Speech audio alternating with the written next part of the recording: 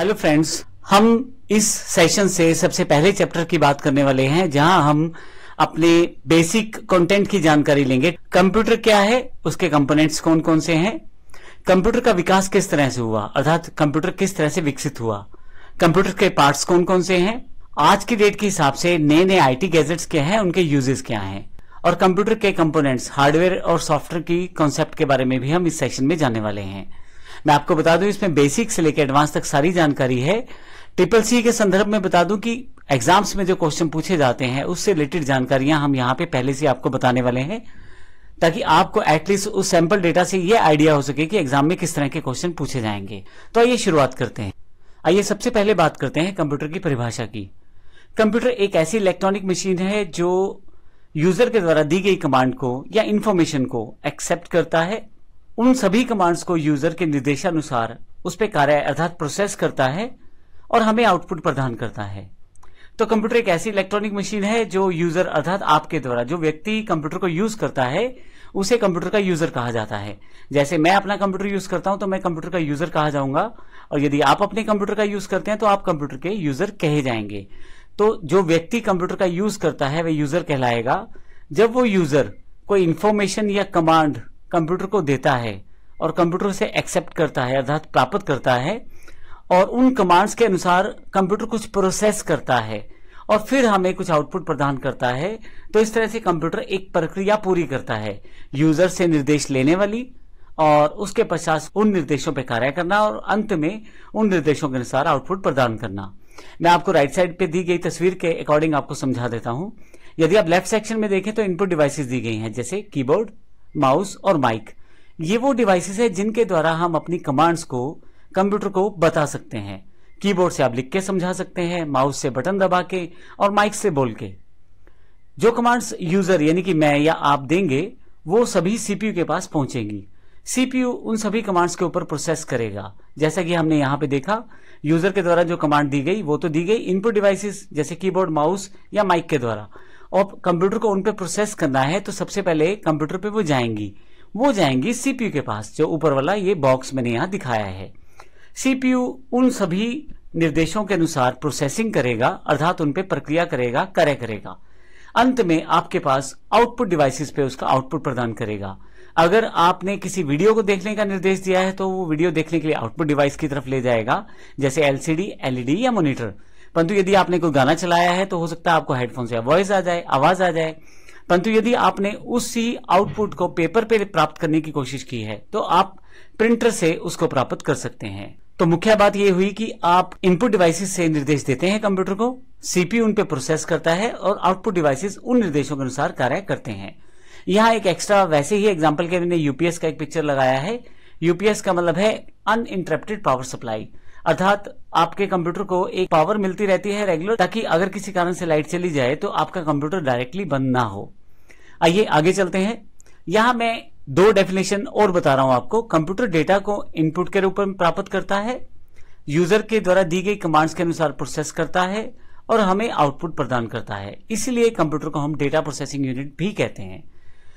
इसको एक एग्ज़ाम्पल से समझते हैं। मान लीजिए आपको दो जमा तीन करना है तो आप एज अ यूज़र कीबोर्ड का प्रयोग करेंगे दो जमा तीन लिखने के लिए।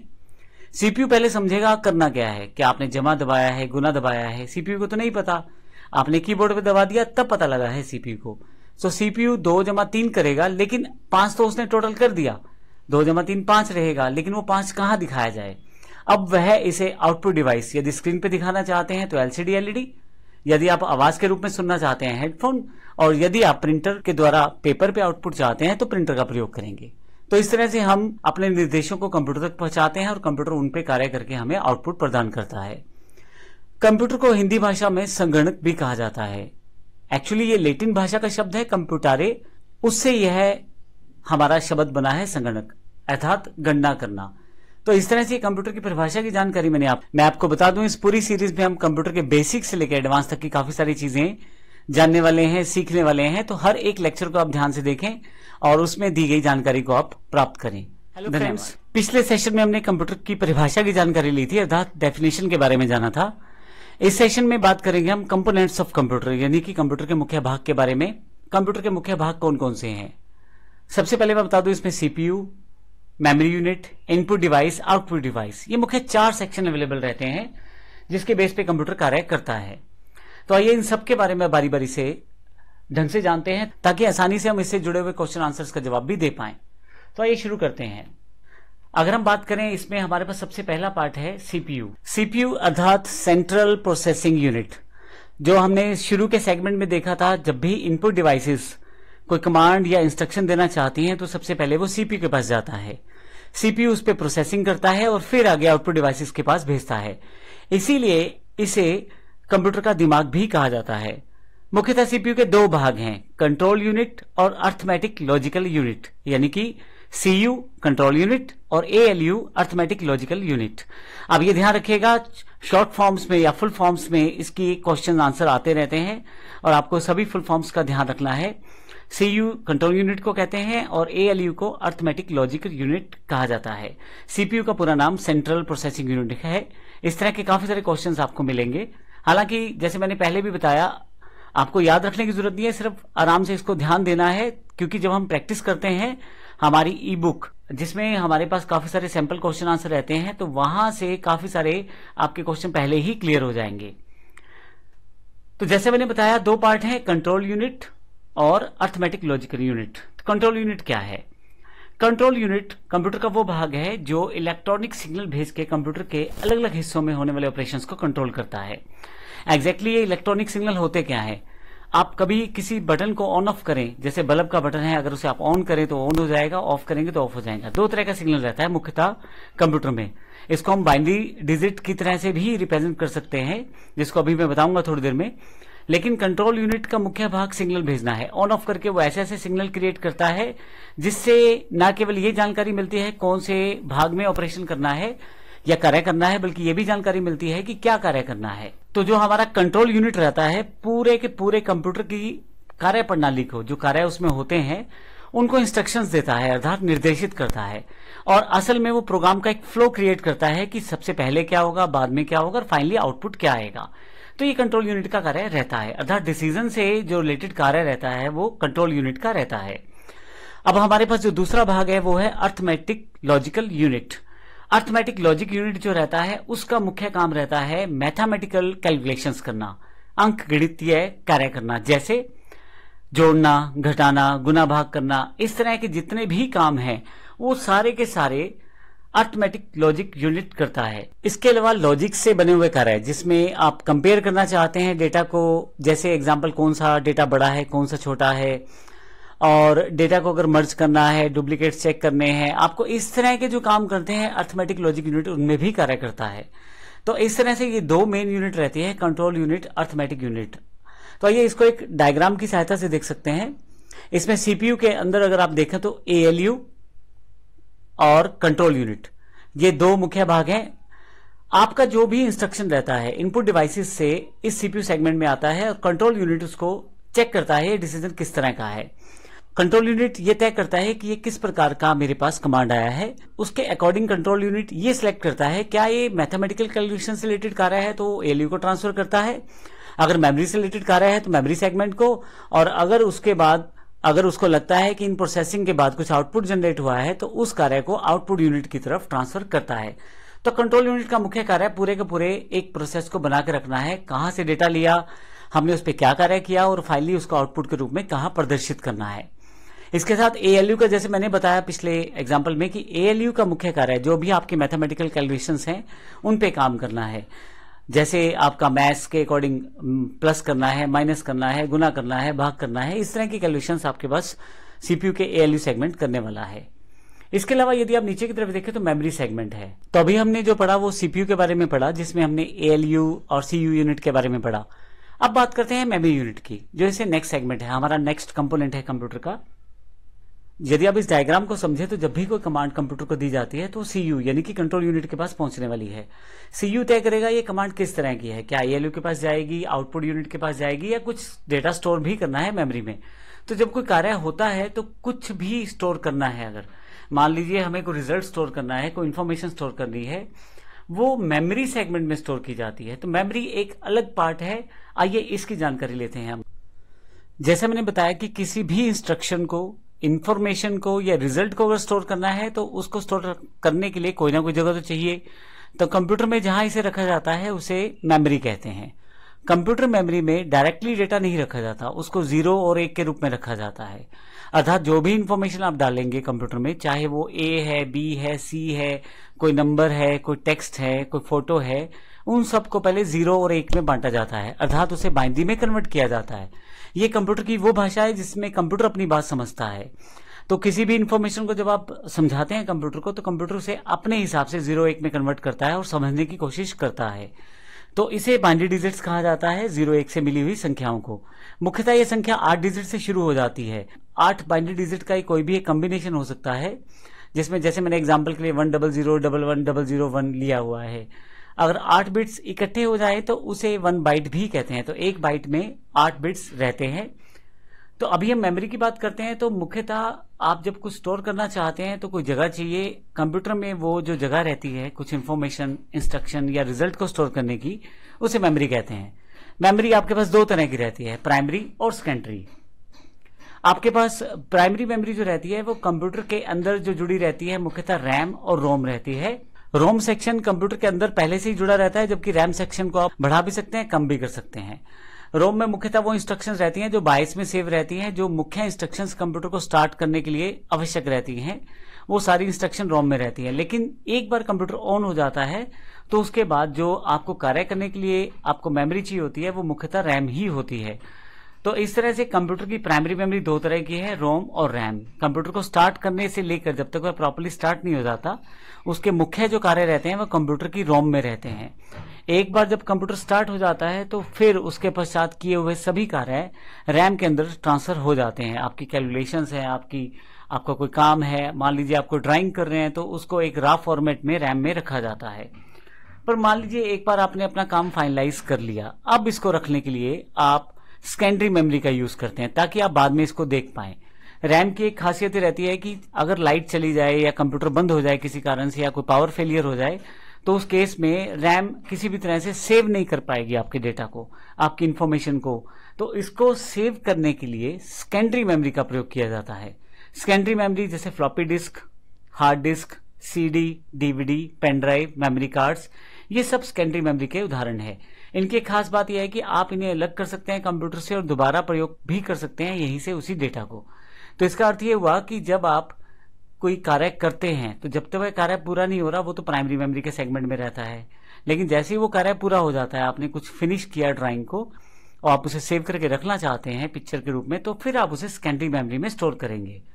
इसमें आप एक तरह से एग्ज़ाम्पल ले लें, जैसे मोबाइल में आप फ़ोटो खींचते हैं तो वो एक मेमोरी कार्ड में सेव किया जा सकता है। या मोबाइल की इंटरनल मेमोरी में सेव किया जा सकता है। तो फ़ोटो खींचने तक का सारा काम जो है वो एक रैम के रूप में हो रहा है, लेकिन जैसे ही आप फ़ोटो खींच देते हैं, फ़ाइल बन जाता है तो फिर फ़ोन में एक जगह पे उसे स्टोर कर दिया जाता है बाद में प्रयोग करने के लिए। इसी तरह से कंप्यूटर में सेकेंडरी मेमोरी में वो सारा डेटा स्टोर हो जाता है जो आपको चाहिए होता है। तो आप यहाँ से डेटा को दोबारा प्रयोग भी कर सकते हैं। एक और बात, यहाँ फ्लॉपी डिस्क अब आउटडेटेड है नहीं प्रयोग होती हार्ड डिस्क इंपॉर्टेंट है कंप्यूटर के अंदर पहले से जुड़ी रहती है और कंप्यूटर के इंटरनल कंपोनेंट्स के रूप में भी आती है। हार्ड डिस्क एक्सटर्नल भी अवेलेबल है आजकल। इसके अलावा आप सीडी डीवीडी और पेन ड्राइव का प्रयोग कर सकते हैं डेटा को राइट करने के लिए। इनमें सबसे इंपॉर्टेंट बात यह है कि पेन ड्राइव हार्ड डिस्क और फ्लॉपी इत्यादि से आप डेटा रीड राइट कर सकते हैं और दोबारा इन्हें प्रयोग करने के लिए अपने पास संभाल के रख सकते हैं। तो ये कंप्यूटर मेमोरी का एक सेगमेंट है। हालाँकि मैं आपको जानकारी दे दूँ इसी सेशन में आने वाले सेक्शंस में हम इसको विस्तृत रूप से भी पढ़ने वाले हैं। अभी एक कंप्यूटर की परिभाषा के साथ जुड़ी हुई बेसिक टर्म्स की मैं आपको जानकारी दे रहा हूँ और ट्रिपल सी में इन सब क्वेश्चंस को पूछा जाता है कि आपका प्राइमरी मेमोरी कितने प्रकार की है या सेकेंडरी मेमोरी कितने प्रकार की है हार्ड डिस्क कौन सी मेमोरी का पार्ट है या रैम किस मेमोरी का पार्ट है प्राइमरी का या सेकेंडरी का? तो इस तरह के क्वेश्चन आपसे पूछे जाते हैं, इसलिए जानकारी आपको यहाँ पे दी गई है। इसके अतिरिक्त अब मैं नेक्स्ट पार्ट पे आता हूँ। थर्ड जो कंपोनेंट है इनपुट डिवाइसेस है, जिससे कंप्यूटर को इंस्ट्रक्शन दी जा सकती है। कंप्यूटर को इंस्ट्रक्शन देने के लिए आप कीबोर्ड माउस जॉयस्टिक और इन सब डिवाइसेस का प्रयोग करते हैं। आप जब कीबोर्ड पे कुछ टाइप करेंगे तो कंप्यूटर के पास पहुँच जाएगा और वो उसको इंस्ट्रक्शन मानेगा। इस तरह से आप माइक से बोल के भी अपनी इंस्ट्रक्शन पास कर सकते हैं और माउस से क्लिक करके अपनी इंस्ट्रक्शन पास कर सकते हैं। ये सभी इंस्ट्रक्शन सीपीयू के पास जाएँगी, फिर एएलयू और कंट्रोल यूनिट इस पे कार्य करेंगे। कोई डेटा अगर सेव करना होगा तो उसे मेमोरी में सेव किया जाएगा। फाइनली जो आउटपुट आएगा, उसे आउटपुट डिवाइसेस पे शो किया जाएगा। तो इसका अर्थ ये हुआ, मैं आप अगले सेगमेंट में आपको आउटपुट डिवाइसेस की जानकारी दे दूँ। फाइनली जब कुछ आपका आउटपुट अवेलेबल हो जाता है सीपीयू को पता लग जाता है, जो इंस्ट्रक्शन उसे मिली, जो डेटा उस पर मिला इनपुट डिवाइसेस से सीपीयू ने उस पर पहले कार्य किया, अर्थात प्रोसेसिंग किया। सीयू और एएलयू की सहायता से और फिर उसके पश्चात जो फाइनल आउटपुट तैयार हुआ, उसे वो आउटपुट यूनिट के पास भेजना चाहता है। तो आउटपुट यूनिट वो है जिसमें यूज़र देख सकता है कि परिणाम क्या आया है। जैसे एलसीडी जहाँ पे विजुअल फॉर्मेट यानी कि वीडियो के फॉर्मेट में दिखाया जाएगा। अगर कुछ प्रिंट आउट लेना चाहते हैं तो प्रिंटर और अगर आप स्पीकर से कुछ आउटपुट चाहते हैं तो स्पीकर से। तो इस तरह से आप इन डिवाइसेस का प्रयोग करके कंप्यूटर का प्रयोग कर सकते हैं। अगर मैं इन चारों सेक्शन की बात करूँ तो सेंट्रल प्रोसेसिंग यूनिट है मेमोरी यूनिट है इनपुट डिवाइस है आउटपुट डिवाइस है। तो इन सब पार्ट से मिलकर आपका कंप्यूटर कार्य करता है। ये चारों एक यूनिट के रूप में जब कार्य करते हैं तो आपका कार्य बहुत आसान हो जाता है। अगले सेक्शन में हम कंप्यूटर के इतिहास की जानकारी लेंगे। फ्रेंड्स इस सेशन में हम बात करने वाले हैं कंप्यूटर के विकास के बारे में कंप्यूटर के वेल्यूशन के बारे में। सबसे पहले बात करते हैं कंप्यूटर का विकास किस प्रकार से हुआ। हम यहाँ पे बेसिकली कंप्यूटर जब विकसित हो रहा था तो कौन कौन सी डिवाइसेस उससे पहले विकसित हुई और कंप्यूटर तक हम कैसे पहुँचे, उसकी जानकारी लेने वाले हैं। मैं आपको बता दूँ, इसमें काफ़ी सारे क्वेश्चन पूछे जाते हैं एग्ज़ाम में और आपको यहाँ पे कुछ चीज़ों का ध्यान रखना है कि कौन सी सदी में आविष्कार हुआ, कौन सी मैकेनिकल डिवाइस है, कौन सी इलेक्ट्रॉनिक डिवाइस है, किस कार्य में आती थी, ये सब चीज़ों का आपको ध्यान रखना है। जो कंप्यूटर या लैपटॉप हम आज प्रयोग करते हैं, वो आज के दिन नहीं है। उसके लिए काफ़ी सदियों से मेहनत की जा रही है और इसके लिए उसको स्टेप बाय स्टेप काफ़ी सारे चरणों में उसका अलग अलग रूप में आविष्कार हुआ। फिर उन चीज़ों को जोड़ा गया, फिर नई चीज़ें ऐड की गई। इस तरह से एक कंप्यूटर के रूप में आज जो डिवाइस हमारे पास है, उसका हम प्रयोग कर पाते हैं। तो कंप्यूटर के विकास में सबसे इंपॉर्टेंट और पहला नाम एबेकस का है। यह कंप्यूटर के इतिहास का सबसे पुराना डिवाइस है। हालाँकि ये बिल्कुल कंप्यूटर से मैच नहीं करता। यह एक मैकेनिकल डिवाइस होता है। जिसमें एक तारों का फ्रेम होता है। इसे चाइना में सोलहवीं सदी में आविष्कृत किया गया था, यानी कि इसे बनाया गया था सोलहवीं सदी में चाइना में। अगर आप बच्चों के लिए एक स्लेट देखें तो उसमें तारों में बिट परोए रहते हैं, जो आजकल भी मार्केट में मिल जाती है। कुछ इसी तरह का यह है डिवाइस था बेकस जिसमें बिड्स रहते थे छोटी छोटी गोलियाँ रहती थी तारों में। आप बेकस का प्रयोग कैलकुलेशन करने में कर सकते थे, जैसे जोड़ने में, घटाने में, गुना करने में। और ध्यान रखिएगा, ये मैकेनिकल डिवाइस था। अर्थात इसमें कोई भी इलेक्ट्रॉनिक तार वगैरह लगाने की ज़रूरत नहीं थी। यह एक मैकेनिकल डिवाइस था जो आप नॉर्मल प्रयोग कर सकते थे बिना किसी बिजली के। इसके पश्चात, जैसे अबेकस आविष्कृत हुआ, उसके पश्चात सोलह में एक नेफियर बोन ने अलग से डिवाइस बनाई। इसे नेफियर बोन्स भी कहा जाता है। इसका यूज़ भी एडिशन सब्सट्रैक्शन मल्टीप्लिकेशन डिवीज़न इत्यादि के लिए किया जाता था। उसके नेक्स्ट पार्ट में, जब 1620 में विलियम आर्टेड ने स्लाइड रूल को आविष्कृत किया। अब आप प्लस माइनस गुना भाग तो कर सकते थे, अब उसका एक नया पार्ट जोड़ा गया, वर्गमूल, यानी कि स्क्वेयर रूट और लॉगरिथम। इसके अलावा ट्रिग्नोमेट्रिक फ़ंक्शंस, इन सब के लिए आप स्लाइड रूल का प्रयोग कर सकते थे। विलियम आर्टेड ने 1620 में इसका आविष्कार किया था। अब ध्यान रखिएगा, आपसे अगर जो क्वेश्चन पूछा जाता है, वो ये पूछा जाता है, स्लाइड रूल में क्या क्या चीज़ें की जा सकती हैं, उसमें आपके पास ऑप्शंस दिए जाएँगे, आपको इन चीज़ों का ध्यान रखना है। अगला हमारे पास है पास्कल कैलकुलेटर ब्लेज पास्कल ने एक मैकेनिकल डिजिटल कैलकुलेटर का आविष्कार किया सोलह में। अब यह मैकेनिकल और डिजिटल प्रारूप था, अर्थात कुछ इसको बिजली चाहिए थी और कुछ यह मैकेनिकल डिवाइसेस के साथ मिलकर काम करता था। काम ये बेसिक ही कर पा रहा था, जैसे जोड़ना, घटाना, यानी कि एडिशन सब्सट्रैक्शन इत्यादि, लेकिन मुख्य बात यह थी कि एक मैकेनिकल प्लस डिजिटल कैलकुलेटर था। इसके पश्चात एक मैकेनिकल कैलकुलेटर लाइबनीज ने आविष्कृत किया सोलह में, जिसका यूज़ फिर से एडिशन सब्सट्रैक्शन मल्टीप्लिकेशन डिवीज़न के लिए किया था। लेकिन कहीं ना कहीं थोड़ा सा फास्ट था ये, और काम करने की गति इसमें बढ़ गई थी, और काउंटिंग इत्यादि आप बड़ी फास्ट कर सकते थे इसमें। नेक्स्ट जो पार्ट है Charles Babbage Charles Babbage computer के पिता कहे जाते हैं। मैं आपको यह भी बता दूँ कि कई बार ये क्वेश्चन कई एग्ज़ाम्स में और कई जगह पूछा जाता है। चार्ल्स पेबेज ने 1822 में जो मशीन बनाई थी, उसे डिफरेंस इंजन कहते थे। अब बेवेज का कंप्यूटर के विकास में बहुत बड़ा योगदान है, तभी इन्हें कंप्यूटर का पिता कहा जाता है। आप विभिन्न बीज गणितीय वर्णों का मान 20 दशमलव तक आसानी से ज्ञात कर सकते हैं और बिल्कुल एक्यूरेट अर्थात यह मशीन जो आपकी कैलकुलेशन करती है, वो 20 डेसिमल प्लेसेस तक कर सकती है और बिल्कुल सही कर सकती है। और इसकी एक प्रॉब्लम ये थी कि उस वक्त ये मशीन जो थी, भाप से चलती थी। अर्थात इस बड़ा इंफ्रा एक बड़ा प्रोसेस और एक भाप। यानी कि इसको चलाने के लिए आपको स्टीम की आवश्यकता होती थी। लेकिन उन दिनों में नॉर्मल व्यक्ति तो इसका प्रयोग बिल्कुल नहीं कर सकता था, क्योंकि साइज़ भी बड़ा और उसके लिए रिक्वायरमेंट्स भी ज़्यादा, लेकिन फिर भी कमर्शियल एरियाज़ में इसका यूज़ होना शुरू हो गया। जैसे डिपार्टमेंट पोस्टेज डिपार्टमेंट है या रेलवे डिपार्टमेंट है, बीमा डिपार्टमेंट है, इन कमर्शियल एरियाज़ में इसका प्रयोग करना शुरू किया गया। इसके पश्चात एनालिटिकल इंजन का आविष्कार हुआ। चार्ल्स पेबर्स ने यह मशीन तैयार की। में अब इनपुट आउटपुट स्टोरेज भी अवेलेबल थी कंट्रोल भी था। इन सबको मिला के एक मशीन आविष्कृत की गई, जो ये कह सकते हैं कि आज के कंप्यूटर का एक बेसिक टेम्पलेट कहा जा सकता है, एक रफ प्रोसेस कहा जा सकता है, जिसमें आप मैथमेटिकल कार्य कर सकते थे, बल्कि अपनी जो आउटपुट आई है, उसको स्टोर भी कर सकते हैं। उसको स्टोर भी कर सकते थे। और यह ऐसा पहली बार किसी डिवाइस में किया गया था।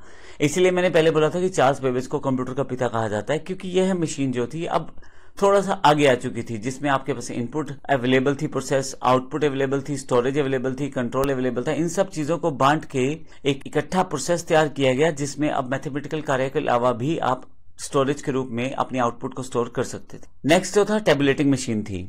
1880 में हार्मन हॉर्लेट ने इसका आविष्कार किया था। यहाँ पे थोड़ा सा डिफरेंस इसने ये किया कि इन्फॉर्मेशन को स्टोर करने के लिए पंच कार्ड का प्रयोग किया। यह एक पंच कार्ड होता है जिसमें छेद बन जाते थे, अब उन छेदों को पढ़ के ये डिसाइड किया जाता था कि इसमें डेटा क्या लिखा गया है। यह एक्चुअली एक मैकेनिकल टेबलेटर पे आधारित था। इसमें आप इन्फॉर्मेशन या डेटा को स्टोर कर सकते थे और इवन सोर्ट भी कर सकते थे। अठारह में टेबलेटिंग मशीन जो कंपनी बनाई गई थी, उसमें 1924 में इंटरनेशनल बिज़नेस मशीन बन गई। अर्थात जो आईबीएम आज आप सुनते हैं, उसको 1924 में इंटरनेशनल बिज़नेस मशीन के रूप में बनाया गया था। अगर हम आगे की बात करें तो नेक्स्ट फ़ेज़ में हमारे पास बेसिक कंप्यूटर का एक ब्लॉक तैयार हो गया था कि हमें क्या क्या चाहिए होती है। अब हम आगे की बात करें तो हमारे पास कंप्यूटर के विकास में एक बेसिक ब्लॉक तैयार हो गया था कंप्यूटर का कि इसमें एक इनपुट होना चाहिए, एक आउटपुट होना चाहिए, एक हमारे पास प्रोसेसिंग प्रोसेस होना चाहिए। अब मार्क वन इस दिशा में एक पहला कदम और था। 1930 में ये मशीन विकसित की गई थी। लार्ज नंबर यह पहली इलेक्ट्रोमैकेनिकल कैलकुलेशन मशीन थी, जिसका प्रयोग आप कैलकुलेशन के लिए कर सकते थे बड़े बड़े नंबर्स के कैलकुलेशन के लिए। और सबसे इंपॉर्टेंट बात यह इलेक्ट्रोमैकेनिकल अर्थात बिजली और मैकेनिकल प्रोसेस दोनों को इकट्ठा करके इस मशीन को बनाया गया था। एनियक इसका आविष्कार उन्नीस सौ छियालीस में जे प्रेस्पर एक्रिट ने किया था, और जॉन मॉसली ने किया था। इसका पूरा नाम electronic numerical integrator and computer था। और यह वर्ल्ड का पहला इलेक्ट्रॉनिक कंप्यूटर था। तो पूछा जाता है कई बार आपके एग्ज़ाम्स में क्वेश्चंस में कि पहला आपका इलेक्ट्रॉनिक कंप्यूटर कौन सा था? तो एनिएक का नाम वहाँ पे आता है। ध्यान रखिएगा, उन्नीस सौ छियालीस में आविष्कृत किया गया था। इसके बाद एडसेक का नाम आता है। इसका आविष्कार उन्नीस सौ उनचास में मॉरिस वाइक्स ने किया था। इसका पूरा नाम electronic delay storage automatic calculator था। जहाँ पे इलेक्ट्रॉनिक और मैकेनिकल फ़ंक्शंस को यहाँ पे तवज्जो दी गई, वहीं पे साथ में स्टोरेज के लिए भी यहाँ पे स्पेसिफिक प्लेस सेटअप किया गया। अर्थात यहाँ पे अब इन्फॉर्मेशनल प्रोसेस को आप स्टोर भी कर सकते थे। तो इसका अर्थ ये हुआ, जो कंप्यूटर हम आज की डेट में प्रयोग करते हैं, वो काफ़ी सालों, काफ़ी सदियों, काफ़ी दशकों की मेहनत का आउटपुट है।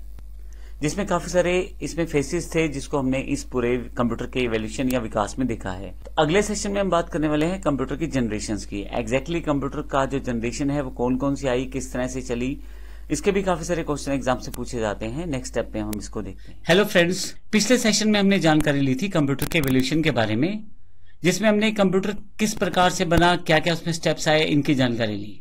इस सेशन में हम बात करने वाले हैं जनरेशन ऑफ़ कंप्यूटर कंप्यूटर की कौन कौन सी जनरेशन रही है, किस तरह से कंप्यूटर विकसित हुआ है अलग अलग टेक्नोलॉजी के रूप में, उसकी जानकारी हम इस सेशन में लेने वाले हैं। मैं आपको बता दूँ एग्ज़ाम में काफ़ी सारे क्वेश्चन इससे पूछे जाते हैं कि कौन सी जनरेशन में कौन सी टेक्नोलॉजी यूज़ की गई और किस किस तरह के कंप्यूटर एग्जाम्पल्स उस जनरेशन में मिलते हैं। तो आइए इन सब चीज़ों की जानकारी हम लोग लेने वाले हैं। तो सबसे पहले शुरुआत करते हैं जनरेशन ऑफ़ कंप्यूटर में फ़र्स्ट जनरेशन जो 1946 से 1956 तक रही। तो आइए बात करते हैं फ़र्स्ट जनरेशन की, जो 1946 से 1956 तक रही। कंप्यूटर की फ़र्स्ट जनरेशन में वैक्यूम ट्यूब का यूज़ किया गया था।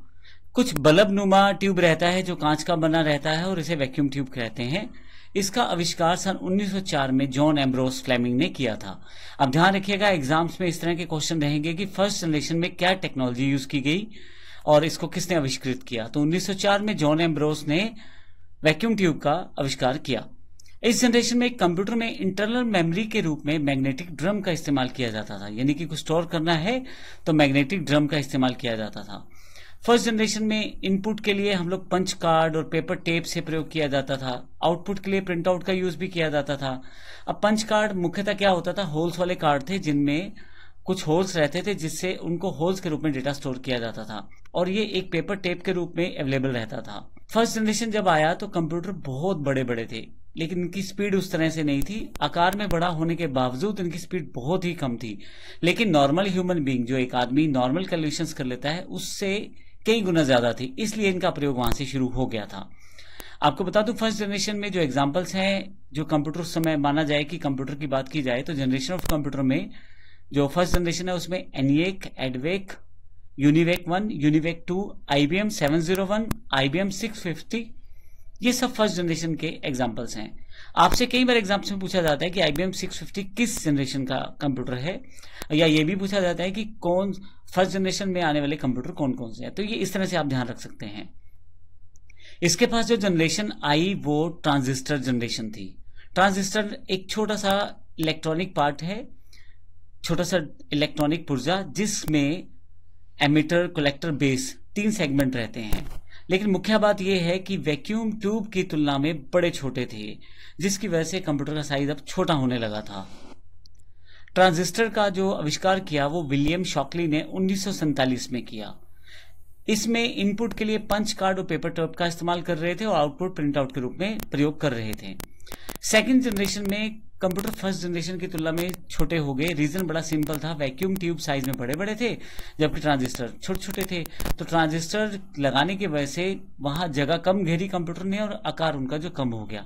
इसके साथ साथ इनकी स्पीड भी बेहतर हुई। यहाँ इस जनरेशन तक आते आते हाई लेवल लैंग्वेजेस का इवोल्यूशन शुरू हो गया था। फोर्ट्रोन कबोल इसके एग्ज़ाम्पल है जिसको प्रयोग किया गया।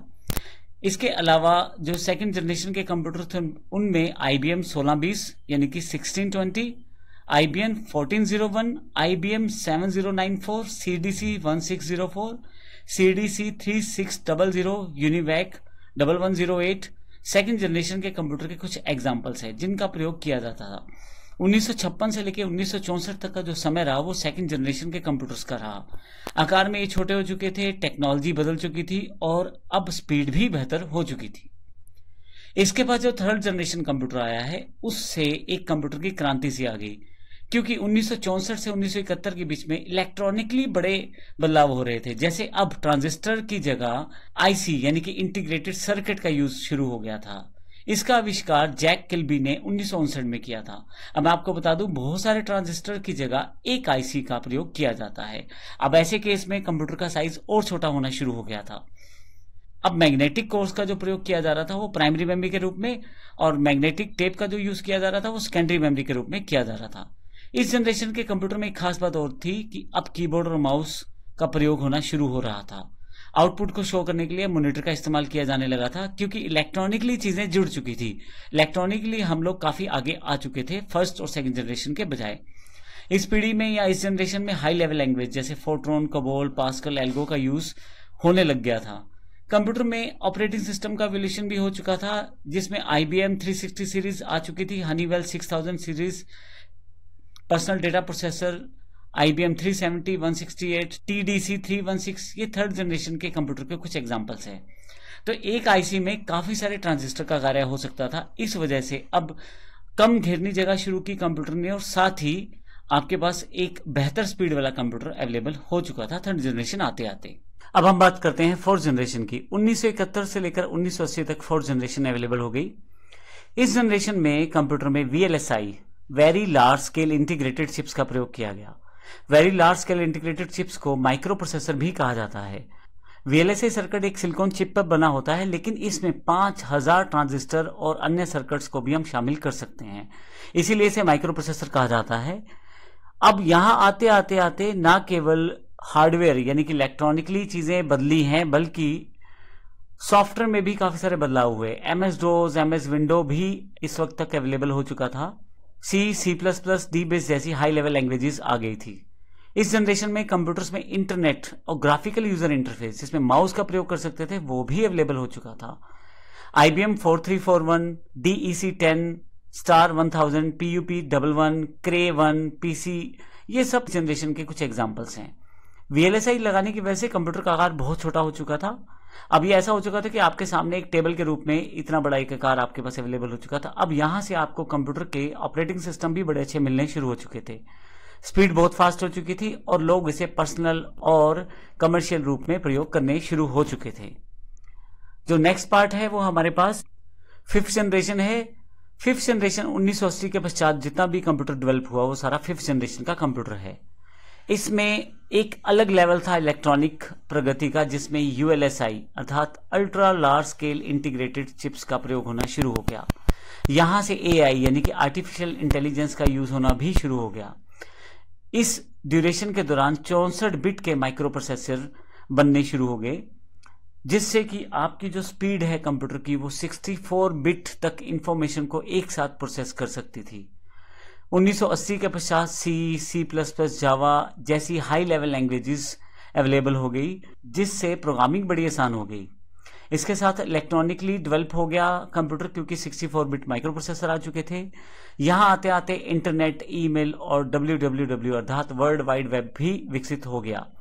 इस जनरेशन में यूज़र फ्रेंडली इंटरफेस अवेलेबल हुए, अर्थात जिससे यूज़र बड़ी आसानी से काम कर सके किसी कंप्यूटर में, वो उस तरह की विशेषताएँ कंप्यूटर में आने लग गई। अब आपके पास desktop laptop notebook ultrabook Chromebook ये इसी जनरेशन के एग्जाम्पल्स हैं। अभी हमारे पास जो कंप्यूटर है फिफ्थ जनरेशन से पूरे प्रभावित हैं। अब इतने फास्ट हो चुके हैं कंप्यूटर कि हमारा काफ़ी मुश्किल काम बड़े आसानी से संभव कर देते हैं। बड़ी बड़ी मुश्किल मुश्किल कैलकुलेशंस बड़ी आसानी से सॉर्ट आउट हो जाती हैं बड़ी बड़ी जो कार्य हैं, वो कंप्यूटर की सहायता से कर दिए जाते हैं। इवन काफ़ी सारी मशीन्स को कंप्यूटर से ऑपरेट कर लिया जाता है और साइज़ में बड़े छोटे। नोटबुक का साइज़ बड़ा सिंपल हाथों में आने वाला साइज़ है, आप कहीं भी लेके जा सकते हैं। तो इस तरह से हमारी ये जनरेशन है कंप्यूटर की, जिनको हमने देखा, इन जनरेशन को क्वेश्चन काफ़ी सारे पूछे जाते हैं और फुल फॉर्म्स का भी ज़रूर ध्यान रखें, जैसे यूएलएसआई है या वीएलएसआई है। तो इस तरह की चीज़ें आपसे पूछी जाएँगी। अब इस सेशन में हमने अपने कंप्यूटर जनरेशन को ख़त्म किया है। अगले सेशन में हम देखेंगे कंप्यूटर के फीचर्स क्या हैं। कंप्यूटर जब इस्तेमाल करते हैं तो उसके कौन कौन से पहलू हैं जिन्हें हमें जानना ज़रूरी है। हेलो फ्रेंड्स इस सेशन में हम बात करने वाले हैं कंप्यूटर के मुख्य विशेषताएँ अर्थात फीचर्स के बारे में। हमने कंप्यूटर की बेसिक डेफिनेशन जानी उसकी हिस्ट्री जानी उसकी जनरेशन जानी। अब हम बात करने वाले हैं कंप्यूटर के फीचर्स क्या हैं। क्या लाभ है एक तरह से कंप्यूटर के? तो मैं आपको बता दूँ कंप्यूटर के फीचर्स की बात करें तो इसके बहुत सारे फीचर्स हैं। और इस वक्त ये हमारे जीवन का एक इंपॉर्टेंट पार्ट बन गया है। हर व्यक्ति अपने हिसाब से कंप्यूटर का प्रयोग करता है। एक आर्टिस्ट अपने हिसाब से प्रयोग करता है, एक डॉक्टर अपने हिसाब से प्रयोग करता है, एक बैंकिंग कर्मचारी अपने हिसाब से प्रयोग करता है, लेकिन इसके बहुत सारे फीचर हैं जिनके कारण इसका प्रयोग किया जाता है। तो आइए जानते हैं कौन से फीचर हैं जिसकी वजह से इसका प्रयोग किया जाता है। मैं अगर सबसे पहले बात करूँ तो सबसे पहला और इंपॉर्टेंट फीचर कंप्यूटर का उसकी स्पीड का होना है। जैसे मैंने पहले भी बताया था कि पांचवी जनरेशन आते आते वीएलएसआई या अल्ट्रा वीएलएसआई चिप्स प्रयोग हो चुके हैं तो ऐसी ऐसी कैलकुलेशंस जो पहले करने में घंटों, दिनों लग जाते थे, अब वो कुछ सेकंड्स इवन सेकंड्स के भी नैनो सेकंड्स काफ़ी सारे हिस्सों में आप उसे कर सकते हैं।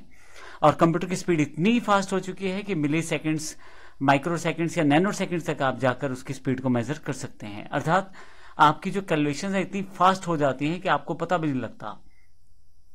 इसके अतिरिक्त अगर एक्यूरेसी की बात करें तो कंप्यूटर सबसे बेस्ट रहता है एक्यूरेसी में। आप किसी भी काम को हज़ारों बार करवा ले, उससे वो हर बार उसी एक्यूरेसी के साथ आपको करके देने वाला है। इसी कारण से कंप्यूटर का उपयोग बड़ी बड़ी इंडस्ट्रीज़ में होना शुरू हो गया, जिससे कि आप मान के चलें कि अगर कोई पार्ट भी बनाना है गाड़ी का, कोई प्रोडक्शन पार्ट में उसका प्रयोग करना है तो एज इट इज़ बनेगा, जैसे पहला है, वही वैसे ही दूसरा है, वैसे ही दसवां है। तो एक्यूरेसी इतनी बेहतर रहती है कंप्यूटर की कि वो सबसे बेस्ट रहती है। ह्यूमन बींग या व्यक्ति या जब हम लोग कार्य करते हैं तो हमारी गलती से कुछ गलत हो जाए तो हो जाए कंप्यूटर कुछ भी गलत नहीं करता। कंप्यूटर वही रिज़ल्ट देता है जिस तरह के हम उसे इनपुट देने वाले हैं। हाँ ये हो सकता है कि हाँ, अगर हमारे दिए गए निर्देशों में कुछ कमी है तो हो सकता है कंप्यूटर उस तरह का रिज़ल्ट दे। परंतु अगर आपने कंप्यूटर में कुछ फ़ीड कर दिया है तो हमेशा एक एक्यूरेसी के साथ ही आपको रिज़ल्ट मिलने वाला है।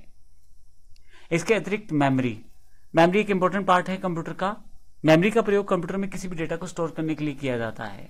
तो डेटा अलग अलग तरह से अवेलेबल है। वो पिक्चर के रूप में अवेलेबल है, यानी कि फ़ोटो के रूप में, किसी फ़ाइल के रूप में, किसी प्रोग्राम के रूप में, किसी गेम के रूप में, आवाज़ के रूप में, वीडियो के रूप में तो बहुत सारे तरीके हैं डेटा को स्टोर करने के।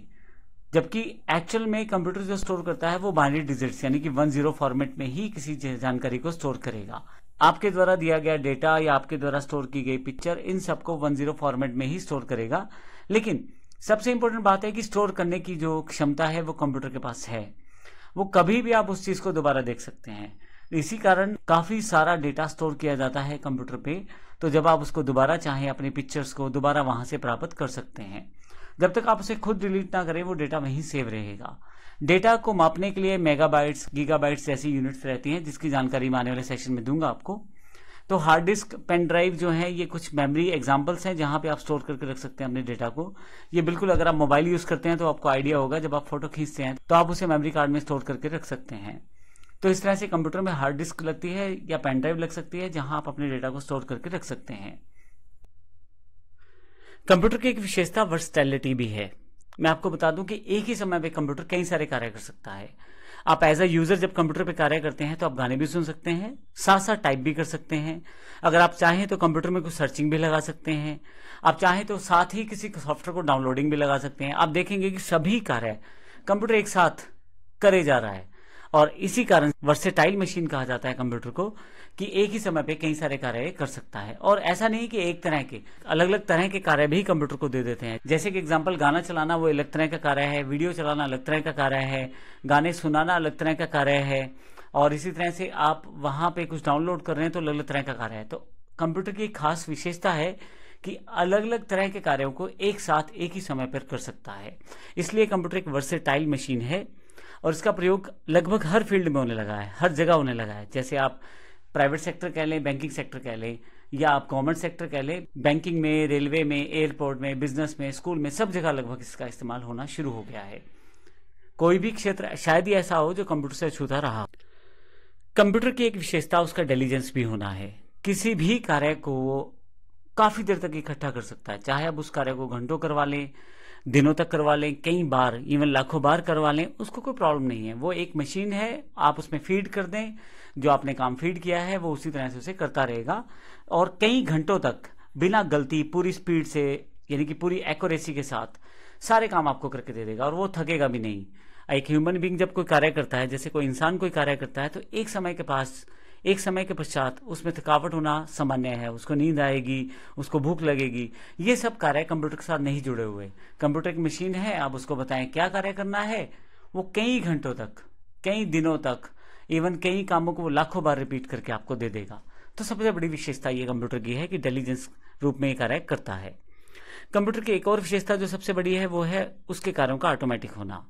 आप अगर कंप्यूटर को कुछ इंफॉर्मेशन दे दें या उसको कुछ इंस्ट्रक्शन दे दें और वो प्रोग्राम उसमें लोड कर दिया जाए तो कंप्यूटर उस काम को खुद ही दोबारा कर देगा। आपको बार बार नहीं करना है वो काम। तो एक बार कंप्यूटर को दी गई इंस्ट्रक्शंस कई बार आप उससे वो काम करवा सकते हैं। जैसे एग्ज़ाम्पल बड़ी बड़ी कंपनियों में मान लीजिए प्रोडक्शन में एग्ज़ाम्पल के लिए प्लास्टिक के कप बनते हैं तो अब एक बार बता दें कंप्यूटर को भी इस तरह का साइज़ इस तरह का डिज़ाइन और इस तरह का स्टाइल चाहिए। कंप्यूटर ऑटोमेटिकली उन प्रोडक्शन मशीन्स को निर्देश देता रहेगा कि इस तरह का सामान हमें चाहिए, और वो हर बार आपको वैसा ही मिलेगा जब तक कि ह्यूमन बींग मिस्टेक ना हो, जब तक आपकी तरफ़ से कोई गलती ना हो, और ऑटोमेटेड सिस्टम रहेगा। आपको बार बार बीच में कुछ भी कंप्यूटर को समझाना नहीं है। आप एक बार कमांड दे दें कंप्यूटर खुद ही वो कार्य करता रहेगा। इसका एक सबसे अच्छा उदाहरण है, जब आप इंटरनेट यूज़ करते हैं और मान लीजिए आप कोई मूवी डाउनलोड करना चाहते हैं, आप उसको डाउनलोडिंग के लिए बता दें, वो खुद ही डाउनलोड करता रहेगा। इवन जब वो डाउनलोड हो जाएगी, वो उसको स्टोर भी कर देगा, आपको नोटिफिकेशन भी दे देगा, आपको जानकारी भी दे देगा कि डाउनलोड हो गया है। तो इस तरह से पूरा प्रोसेस ऑटोमेटिक है कंप्यूटर में, और ये इसकी बड़ी विशेषता है, ऑटोमेटिक होना पूरे प्रोसेस का। एक और इम्पोर्टेंट फीचर जो है, वो है सिक्रेसी। आप अपने डेटा को सीक्रेट तौर पे अपने कंप्यूटर में संभाल के रख सकते हैं। जैसे बड़ी बड़ी कंपनीज़ एग्ज़ाम्पल के लिए एक्सेल शीट्स में डेटा को रखना चाहती हैं या वर्ड में रखना चाहती हैं या अपना कोई सॉफ्टवेयर बनवा के रखना चाहती हैं तो बड़ी आसानी से वो रख सकती हैं। सिक्योरिटी बेस पे कंप्यूटर बड़ा सॉलिड है। आप बिना पासवर्ड जाने उस डेटा तक पहुँच नहीं सकते। और आज की डेट में एनक्रिप्शन टेक्नोलॉजीज़ आ गई हैं। आप बिना पासवर्ड के, बिना उसको एनक्रिप्ट किए देख ही नहीं सकते कि उस फ़ाइल के अंदर क्या है। इसके लिए आपको सालों लग जाए उस फ़ाइल को खोलने में और फिर भी वो फ़ाइल ना खोले। इस तरह की जो सिक्योरिटी है कंप्यूटर सेकंड्स में जनरेट कर देता है। तो इस तरह से इस सेशन में हमने कंप्यूटर के फीचर्स जाने, जिसमें हमने देखा कि कंप्यूटर की बहुत सारी विशेषताएँ हैं, जिसके आधार पर इसका अलग अलग फील्ड्स में प्रयोग किया जाता है। आने वाले सेशन में हम देखेंगे कि कौन कौन सी फील्ड्स हैं जिसमें हम इसका प्रयोग कर सकते हैं और उसका इंपॉर्टेंस क्या रहता है उस पर्टिकुलर फ़ील्ड में। धन्यवाद। इस सेशन में हम बात करने वाले हैं बेसिक एप्लीकेशंस ऑफ़ कंप्यूटर अर्थात कंप्यूटर का प्रयोग कहाँ कहाँ किया जाता है? वैसे तो कहीं भी कोई भी ऐसा क्षेत्र नहीं है जहाँ पे कंप्यूटर का प्रयोग ना किया जाए या ना होता हो। लेकिन फिर भी उनमें से कुछ चुनिंदा मैं यूजेज यहाँ पे बेसिक एप्लीकेशन बताना चाहता हूँ, जिससे आपको थोड़ा आइडिया हो जाए कि आप किस प्रकार से कहाँ कहाँ इसका प्रयोग किया जाता है। जैसे कि आप सब जानते हैं कि कंप्यूटर हमारे जीवन का इंपॉर्टेंट पार्ट बन गया है। कंप्यूटर का यूज़ आज हर व्यक्ति करता है, चाहे वो बिज़नेस करता हो, चाहे जॉब करता हो।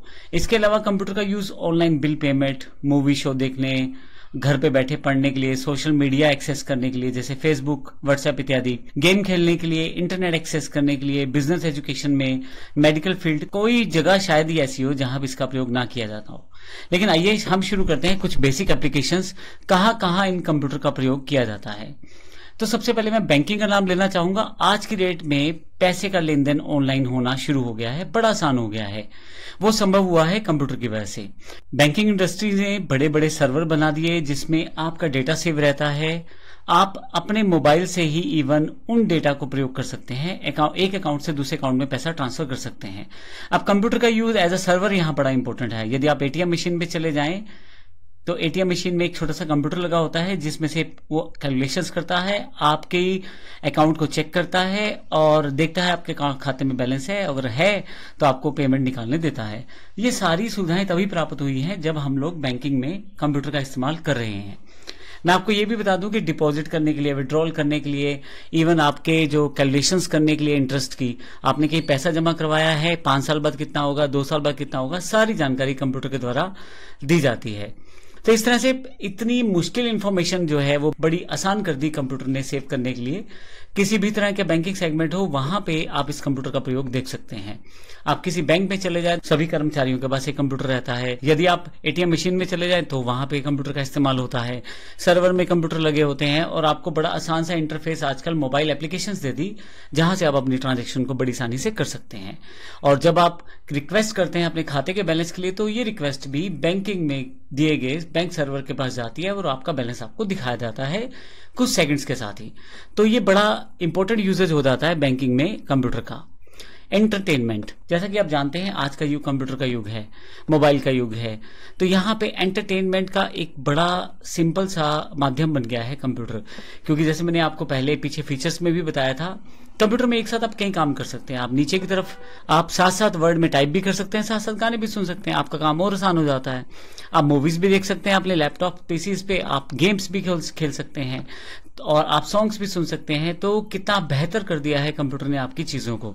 आप अगर डीजे इंडस्ट्री को देखें तो सारा का सारा डीजे इंडस्ट्री कंप्यूटर बेस्ड है। वहाँ एक लैपटॉप का इस्तेमाल होता है और स्पीकर्स का इस्तेमाल होता है।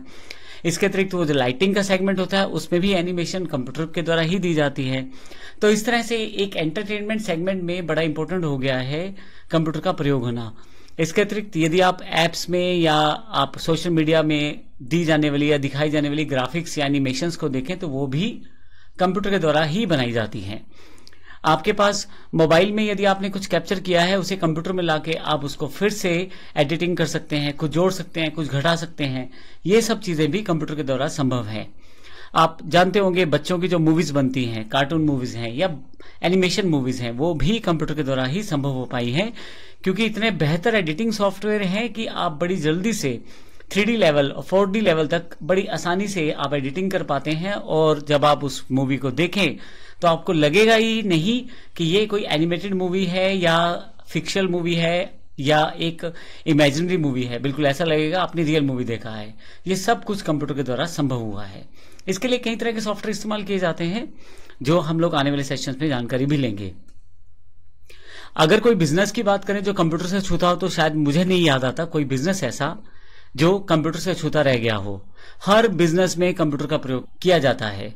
चाहे मार्केटिंग ले लें रिटेलिंग ले लें बैंकिंग ले लें स्टॉक ट्रेडिंग ले लें, आप प्रोडक्शन ले लें होलसेलिंग ले लें, किसी भी तरह का बिज़नेस हो ऑनलाइन बिज़नेस ले लें ऑफलाइन बिज़नेस ले लें, सभी तरह का जो काम है वो अब कंप्यूटर के साथ संभव है। मैं एक सिंपल एग्जांपल दे देता हूँ। अगर आप ये जानना चाहते हैं कि आपको किससे पैसा लेना देना है तो बड़ी आसानी से आप बिज़नेस सेगमेंट में जान सकते हैं कंप्यूटर के द्वारा, क्योंकि अकाउंट्स कंप्यूटर में मेंटेन किया गया है। इसी तरह से आप ये जानना चाहते हैं कि किसका ऑर्डर प्राप्त हुआ है ऑनलाइन और किसका नहीं हुआ यह भी आप बड़ी आसानी से देख सकते हैं कंप्यूटर के द्वारा। तो बिज़नेस में कंप्यूटर एक बड़ा अहम अंग बन गया है, उसके बिना काम करना बड़ा टिपिकल हो गया है। कंप्यूटर ने बहुत मुश्किल काम बड़े आसान कर दिए हैं। आपको कहीं भी आना जाना नहीं है। बिज़नेस मोड में आप डायरेक्ट ऑनलाइन बात कर सकते हैं। आप चाहें तो फेस टू फेस बात कर सकते हैं। आप ईमेल्स भेज सकते हैं। आप वेबसाइट दिखा सकते हैं। सब कंप्यूटर की वजह से संभव हुआ है। कंप्यूटर का जो सबसे इंपॉर्टेंट एक और यूज़ है, वो है डेटा प्रोसेसिंग के ऊपर। कंप्यूटर लार्ज स्केल पर डेटा प्रोसेसिंग बड़ी आसानी से कर सकता है। मैं एक एग्ज़ाम्पल दे देता हूँ। जैसे मान लीजिए, मुझे ये जानना है कि पिछले दस साल में एक कंपनी ने सबसे ज़्यादा खर्च कहाँ किया? या मान लीजिए ये जानना है कि पिछले दस साल में मेरी टोटल सेल पर डे जो रही, उसका टोटल कितना रहा? तो कंप्यूटर ऐसी इन्फॉर्मेशन को कुछ ही सेकंड्स में कैलकुलेट करके मुझे दे देगा। ना केवल दे देगा, बल्कि अगर आप उसमें कंपेयर करना चाहते हैं कुछ इन्फॉर्मेशन को तो वो भी बड़ी आसानी से आप कर सकते हैं। एक एग्ज़ाम्पल और है, जैसे आप, भारत में आप जानते हैं आधार कार्ड चलता है। तो जब भी आप कोई इन्फॉर्मेशन चाहते हैं इंटरनेट पे जाते हैं, आपको आधार कार्ड डाउनलोड करना होता है तो देखें कि इतने सारे आधार कार्ड में से आपका आधार कार्ड ढूंढ के लाना है ओटीपी आएगा और आपका आधार कार्ड आपके पास मिल जाएगा। ये सब चीज़ें ऑनलाइन डेटा प्रोसेसिंग का उदाहरण है। तो इस तरह से पूरे के पूरे डेटा को एनालाइज करना और उसमें से इंफॉर्मेशन निकालना, ये ये जो डेटा प्रोसेसिंग का काम होता है, ये बड़ी आसानी से कंप्यूटर के द्वारा कर लिया जाता है। इसके अलावा कम्युनिकेशन कम्युनिकेशन में अगर आप बात करें तो 4G इवन 5G आ चुका है। कंप्यूटर टेक्नोलॉजी में कम्युनिकेशन में इंटरनेट का यूज़ बहुत ज़्यादा किया है। बेशक हम ज़्यादातर मोबाइल इस्तेमाल करते हैं, लेकिन बैकएंड पे इसके कंप्यूटर ही कार्य करता है। बड़े बड़े सर्वर्स स्थापित करना, जिनमें कंप्यूटर का अहम रोल होता है डेटा को ट्रांसफ़र करना इंटरनेट टेक्नोलॉजी के द्वारा, ये सब कंप्यूटर के द्वारा ही विकसित किया गया है। वीडियो कॉलिंग है चैटिंग है ईमेल से बात करना, या बड़े बड़े बैकएंड पे इस तरह की डिवाइसेस लगाना जो इन सब चीज़ों को संभव करती है, उसके पीछे भी कंप्यूटर का ही हाथ रहता है। बेशक डिवाइसेस कुछ जगह चेंज हुई हैं, जैसे मोबाइल डिवाइसेस का हम यूज़ करना शुरू कर चुके हैं, लेकिन फिर भी हम बैकएंड पे कंप्यूटर पे ही निर्भर हैं। जिस वक्त हमारा नेट बंद हो जाए या सर्वर डाउन हो जाए तो हम मोबाइल का भी यूज़ नहीं कर पाते, क्योंकि हमारा वो सर्वर नहीं चल रहा, इस कारण हमारा इंटरनेट भी नहीं चल रहा। ये सारा कम्युनिकेशन सिस्टम जो है कंप्यूटर के द्वारा ही पॉसिबल हुआ है। नेक्स्ट जो हमारे पास बेसिक एप्लीकेशन है सिक्योरिटी अब जानते हैं सिक्योरिटी में बहुत इंपॉर्टेंट पार्ट रहता है कंप्यूटर का। एक कंट्रोल रूम पूरे शहर का बन जाए और वहाँ से पूरे शहर पर नज़र रखी जाए, ये सिर्फ़ कंप्यूटर से ही संभव हुआ है।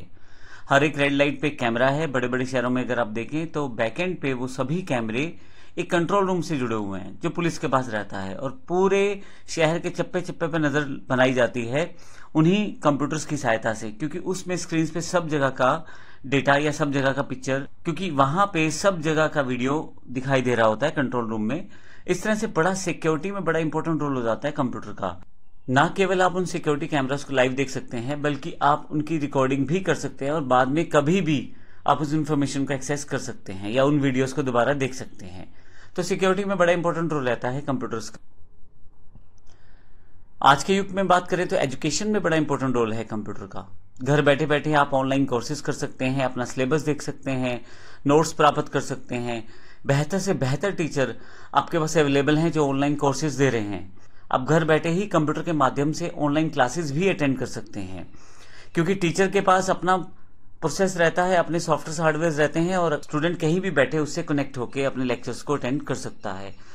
न केवल स्कूल्स कॉलेज और यूनिवर्सिटीज ने, बल्कि ओपन मार्केट में भी बहुत सारी कंपनियाँ इस तरह के कोर्सेज करवाती हैं। तो एजुकेशन प्राप्त करना बड़ा आसान हो गया। एक स्टूडेंट के लिए कहीं से भी वो बेहतर टीचर से जुड़ के अपना कोर्स कर सकता है। आप कहीं भी दुनिया में किसी भी कोने में बैठे हैं, दुनिया के किसी दूसरे कोने में बैठे हुए टीचर से आप शिक्षा प्राप्त कर सकते हैं सर्टिफिकेशन ले सकते हैं। सारी चीज़ें ऑनलाइन हो चुकी हैं ऑनलाइन टेस्ट दिया जाता है। ऑनलाइन ही सर्टिफिकेशन प्राप्त हो जाता है, ऑनलाइन ही वेरिफिकेशन हो जाती है। तो ये सब चीज़ें जो बड़ी पॉसिबल हो गई हैं, वो कंप्यूटर की सहायता से ही हुई हैं। हमारे पास अगला जो इसका एप्लीकेशन है कंप्यूटर का जो इम्पोर्टेंट है वेदर फोरकास्टिंग से रिलेटेड है।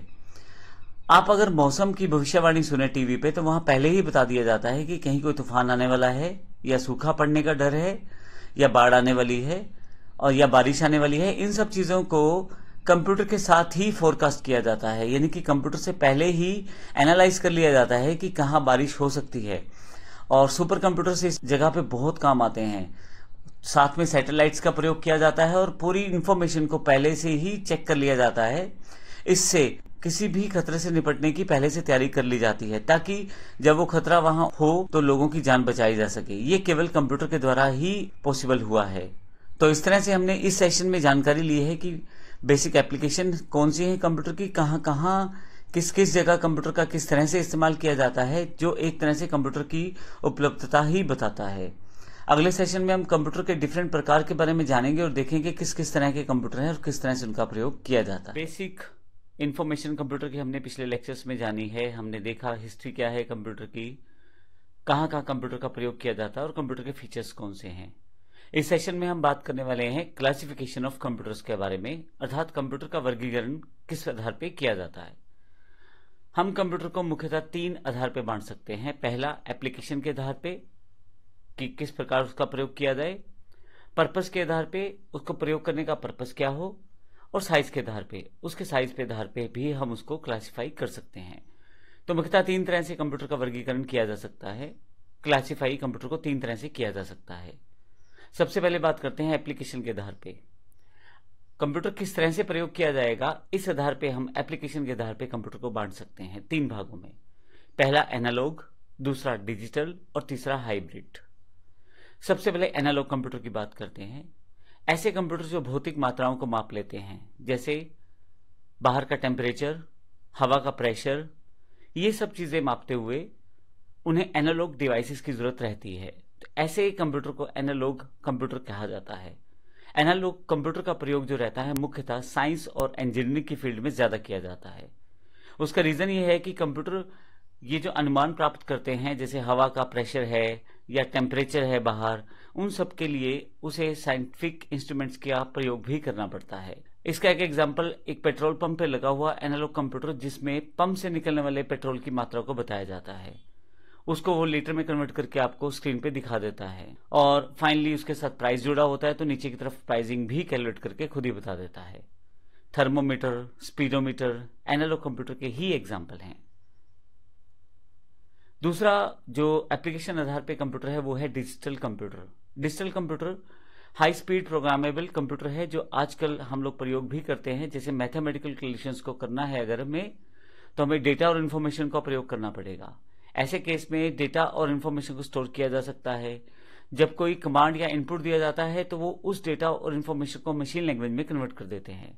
मशीन लैंग्वेज यानी कि बाइनरी लैंग्वेज ज़ीरो वन से बनी हुई लैंग्वेज रहती है। इसीलिए इसे बाइनरी सिस्टम भी कहा जाता है इस लैंग्वेज को। आज के युग में जो डिवाइसेस चलती हैं, जैसे डेस्कटॉप कंप्यूटर पर्सनल कंप्यूटर यानी कि आपका पीसी लैपटॉप मोबाइल ये सब डिजिटल कंप्यूटर के एग्जाम्पल्स हैं। जहाँ पे आपको डिजिटली इंफॉर्मेशन को प्रयोग करके दिखाया जाता है। आपको इनपुट दें, उस पर कंप्यूटर कार्य करेगा या मोबाइल कार्य करेगा आपका और वापसी पे आपको उसका आउटपुट देगा। तो ये बेसिकली डिजिटल कंप्यूटर का एग्ज़ाम्पल है। क्लासिफिकेशन ऑफ़ कंप्यूटर में एप्लीकेशन के आधार पे तीसरा जो कंप्यूटर रहता है, वो रहता है हाइब्रिड कंप्यूटर हमने एनालॉग कंप्यूटर देखा डिजिटल कंप्यूटर देखा हाइब्रिड कंप्यूटर इन दोनों का मिला जुला रूप है। यह एनालॉग कंप्यूटर की तरह भौतिक मात्राओं को मापेगा। फाइनली उन्हें नंबर में चेंज करेगा और डिजिटल कंप्यूटर की तरह फिर से डिजिट्स के रूप में कंप्यूटर तक ले आएगा। उसके पश्चात उस डेटा को हम प्रयोग करते हैं। तो एक तरह से दोनों की विशेषताएँ इसमें शामिल रहती हैं। इनपुट प्राप्त करना एक एनालॉग कंप्यूटर की तरह और डेटा प्रोसेस करना एक डिजिटल कंप्यूटर की तरह। इसका एग्ज़ाम्पल जैसे किसी पेशेंट्स के सिम्टम्स को टेम्परेचर या ब्लड प्रेशर के साथ मापते हैं हम। यह काम एनालॉग कंप्यूटर के द्वारा किया जा सकता है या एनालॉग डिवाइसेस के द्वारा किया जाता है। बाद में ये जो हमें डेटा मिला है टेम्परेचर और ब्लड प्रेशर के रूप में, हम डिजिटल कंप्यूटर के रूप में इसे कन्वर्ट करते हैं डिजिट्स में। और इस तरह से पेशेंट के हेल्थ में आए हुए जितने भी चेंजेस रहते हैं, उससे हम उसकी एक रिपोर्ट तैयार कर सकते हैं। मेडिकल फ़ील्ड में ईसीजी डायलिसिस मशीन इन सब का एग्ज़ाम्पल है। तो इसका अर्थ ये हुआ कि पेशेंट से जो जानकारी ली गई, वह एनालॉग आधार पर ली गई। जैसे उसका ब्लड प्रेशर मापा गया या उसका टेम्परेचर चेक किया गया। फाइनली उस डेटा को कंप्यूटर तक एक डिजिट्स में कन्वर्ट किया गया जो डिजिटल कंप्यूटर का पार्ट रहता है। उसके पश्चात पेशेंट्स की एक रिपोर्ट तैयार की गई और एक डेटा को एनालाइज किया गया। हाइब्रिड कंप्यूटर इन कार्यों को बड़ी आसानी से कर पाता है। तो ये था हमारा पहला एप्लीकेशन के आधार पे कंप्यूटर का क्लासिफिकेशन अगर हम कंप्यूटर को पर्पज के आधार पे क्लासिफाई करें, यानी कि बांटे तो फिर हमारे पास दो तरह के कंप्यूटर रहते हैं। जनरल पर्पज और स्पेशल पर्पज जनरल पर्पज की बात करें, वो कंप्यूटर जो मोस्टली सारे कार्य नॉर्मल कार्य जो कर लेता है जनरल कार्य उसे जनरल पर्पज कंप्यूटर कहते हैं। जैसे हमारे पास इलेक्ट्रॉनिक गैजेट्स हैं आजकल मोबाइल है लैपटॉप है, या हमारा पीसी है, जो हमारे डेली रूटीन के कामों में हमारी हेल्प करते हैं। आपको प्रिंट आउट लेना है, कोई बायोडेटा टाइप करना है, कोई स्प्रेडशीट यानी कि एक्सेल शीट तैयार करनी है नॉर्मल कार्य जो करने हैं, वो जनरल कंप्यूटर बड़ी आसानी से कर लेता है। तो इस तरह के जो डे टू डे रूटीन के कार्य हम जिस कंप्यूटर में कर पाए, वो जनरल पर्पज कंप्यूटर कहलाएगा। दूसरे हमारे पास है स्पेशल पर्पस कंप्यूटर ये वो कंप्यूटर है जो पर्टिकुलर कार्य में माहिर होते हैं। यानी कि एक पर्टिकुलर काम के लिए ही इनका प्रयोग किया जाता है। इस कंप्यूटर का जो सीपीयू रहता है, वो पर्टिकुलरली उसी तरह के कार्य के हिसाब से मैनेज करता है चीज़ों को। इस कारण से सीपीयू की जो कैपेसिटी रहती है, वो भी खास रहती है उस पर्टिकुलर टास्क के अकॉर्डिंग जो उसको कंट्रोल करना है। जैसे ट्रैफ़िक सिस्टम को कंट्रोल करना है तो उसका जो सीपीयू रहेगा, वो अलग तरह का बिहेव करेगा और अलग कैपेसिटी का रहेगा। एग्रीकल्चर के प्रोडक्ट्स यूज़ करने हैं किसी जगह पे तो उसके लिए सीपीयू अलग तरीके से बिहेव करेगा। लेकिन उसके लिए अलग कैपेसिटी इस्तेमाल की जाएगी। इस तरह से इंजीनियरिंग में जो प्रयोग किए जाते हैं कंप्यूटर उनके जो कैपेसिटी या उनका जो प्रोसेस का तरीका होता है, वो डिफरेंट होता है। तो ये पर्टिकुलर चीज़ें जो हम लोग करते हैं, उसके लिए प्रयोग किए जाने वाले जो कंप्यूटर रहते हैं, उन्हें स्पेशल पर्पस कंप्यूटर कहते हैं। रिसर्च में वेदर फोरकास्टिंग में, इन सब जगह पे स्पेस साइंस में स्पेशल सीपीयूज को प्रयोग किया जाता है, जिनका कार्य एक स्पेशल तरह की टास्क को परफॉर्म करना है। तो ऐसे कार्य करने वाले कंप्यूटर्स को स्पेशल पर्पज कंप्यूटर कहा जाता है। अगला जो वर्गीकरण है, यानी कि क्लासिफिकेशन है, वो साइज़ के आधार पे है। Microcomputer minicomputer mainframe computer और सुपर कंप्यूटर ये चार इसके एग्ज़ाम्पल हैं। सबसे पहले माइक्रो कंप्यूटर प्रयोग करते हैं। सबसे पहले माइक्रो कंप्यूटर की बात करते हैं। टेक्नोलॉजी में जब से इंटेल कंपनी ने माइक्रो प्रोसेसर प्रयोग करने शुरू किए हैं या हमें मिले हैं तो उसके पश्चात से हमारे माइक्रो कंप्यूटर बड़े इंपॉर्टेंट हो गए हैं। ऑलमोस्ट सभी टास्क जो हमें डे टू डे रूटीन के करने हैं, वो सारे हम माइक्रो कंप्यूटर से कर लेते हैं। माइक्रो कंप्यूटर के एग्ज़ाम्पल में अगर हम बात करें पीसी लैपटॉप नोटबुक कंप्यूटर ये स्मार्टफ़ोन ये सब माइक्रो कंप्यूटर के एग्जाम्पल्स हैं। साइज़ में छोटे हैं और स्पीड में फास्ट है इतने कि हमारे डे टू डे रूटीन सारे कार्य बड़ी जल्दी कुछ सेकंड्स में परफॉर्म कर देते हैं। आज की डेट में बात करें तो माइक्रो कंप्यूटर को इस तरह से बना दिया गया है कि आपकी घड़ी तक के साइज़ में वो आ सकता है। तो इस तरह से ये माइक्रो कंप्यूटर का हमारा पहला क्लासिफिकेशन है साइज़ के आधार पे। लेकिन अगर थोड़े से बड़े कंप्यूटर की बात करें तो मिनी कंप्यूटर बन जाएगा। मिनी कंप्यूटर थोड़ा सा प्राइस और साइज़ दोनों में थोड़ा सा बड़ा रहेगा। परंतु इन्हें पर्सनल यूज़ में नहीं लाया जाता। माइक्रो कंप्यूटर जो हमने पहले पढ़े हैं, वो पर्टिकुलरली पर्सनल यूज़ के लिए प्रयोग किए जाते हैं। लेकिन मिनी कंप्यूटर पर्सनल यूज़ के लिए प्रयोग नहीं किए जाते। इनका प्रयोग मुख्यतः कंपनियाँ ही करती हैं। और जैसे HP nine thousand R I S C six thousand Bull H N D P X two A S four hundred ये मिनी कंप्यूटर के कुछ एग्जाम्पल्स हैं। क्योंकि कंपनियों में कार्य बड़ी फास्ट करना होता है और बहुत सारे कार्य हो सकता है एक ही टाइम पे करने हो तो मिनी कंप्यूटर यहाँ पे बेस्ट रहता है। क्योंकि प्राइस में ज़्यादा रहता है तो पर्सनल व्यक्ति को उसका ज़रूरत भी नहीं पड़ती और इतना तेज कंप्यूटर लेके या इतना फास्ट कंप्यूटर लेके एक नॉर्मल व्यक्ति कार्य भी नहीं लेना ऐसा। तो नॉर्मल प्रोसेस में हमें पर्सनल कंप्यूटर से ही हमारा मोस्ट ऑफ़ द काम चल जाता है। मिनी कंप्यूटर इसलिए कमर्शलाइज सेगमेंट में ज़्यादा प्रयोग किया जाता है और कंपनियाँ इनका ज़्यादा यूज़ करती हैं। मेन फ्रेम कंप्यूटर इसके बाद का थर्ड कैटेगरी का कंप्यूटर है। साइज़ में बहुत बड़े हैं और कैपेसिटी में बड़े फास्ट रहते हैं। और वर्किंग कैपेसिटी में और कीमत में मिनी और माइक्रो कंप्यूटर से दोनों से बहुत ज़्यादा रहते हैं। इसका यूज़ बड़ी बड़ी कंपनियों के द्वारा मुख्यतः सर्वर के रूप में किया जाता है। जैसे एक मेन फ्रेम कंप्यूटर एक बैंक के सर्वर के रूप में प्रयोग किया जाएगा, जहाँ पे किसी भी तरह की ट्रांजैक्शन अगर होती है तो वो रिप्लाई करना मेन फ्रेम कंप्यूटर का कार्य रहता है। अब उस कंपनी के या उस बैंक के हज़ारों या लाखों कस्टमर हो सकते हैं या करोड़ों कस्टमर हो सकते हैं तो मेन फ्रेम कंप्यूटर उन सभी कस्टमर्स को रिस्पॉन्ड करता है टाइम पे। इसके अलावा मेन फ्रेम कंप्यूटर का प्रयोग, जैसे अकाउंट्स के डिटेल रखने या बिल्स को भेजने या लेबर्स को पे आउट करने में, ये छोटे छोटे एग्जाम्पल्स है जिनका प्रयोग किया जाता है। लेकिन मुख्यतः इसका प्रयोग किया इसलिए जाता है क्योंकि ये साइज़ में बड़े हैं, बहुत ज़्यादा फास्ट हैं वर्किंग कैपेसिटी बहुत ज़्यादा है तो एज अ सर्वर इन्हें मुख्यतः कंपनियाँ प्रयोग करती हैं ताकि जो बाकी लोग हैं, उन कंप्यूटर से कनेक्ट होकर अपना कार्य आसानी से कर पाए। इसमें CDS Cyber IBM four three eight one UNIVAC triple one zero ये इसके मुख्य एग्जाम्पल्स हैं। अगला जो क्लासिफिकेशन ऑफ़ कंप्यूटर के अंतर्गत साइज़ के आधार पे जो अगला पार्ट हम लोग देख रहे हैं, वो सुपर कंप्यूटर है। ये सुपर कंप्यूटर सब कंप्यूटर से बड़ा कंप्यूटर है और सुपर कैपेसिटी और सुपर फास्ट है। सुपर कंप्यूटर का यूज़ जो रहता है, वो मुख्यतः साइंटिफिक और रिसर्च लेबोरेटरीज में किया जाता है और इसका प्रयोग भी फर्दर रिसर्च सेगमेंट में किया जाता है। एग्ज़ाम्पल जैसे वेदर फोरकास्टिंग है, या कुछ क्वालिटी प्रोडक्शन है, या कुछ एनिमेशनल इमेजेस को बनाना है तो ऐसे कार्यों के लिए सुपर कंप्यूटर का प्रयोग किया जाता है। बहुत ही टेडिशियस टास्क रहते हैं और ये नॉर्मल टास्क नहीं रहते पर्टिकुलर टास्क रहते हैं। तो सुपर कंप्यूटर इतने बड़े बड़े टास्क को बड़ी अच्छी तरह से परफॉर्म करता है। भारत में परम कंप्यूटर का ट्वेल्थ फॉर्म जो है, वो परम टेन थाउज़ेंड है। असल में ये हमारा एक सुपर कंप्यूटर है इंडिया का। Cray two NEC five hundred ये सुपर कंप्यूटर के अन्य एग्जाम्पल्स हैं। तो इस तरह से इस सेशन में हमने कंप्यूटर की क्लासिफिकेशन पढ़ी है जो तीनों आधार पे एप्लीकेशन आधार पे पर्पस के आधार पे और साइज़ के आधार पे हमने पढ़ी है। हेलो फ्रेंड्स पिछले सेशन में हमने क्लासिफिकेशन ऑफ़ कंप्यूटर्स की जानकारी ली थी। आइए इस सेशन में बात करते हैं आईटी गैजेट्स और उसके प्रयोग के बारे में। बेसिकली आईटी का मतलब information and communication technology word से लिया जाता है।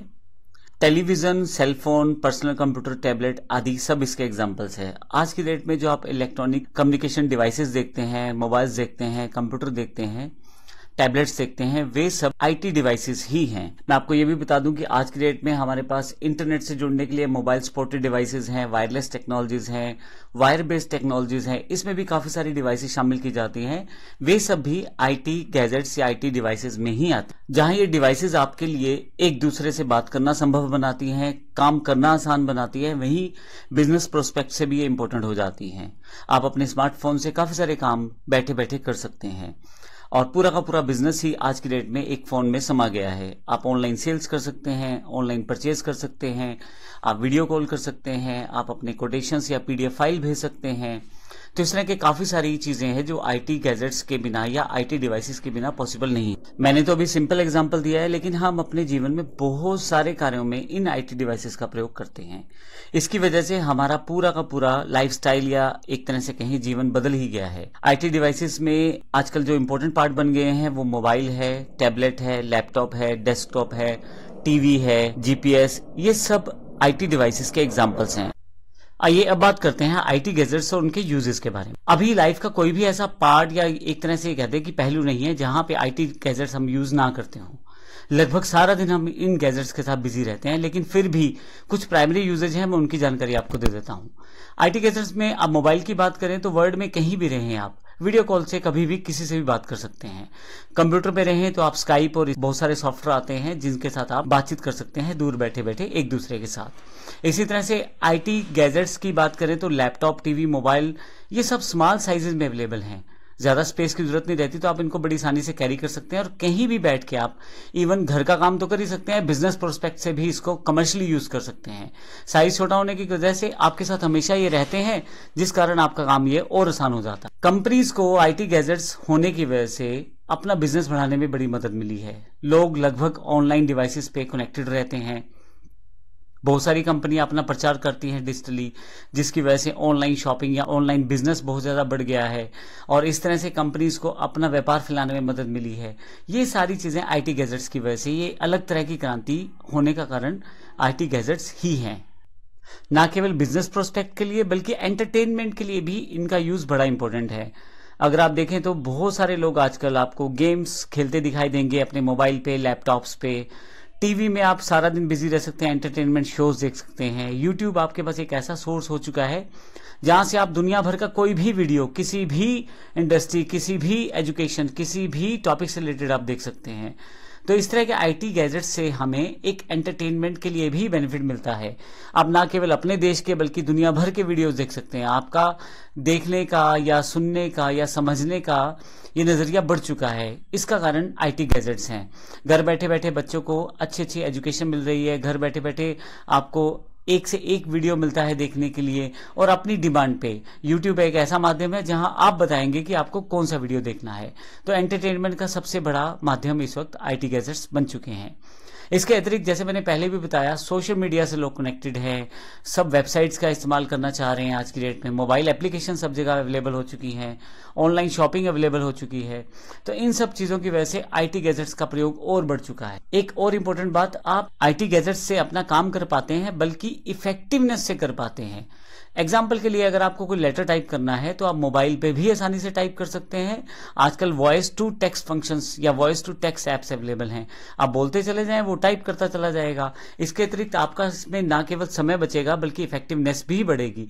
आपको स्पेलिंग ग्रामर नहीं चेक करना, आपको बहुत सारे काम नहीं करने सोल्यूशंस या सुजेशंस आपके पास रहेंगे तो कहीं ना कहीं जो सिंपल काम करने में आपको पहले दो या चार घंटे लगते थे, उसको आप केवल पाँच या दस मिनट के अंदर कंप्लीट कर पाते हैं, क्योंकि सब चीज़ें पहले से अवेलेबल हैं आपके मोबाइल में। चाहे वो ग्रामर चेक करने से हो, चाहे वो आपका बोलने के साथ साथ लिखने से हो, चाहे वो मेल करने से संबंधित हो तो इफेक्टिवनेस किसी काम को करने की बढ़ गई है। ये भी आईटी गैजेट्स की वजह से ही अवेलेबल हुआ है। अगर मैं इन डिवाइसेस की बात एजुकेशन सेक्टर में करूँ तो एजुकेशन सेक्टर में इसका सबसे बड़ा बेनिफिट यही मिला है कि ऑनलाइन एजुकेशन या स्मार्ट क्लासेस आजकल वर्चुअल क्लासेस का चलन बहुत ज़्यादा है। ऑडियो वीडियो से क्लासेस दी जाती हैं लाइव क्लासेस दी जाती हैं। एक टीचर शायद दिल्ली में बैठा हो, लेकिन एक हरियाणा के छोटे से गाँव में स्टूडेंट उसको देख के सीख पा रहा है। तो ये बड़ा इंपॉर्टेंट हो गया, बड़ा आसान हो गया इन चीज़ों के साथ। इंटरनेट आईटी डिवाइसेस के साथ जुड़ के एजुकेशन लेना बड़ा आसान हो चुका है। आप ऑनलाइन एग्ज़ाम दें ऑनलाइन सर्टिफिकेशन आपका आ जाएगा। ऑनलाइन ही आपको वीडियोस मिल जाएँगे। ऑनलाइन ही सारी एजुकेशन आप प्राप्त कर लेंगे एग्ज़ाम दे देंगे। सर्टिफिकेशन मिल जाएगा वेरिफिकेशन हो जाएगा ये सारी चीज़ें जो है आईटी गैजेट्स की वजह से पॉसिबल हुई हैं। एजुकेशन के क्षेत्र में इसका योगदान बहुत ज़्यादा है। तो इस पूरे सेक्शन में हमने ये जानकारी ली कि आईटी गैजेट्स क्या है और हम उसको किस प्रकार से प्रयोग कर पाते हैं और उनके मुख्यतः लाभ क्या क्या है या क्या क्या फीचर्स हैं। अगले सेशन में हम कंप्यूटर हार्डवेयर और सॉफ्टवेयर की जानकारी लेंगे ये क्या है और उनको थोड़ा सा विस्तृत रूप में देखेंगे कि हार्डवेयर किसे कहते हैं और सॉफ्टवेयर किसे कहते हैं। हेलो फ्रेंड्स इस सेशन में हम बात करने वाले हैं कंप्यूटर हार्डवेयर और सॉफ्टवेयर क्या होता है?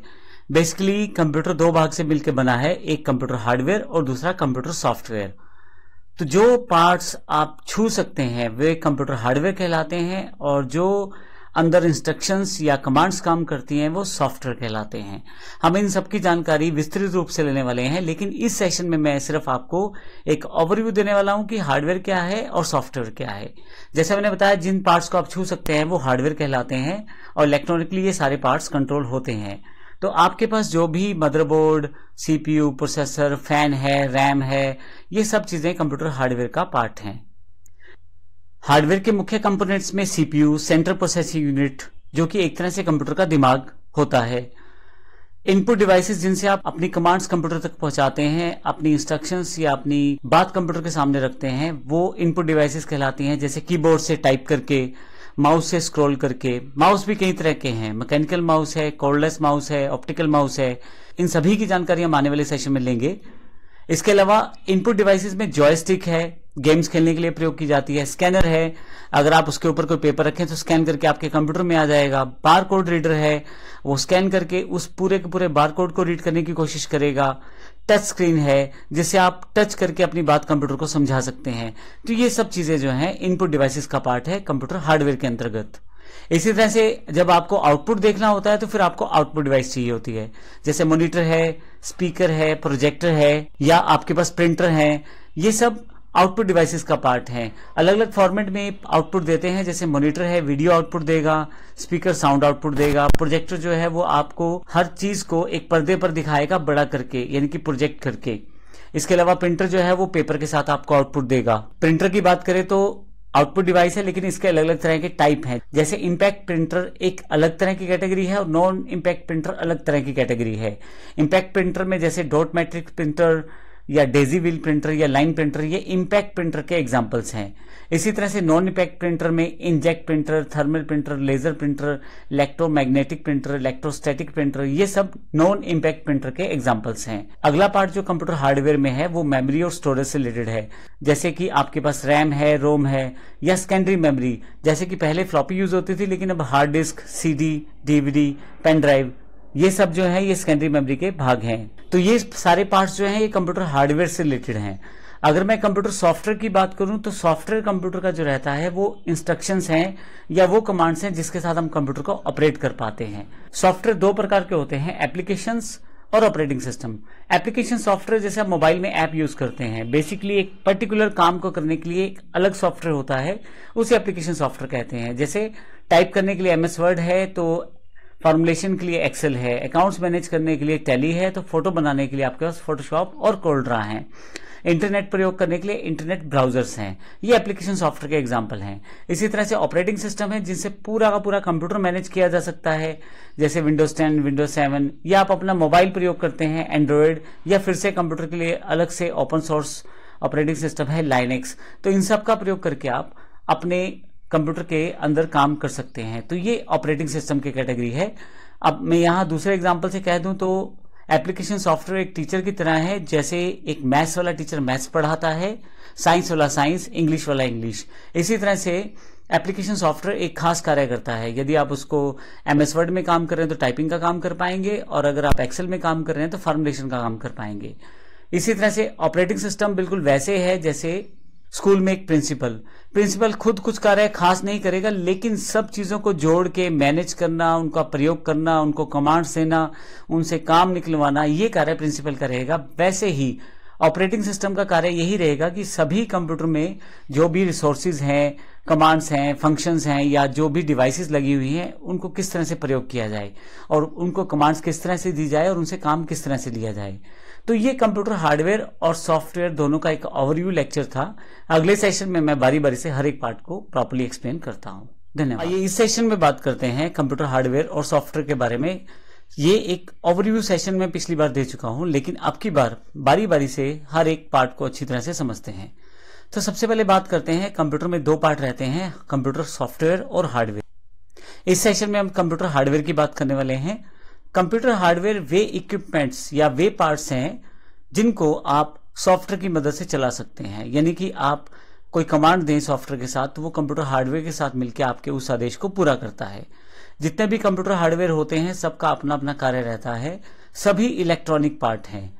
बारी बारी से देखते हैं ये कौन कौन से पार्ट्स हैं।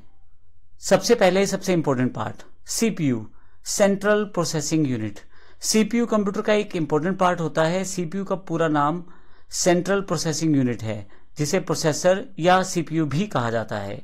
यह कंप्यूटर का दिमाग भी कहलाता है। आप कोई भी कैलकुलेशंस करना चाहते हैं, कोई भी वर्कआउट करना चाहते हैं कंप्यूटर में कुछ भी इंस्ट्रक्शन देना चाहते हैं, असल में वो सीपीयू के पास ही जाएगी। सभी इनपुट डिवाइसेस अपनी कमांड सीपीयू के पास भेजती हैं। सीपीयू उन पे प्रोसेस करता है और फाइनली सीपीयू उन्हें आगे आउटपुट डिवाइसेस पे भेजता है। यहाँ मैंने सबसे पहले नंबर पे कैबिनेट का फ़ोटो लगाया है। ये जो प्लास्टिक केसिंग आप देखते हैं, इसे कैबिनेट कहते हैं।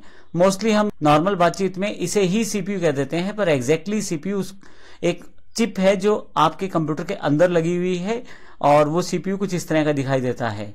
मुख्यतः बहुत सारी कंपनियाँ इसे बनाती हैं इंटेल या एएमडी बहुत सारी कंपनियाँ इसे बनाती हैं, और ये जो सीपीयू रहते हैं मुख्यतः कंप्यूटर के सभी कार्यों को कंट्रोल करने का काम करते हैं। अगर हम बात करें सीपीयू तक अपनी कमांड पहुँचाने की तो उसके लिए हमें इनपुट डिवाइसेस का इस्तेमाल करना पड़ता है। इनपुट डिवाइसेस के साथ हम अपनी बात को कंप्यूटर तक पहुँचा सकते हैं। इसके लिए हम काफ़ी सारी डिवाइसेस को प्रयोग कर सकते हैं, जिसमें सबसे पहले डिवाइस है कीबोर्ड कीबोर्ड एक इनपुट डिवाइस है, जिसमें अल्फाबेटिकल कीज रहती हैं न्यूमेरिक कीज रहती हैं सिंबल्स रहते हैं एरो कीज रहती हैं फ़ंक्शन कीज रहती हैं स्पेशल कीज रहती हैं। बहुत सारी कीज रहती हैं और इन कीज की सहायता से हम कमांड कुछ भी टाइप करें तो वो कंप्यूटर तक पहुँचा सकते हैं। कंप्यूटर उस कमांड को समझता है और फिर उस कमांड के अकॉर्डिंग कार्य करता है। यहाँ मैंने कुछ कीबोर्ड्स के एग्ज़ाम्पल लिए हैं। यहाँ यदि आप देखें तो आपके पास वायरलेस और वायर बेस दो तरह के कीबोर्ड अवेलेबल रहते हैं। इसके पश्चात अगली जो इनपुट डिवाइस है वो माउस है। माउस तीन तरह का माउस आता है। मैकेनिकल कोर्डलेस और ऑप्टिकल माउस में मुख्यतः तीन बटन रहते हैं, लेफ़्ट बटन, राइट बटन और स्क्रोल बटन। तो आपके पास जो माउस रहता है, ये जो मैंने यहाँ जो पिक्चर एक ग्राफिक के रूप में दिखाई है, ये बहुत पुराने माउस, जब शुरुआत में कंप्यूटर आया था तो बहुत पुराने माउस हैं, जो मैकेनिकल माउस कहलाते हैं। मैकेनिकल माउस जिनमें बॉल्स लगी रहती हैं, जब आप माउस को घुमाते हैं मैकेनिकल माउस को तो उसके अंदर एक बॉल अवेलेबल रहती है। बॉल को आगे की तरफ़ घुमाने पर वो अलग तरह का एक सिग्नल क्रिएट करती है, पीछे की तरफ़ घुमाने पे अलग तरह से वो बिहेव करती है। असल में बॉल एक मैकेनिकल पार्ट है उसके साथ जुड़ा हुआ इलेक्ट्रॉनिक सर्किट उसको सेंस करता है कि बॉल किस दिशा में घूम रही है। जिस दिशा में वो घूमती है, उसी दिशा में आपके जो कंप्यूटर स्क्रीन पे बना हुआ एरो घूमता है। तो इस तरह से मैकेनिकल माउस इसलिए कहते हैं क्योंकि जो बॉल है वो एक मैकेनिकल पार्ट है और जब वो घूमता है तो कहीं ना कहीं वो इलेक्ट्रॉनिक पार्ट के साथ मिलकर इलेक्ट्रॉनिक सिग्नल क्रिएट करता है जो कंप्यूटर तक आपकी इनपुट को पहुंचाता है। तो इस तरह से हम मैकेनिकल माउस का इस्तेमाल करते हैं। बहुत पुरानी कैटेगरी के माउस हैं, इस वक्त मार्केट में ये अवेलेबल नहीं है। इसके अलावा कोडलेस माउस है। कोडलेस माउस में एक आपके पास रिसीवर रहता है और जो कंप्यूटर से जुड़ा रहता है। और माउस के अंदर ही एक ट्रांसमीटर होता है। इसमें किसी तरह की तार नहीं होती और पूरा इलेक्ट्रॉनिक सिस्टम रहता है। जब आप माउस को प्रयोग करेंगे तो माउस एक सिग्नल क्रिएट करेगा आगे पीछे घूमते हुए या बटन दबाते हुए। वो सिग्नल कंप्यूटर में लगा हुआ ट्रांसमीटर प्राप्त करेगा और वो ट्रांसमीटर के साथ आप कंप्यूटर को इनपुट दे पाते हैं। असल में आप माउस को उसी तरह से प्रयोग करते हैं, जैसे सिंपल माउस प्रयोग करते हैं। लेकिन बस इसका जो प्रारूप बना हुआ है, वो कोडलेस बना हुआ है। उसमें किसी भी तरह की तार का इस्तेमाल नहीं हो रहा। केवल आप माउस को प्रयोग कर रहे हैं। माउस के अंदर बैटरी यानी कि सेल का प्रयोग किया जाता है जिससे माउस को पावर मिलती है। इसका एक बड़ा बेनिफिट ये भी रहता है वायरलेस माउस का कि इसमें किसी भी तरह की तार जुड़ी नहीं रहती तो आप आसानी से माउस को कहीं भी रख के प्रयोग कर सकते हैं। एक थर्ड और सिंपल कैटेगरी जो माउस की, वो ऑप्टिकल माउस है। ये एक नॉन मैकेनिकल माउस है, लेकिन इसके साथ वायर जुड़ी रहती है। बस यही एक फ़र्क है वायर इसमें जुड़ी रहती है। जो पिछला माउस हमने देखा था, वो वायरलेस देखा था।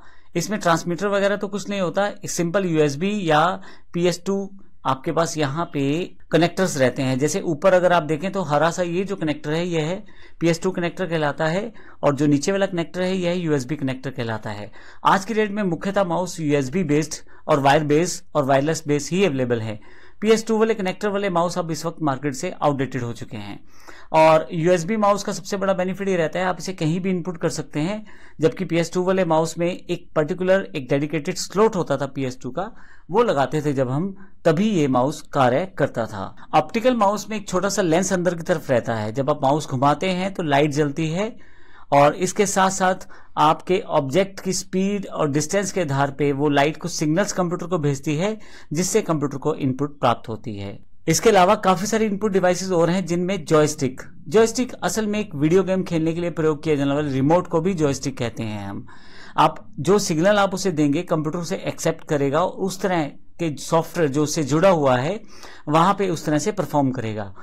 इसी तरह से एक स्कैनर इनपुट डिवाइस है, जब आप कंप्यूटर में किसी पेज को या किसी रिटर्न मटेरियल को या किसी शेप को स्कैन कर दें तो उसका एक इमेज बनकर कंप्यूटर में आ जाता है।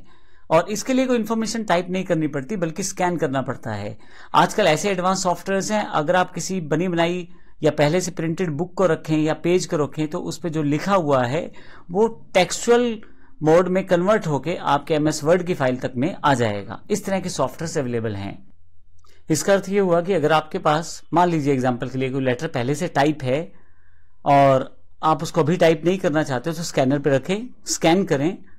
पर्टिकुलर सॉफ्टवेयर आते हैं, उनके साथ वो जो स्कैन किया हुआ इमेज है, वो टेक्स्ट में कन्वर्ट हो जाएगा। और अब आप उसे एमएस वर्ड में इंपोर्ट करके टाइप या एडिट कर सकते हैं। तो इस तरह से स्कैनर का प्रयोग हम करते हैं। इसके पश्चात नेक्स्ट जो पार्ट है इनपुट डिवाइसेस में नेक्स्ट जो एग्ज़ाम्पल है, वो बार कोड रीडर का है।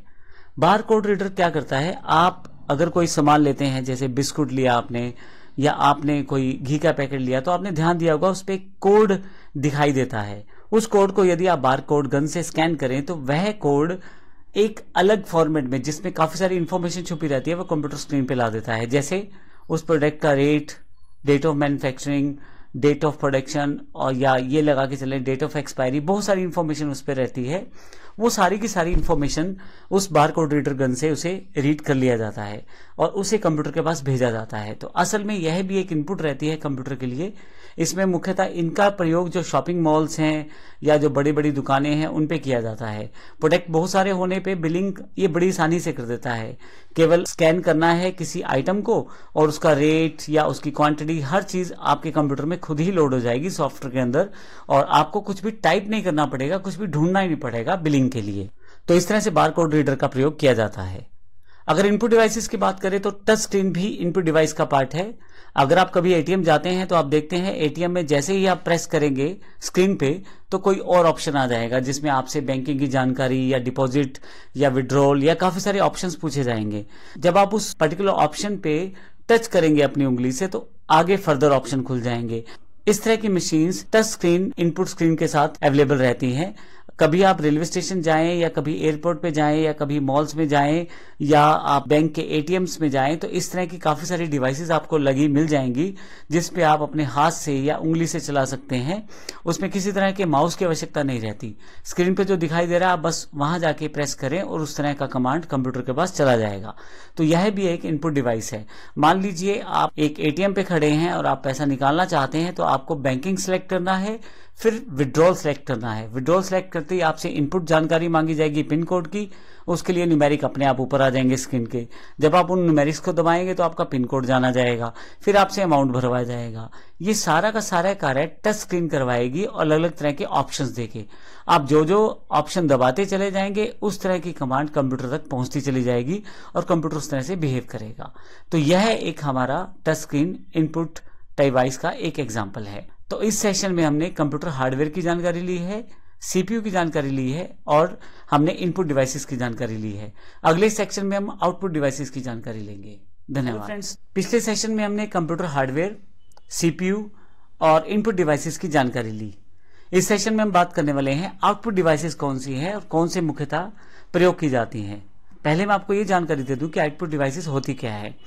जब आप इनपुट प्रोवाइड करते हैं सीपीयू को तो वो आपकी द्वारा दी गई इनपुट या आदेश पे कोई कार्य करता है। जो वह कार्य करता है, उसका सीपीयू प्रोसेसिंग करता है और फाइनली एक आउटपुट या रिज़ल्ट तैयार करता है। उस रिज़ल्ट को कंप्यूटर के द्वारा अलग अलग आउटपुट डिवाइसेस पे भेजा जाता है। तो वो डिवाइसेस जो कंप्यूटर के द्वारा प्रोड्यूस की गई आउटपुट दिखाते हैं, उन्हें आउटपुट डिवाइसेस कहते हैं। इसमें सबसे पहले मॉनिटर है एलसीडी एलईडी इसी के एक पार्ट्स हैं, विकसित पार्ट हैं। सबसे पहले मॉनिटर यानी कि एक टीवी जैसी स्क्रीन यूज़ होती थी, लेकिन आजकल वो एलसीडी एलईडीज में कन्वर्ट हो चुकी हैं। मॉनिटर एक आउटपुट डिवाइस है, जो कंप्यूटर द्वारा जनरेट किए गए आउटपुट को, यानी कि कंप्यूटर ने प्रोसेसिंग करके जो आउटपुट दिया है, उसको कंप्यूटर की स्क्रीन पर लाने का कार्य करता है और मॉनिटर उसे दिखाने का कार्य करता है। जैसे एग्ज़ाम्पल के लिए आपने किसी मूवी को ऑन किया तो जब वह विजुअल प्ले होगा तो उसे कंप्यूटर स्क्रीन पर दिखाया जाएगा। तो वो मॉनिटर पर ही दिखाया जा सकता है। इस तरह से जब आप कोई काम कर रहे होते हैं माउस हिलाते हैं तो जब आप माउस में कोई मूवमेंट करेंगे या कीबोर्ड पे कुछ टाइप करेंगे तो उसको दिखाने के लिए मॉनिटर का प्रयोग किया जाएगा। साथ ही जब आप उस इनपुट को दे देंगे फाइनली इनपुट देने के बाद जो आपके पास प्रोसेसिंग होगी और जो आउटपुट आएगा, वो भी विजुअल रूप में वीडियो के रूप में कंप्यूटर की स्क्रीन पर दिखाया जाएगा। परंतु मान लीजिए कोई ऐसी आउटपुट है जो आवाज़ के रूप में है तो उसको आप स्पीकर यानी कि एक अलग आउटपुट डिवाइस से प्राप्त कर सकते हैं। मान लीजिए आपने कोई मूवी चलाई वीडियो तो स्क्रीन पे चला गया, लेकिन आवाज़ कहाँ से आएगी? आवाज़ के लिए स्पीकर्स का प्रयोग किया जाता है। आपको गाने सुनने हैं या कंप्यूटर में कोई कार्य कर रहे हैं तो उन सब एक्टिविटीज़ में कुछ साउंड जुड़ी रहती हैं। जब आप कोई बटन दबाएँगे, या कुछ गलत बटन दबाएँगे, या कुछ गलत हो रहा होगा या कुछ सही हो रहा होगा कोई टास्क कंप्लीट होगी तो उन सबको एक साउंड के साथ रिफ्लेक्ट किया जाता है। तो साउंड से रिलेटेड कोई भी आउटपुट जो है, वो आपको स्पीकर्स एक आउटपुट डिवाइस के रूप में प्राप्त करवाते हैं। फाइनली एक प्रोजेक्टर हमारे पास है। प्रोजेक्टर का यूज़ इमेजेस या वीडियोस को बड़ी स्क्रीन पर दिखाने के लिए या प्रोजेक्शन प्रोजेक्शन स्क्रीन पर दिखाने के लिए किया जाता है। ये बिल्कुल एक मॉनिटर जैसा है। आप इसकी तार को सीपीयू के साथ जोड़े तो जो भी सीपीयू प्रोसेसिंग कर रहा है, उसकी जो आउटपुट है वो बजाय मॉनिटर के या एलसीडी, एलईडी के प्रोजेक्टर पे ट्रांसफ़र कर दी जाएगी और आप इसको बड़ी स्क्रीन पे देख सकते हैं। फ़र्क सिर्फ़ यही रहेगा कि अगर आप एलईडी, एलसीडी का प्रयोग कर रहे थे तो छोटी स्क्रीन थी, जबकि प्रोजेक्टर में कुछ अपनी फ्लेक्सिबिलिटीज हैं, बड़ी स्क्रीन पे दिखाना बड़ा बड़ा करके दिखाना चीज़ों को, वो एक बेनिफिट प्रोजेक्टर से मिल जाता है। इसके अलावा अगर हम बात करें आउटपुट की तो प्रिंटर एक इंपॉर्टेंट पार्ट रहता है आउटपुट में। प्रिंटर जो है एक आउटपुट डिवाइस है और यह जो आप कार्य करते हैं कंप्यूटर के, उसको प्रिंट आउट के रूप में लेने में सहायता करता है। मान लीजिए आपने कोई लेटर टाइप किया, आपने कोई एक्सेल का शीट बनाया, आपने कोई कार्य करके छोड़ा, उन सबको आप प्रिंटर के द्वारा प्राप्त कर सकते हैं। जिसमें आप पेपर का प्रयोग करेंगे, आप अपने पेपर को अपने प्रिंटर में सेट करें और यहाँ कंप्यूटर से कमांड दें। तो आपके द्वारा दिया गया आउटपुट प्रिंटर के द्वारा पेपर पे प्रिंट कर दिया जाएगा और आप उसे हार्ड कॉपी में प्राप्त कर लेंगे। उदाहरण के लिए बायोडाटा है। आपने एक बायोडाटा टाइप कर दिया कंप्यूटर में। अगर आपने किसी को भेजना है तो आप ईमेल भी कर सकते हैं, पर मान लीजिए आपको किसी को देना है तो फिर आपको उसको पेपर पे प्रिंट करना पड़ेगा। इसके लिए आप अपना कोई भी प्रिंटर इस्तेमाल करें और कमांड दें। आपने जो भी बायोडाटा टाइप किया था, वो पेज पर प्रिंट होकर आपके पास आ जाएगा। कंप्यूटर में ऐसे काफ़ी सारे सॉफ्टवेयर अवेलेबल रहते हैं, जो प्रिंटिंग देने से पहले ही आपको दिखा देंगे कि आपका प्रिंट किस तरह से दिखाई देगा। तो ये एक बड़ी एडवांटेज रहती है सॉफ्टवेयर की। तो प्रिंटर में जब प्रिंट दे दिया जाता है तो फिर आपके पास हार्ड कॉपी में वो अवेलेबल हो जाता है। आजकल प्रिंटर अलग अलग तरह के अवेलेबल हैं। ब्लैक एंड व्हाइट भी हैं कलर्ड भी हैं स्मॉल स्केल प्रिंटर्स भी हैं और लार्ज स्केल प्रिंटर्स भी हैं। स्पीड के हिसाब से प्रिंटर को बांटा गया है और टाइप के हिसाब से भी प्रिंटर को बांटा गया है। लेकिन मुख्यतः हम यहाँ पे दो कैटेगरीज को ज़रूर डिस्कस करेंगे इम्पैक्ट प्रिंटर और नॉन इम्पैक्ट प्रिंटर इसके लिए हम अगले लेक्चर में इन दोनों को देखेंगे। हेलो फ्रेंड्स पिछले सेशन में हमने आउटपुट डिवाइसेस की जानकारी ली थी, जिसमें हमने प्रिंटर की जानकारी ली थी, एक प्रीव्यू के रूप में। इस सेशन में हम प्रिंटर के बारे में बात करेंगे। प्रिंटर एक आउटपुट डिवाइस है, जिसमें पेपर पे आउटपुट को प्रिंट कर दिया जाता है। लेकिन यह प्रिंटर अलग अलग तरह के हैं। काफ़ी सारे एग्ज़ाम्स काफ़ी सारी इंटरव्यूज़ में क्वेश्चन पूछा जाता है प्रिंटर कितने प्रकार का है, कौन से प्रिंटर में कौन से प्रकार आते हैं, उन सब की जानकारी हम इस सेशन में लेने वाले हैं। प्रिंटर एक आउटपुट डिवाइस है, इसका प्रयोग सॉफ्ट कॉपी डॉक्यूमेंट को हार्ड कॉपी डॉक्यूमेंट में कन्वर्ट करने के लिए किया जाता है। यानी कि आपने जो टाइप किया है, जो फ़ाइल आपने सेव की है, उसको आप प्रिंट आउट के रूप में प्राप्त कर लें प्रिंटर प्रिंटर दो तरह के होते हैं मुख्यतः इम्पैक्ट प्रिंटर और नॉन इम्पैक्ट प्रिंटर यहाँ हमारे पास सबसे पहले इम्पैक्ट प्रिंटर की बात करते हैं। इम्पैक्ट प्रिंटर ऐसा प्रिंटर जिसमें करेक्टर्स को करेक्टर्स सॉलिड फोन्ट या डॉट मैट्रिक्स विधि से पेपर पे एमर्ज कर दिया जाता है। इम्पैक्ट प्रिंटर के कुछ उदाहरण हैं, जैसे dot matrix printer daisy wheel printer line printer chain printer drum printer इत्यादि, ये सभी जो हैं इम्पैक्ट प्रिंटर के उदाहरण है। सबसे पहले बात करते हैं डॉट मैट्रिक्स प्रिंटर की। यह एक इम्पैक्ट प्रिंटर है, प्रत्येक पिन के रिबन और पेपर पर टच होने से एक डॉट प्रिंट होता है। बहुत सारे डॉट्स मिलाकर एक करेक्टर बना देते हैं। यानी कि छोटे छोटे डॉट्स जब मिलते हैं तो एक आपके पास करेक्टर प्रिंट हो जाता है। तो इसलिए इसे डॉट मैट्रिक्स प्रिंटर कहा जाता है। दूसरे प्रकार का प्रिंटर इम्पैक्ट प्रिंटर के अंतर्गत है daisy wheel printer daisy wheel printer थोड़ा सा धीमी गति का प्रिंटर है, हालाँकि यह इतने प्रयोग में अब नहीं है, लेकिन इसमें एक छोटा सा हैमर रहता है जो रिबन और कागज़ पर टकराता है, जैसे आपने टाइपिंग मशीन देखी हो तो उसमें भी ऐसा रहता है। और जिससे लेटर पे आप जो हैमर जहाँ टकराएगा, जिस करेक्टर का, उस करेक्टर को वो वहाँ लेटर पे प्रिंट कर देगा। इसके अलावा नेक्स्ट जो है, हमारे पास लाइन प्रिंटर है।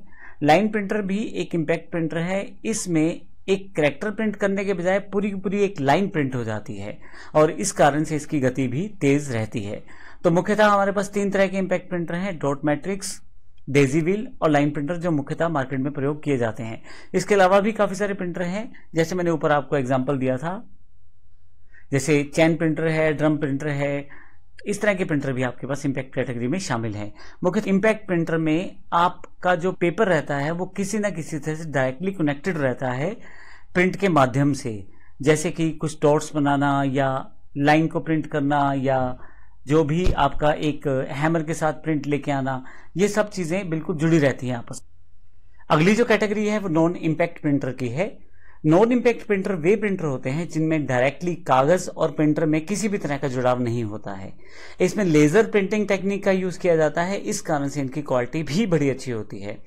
इसमें हमारे पास मुख्य प्रिंटर रहते हैं inkjet printer thermal printer laser printer electromagnetic printer और इलेक्ट्रोस्टैटिक प्रिंटर ये कुछ हमारे पास नॉन इम्पैक्ट प्रिंटर के एग्जाम्पल्स हैं। नॉन इम्पैक्ट प्रिंटर में बात करें तो इंक जेट प्रिंटर वो प्रिंटर है जिस, जिसमें एक नोजल से पेपर पर इंक की बूंदों को बुछार करके करेक्टर्स और ग्राफिक्स प्रिंट किए जाते हैं। नॉर्मल यदि आप दुकानों पर देखें तो इस तरह के प्रिंटर का बहुत ज़्यादा इस्तेमाल किया जाता है। आप फुट की दुकानों पर देखें तो जो कलर प्रिंटर्स रहते हैं वो नॉन इम्पैक्ट प्रिंटर में इंक जेट प्रिंटर्स ही रहते हैं। परंतु इनकी कार्ट्रेज वगैरह महँगी होती है तो लोग इसको कम इस्तेमाल करते हैं। इसकी पर पेज जो प्रिंटिंग कॉस्ट रहती है वो बड़ी हाई रहती है। लेकिन आजकल काफ़ी सारे जैसे एप्सन ने या एचपी बड़ी बड़ी कंपनीज़ ने ये ऑप्शन दे दिया है कि उसमें इंक टैंक्स आ गए हैं, जिसमें बार बार आपको इंक ना तो रिफिल करने की ज़रूरत पड़ती है, ना आपको कार्ट्रिज पे पैसा खर्चना पड़ता है। उसकी वजह से ये जो प्रिंटर रहते हैं, ये सस्ते पड़ते हैं। उसकी वजह से ये जो प्रिंटर हैं, ये अच्छी क्वालिटी भी देते हैं और थोड़े से सस्ते भी पड़ते हैं। और इसके साथ ही आप इसमें एक फ़ायदा ये भी रहता है मोस्टली कलर और ब्लैक एंड व्हाइट एक ही प्रिंटर से आपका काम चल जाता है। लेजर प्रिंटर दूसरे तरह के प्रिंटर हैं। हमारे पास नॉन इम्पैक्ट प्रिंटर कैटेगरी में लेजर प्रिंटर में प्रिंट करने के लिए लेजर का यूज़ किया जाता है।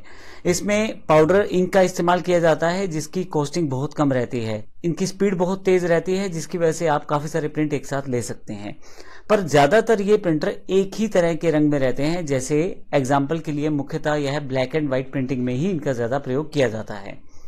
तीसरी तरह के जो प्रिंटर हैं, वो थर्मल ट्रांसफ़र प्रिंटर हैं। आप अगर कहीं किसी शॉपिंग मॉल में खड़े हैं तो आपको रसीद दी जाएगी। वो रसीद जो निकलती है, छोटा सा स्लिप, जो ज़्यादा देर तक जिसकी इंक टिकी भी नहीं रहती मोस्टली। तो ऐसे प्रिंटर जो है, वो थर्मल प्रिंटर कहलाते हैं। आपके पास यह प्रिंटर डायरेक्टली कंप्यूटर से कनेक्टेड रहते हैं और मुख्यतः एक डेडिकेटेड टास्क से जुड़े रहते हैं। जैसे कोई एंट्री कार्ड देना या कोई टिकट देना या आपका कोई बिल देना छोटा सा। तो ये सब चीज़ें जो हैं, ये थर्मल प्रिंटर से की जाती हैं। ये तीनों कैटेगरी जो थी इंकजेट लेजर और थर्मल ये तीनों की तीनों कैटेगरीज नॉन इम्पैक्ट प्रिंटर्स की कैटेगरी से हैं। इससे पहले कि मैं सेशन खत्म करूँ, आपको यह भी बता दूँ कि आप प्रिंटर में दो तीन चीज़ों का ज़रूर ध्यान रखें। एक प्रिंटर की जो क्वालिटी है, वो डीपीआई से मापी जाती है डोर्स पर इंच किसी भी प्रिंटर के डोट्स जितने ज़्यादा होंगे, उतनी अच्छी उसकी क्वालिटी मानी जाएगी। इसका अर्थ ये हुआ कि अगर क्वालिटी वाइज अगर आप प्रिंटर लेना चाहते हैं तो वहाँ ध्यान दें कि वो कितने डीपीआई तक प्रिंट कर सकता है। इसी तरह से स्पीड ऑफ़ प्रिंटर भी इंपॉर्टेंट रहती है। एक मिनट में आप कितने करेक्टर प्रिंट कर सकते हैं, उसे सीपीएम कहा जाता है। एक मिनट में आप कितने पेज प्रिंट कर सकते हैं, उसे पीपीएम कहा जाता है। और एक मिनट में आपका प्रिंटर कितनी लाइंस प्रिंट कर सकता है, उसे एलपीएम कहा जाता है। तो ये जितने ज़्यादा रहेंगे नंबर्स में, उतने ज़्यादा अच्छी स्पीड आपके प्रिंटर की रहने वाली है। और इसके अलावा ट्रिपल सी में कई बार क्वेश्चन पूछा जाता है शॉर्ट फॉर्म्स और फुल फॉर्म्स को लेकर तो वहाँ भी ज़रूर ध्यान रखिएगा इन प्रिंटर्स के एक्चुअल नाम और ये स्पीड ऑफ़ प्रिंटर के जो मैंने कीवर्ड्स यूज़ किए इनके लिए भी। जैसे एलपीएम है पीपीएम है और सीपीएम है। तो इस सेशन में हमने जो जानकारी ली वो कंप्यूटर हार्डवेयर के प्रिंटर सेगमेंट के लिए। अगले सेशन में हम कंप्यूटर की मेमोरी की जानकारी लेंगे जो फिर से कंप्यूटर हार्डवेयर का पार्ट है। हेलो फ्रेंड्स पिछले सेशन में हमने आउटपुट डिवाइसेस की जानकारी ली थी जिसमें हमने आउटपुट सेगमेंट को पढ़ा कंप्यूटर के प्रिंटर मॉनिटर एलसीडीज इत्यादि के बारे में। इस सेशन में हम कंप्यूटर की मेमोरी और स्टोरेज की जानकारी लेने वाले हैं। जब भी आप किसी निर्देश को देते हैं सूचना स्टोर करते हैं या आप रिजल्ट्स को स्टोर करना कहीं रखना चाहते हैं कंप्यूटर में तो उसके लिए कुछ स्पेस चाहिए होता है। उस स्पेस को हम कंप्यूटर की मेमोरी कहते हैं। कंप्यूटर की मेमोरी में जो डेटा स्टोर किया जाता है, वो बाइनरी डिजिट्स यानी कि ज़ीरो और वन के रूप में स्टोर किया जाता है। पूरी की पूरी कंप्यूटर की जो मेमोरी सेगमेंट है, वो दो पार्ट्स में बटा हुआ है। प्राइमरी मेमोरी जिसको इंटरनल मेमोरी भी कहा जाता है, और सेकेंडरी मेमोरी जिसको एक्सटर्नल मेमोरी भी कहा जाता है। अगर मैं प्राइमरी मेमोरी की बात करूँ तो रैम और रोम जो है, वो प्राइमरी मेमोरी के पार्ट हैं। और अगर मैं सेकेंडरी मेमोरी की बात करूँ तो floppy disk hard disk CD DVD pen drive, ये सब जो है, ये सेकेंडरी मेमोरी के पार्ट हैं। कंप्यूटर की मेमोरी से जुड़े हुए सभी सेगमेंट चाहे वो प्राइमरी मेमोरी रैम रोम की बात करें, या सेकेंडरी मेमोरी जैसे floppy disk hard disk CD DVD या पेन ड्राइव या कार्ड रीडर इन सब की बात हम इस पूरे सेशन में करने वाले हैं। सबसे पहले बात करते हैं प्राइमरी मेमोरी यानी कि इंटरनल मेमोरी की। इंटरनल मेमोरी वो मेमोरी होती है जहाँ पे आपका डेटा इंफॉर्मेशन या प्रोग्राम प्रोसेस के समय प्रेजेंट रहते हैं। अर्थात जब तक सीपीयू उन पे कार्य कर रहा होता है, प्रोसेस कर रहा होता है, तब तक वो प्राइमरी मेमोरी के अंदर रहते हैं। इसे इसीलिए टेम्परेरी मेमोरी भी कहा जाता है, क्योंकि जैसे ही आपका जो आउटपुट फाइनलाइज हो जाएगा तो उसको कहीं और स्टोर कर दिया जाता है। एक्चुअल में वो सेकेंडरी मेमोरी पे स्टोर किया जाता है। लेकिन सेकेंडरी मेमोरी पे जाने से पहले पहले जो भी कार्य किया जाता है, वो प्राइमरी मेमोरी पे किया जाता है। इसमें आप डेटा को परमानेंटली स्टोर नहीं कर पाते, क्योंकि प्राइमरी मेमोरी जो रहती है, वो एक तरह से टेम्परेरी मेमोरी होती है। इसे मेन मेमोरी भी कहा जाता है। यहाँ ज़रूर ध्यान रखिएगा कि टेम्परेरी मेमोरी मेन मेमोरी ये सब एक्चुअल में प्राइमरी मेमोरी के ही नाम है और कई बार इसे अलग अलग तरह से क्वेश्चन को घुमा के पूछा जाता है तो आपको ध्यान रखना पड़ेगा इन सभी क्वेश्चंस के आंसर्स का। यह जो मेमोरी रहती है प्राइमरी ये दो तरह की है। एक है रैम रैंडम एक्सेस मेमोरी और एक है रोम रीड ओनली मेमोरी अगर मैं कंप्यूटर मेमोरी में सबसे पहले अगर रैम की बात करूँ तो इसका मुख्य काम जो है टेम्परेरी प्रोसेस के लिए जगह देना है कंप्यूटर को। कंप्यूटर को जब भी कोई कार्य करना है तो उसको उन कैलकुलेशंस करने के लिए या उस डेटा को स्टोर करने के लिए एक जगह चाहिए। जब तक वह कार्य समाप्त नहीं होता, वो सारा कार्य उस पर्टिकुलर जगह पे चलता रहता है। वह जगह असल में टेम्परेरी मेमोरी होती है, जिसको हम रैम कहते हैं। कंप्यूटर को कहीं से डेटा प्राप्त करना है, कहीं पे डेटा देना है, कुछ कैलकुलेशंस करनी है, वो सारी की सारी उस वक्त इसी रैम में हो रही होती हैं। मान लीजिए आपने ड्राइंग करना शुरू किया तो जब तक आप ड्रॉ कर रहे हैं, चीज़ें फाइनलाइज कर रहे हैं, रंग भर रहे हैं, वो सारा का सारा कार्य रैम में हो रहा है। जब तक आप फ़ाइल सेव नहीं करते फ़ाइल सेव करने से पहले पहले सारा कार्य जो रैम में हो रहा है। लेकिन जैसे आप फ़ाइल सेव कर देंगे, उस फ़ाइल की एक कॉपी जो है या उस फ़ाइल को एग्जिस्ट कर दिया जाएगा सेकेंडरी मेमोरी में। तो सेव करने से पहले जो कार्य हो रहा था, वो रैम में रहता है। आपको यह भी ध्यान हो कि किसी कारण से लैपटॉप या डेस्कटॉप बंद हो जाए, अगर आपने फ़ाइल सेव नहीं किया तो वो फ़ाइल आपको दोबारा नहीं मिल पाता। इसका कारण ही यही है, क्योंकि वह एक टेम्परेरी मेमोरी में होता है और आपने सेव नहीं किया, इस कारण से वो खत्म हो जाता है या उड़ जाता है। रैम को इसीलिए वॉलेटाइल मेमोरी भी कहते हैं। रैम दो प्रकार की होती है, डी रैम, यानी कि डायनेमिक रैम, और एस रैम, यानी कि static RAM. S D RAM, जो आपकी सिंक्रोनाइज डायनेमिक रैम रहती है, R D RAM Rambus dynamic RAM, और D D RAM, double data dynamic RAM. इस तरह से स्टैटिक रैम जो है, उसमें नॉन वॉलेटाइल एस रैम रहती है, स्पेशल एस रैम रहती है, और सिंक्रोनाइज एस रैम रहती है, और सिंक्रोनाइज एस रैम रहती है। तो ये हमारे पास रैम के प्रकार हैं। लेकिन अगर हम बात करें रोम की तो रोम क्या है? एक्चुअली रोम पहले से प्री बिल्ड चिप है, जो कंप्यूटर के अंदर पहले से जुड़े हुए हैं, जिसमें कुछ खास इंस्ट्रक्शंस कंप्यूटर को स्टार्ट करने के लिए पहले से ही दे दी गई हैं। इसमें अलग से कोई मेमोरी अवेलेबल नहीं होती है अलग से कोई कार्य नहीं होता, इसमें जो पहले से फ़ीड कर दिया जाता है, उसी इंस्ट्रक्शंस को कंप्यूटर फॉलो करता है।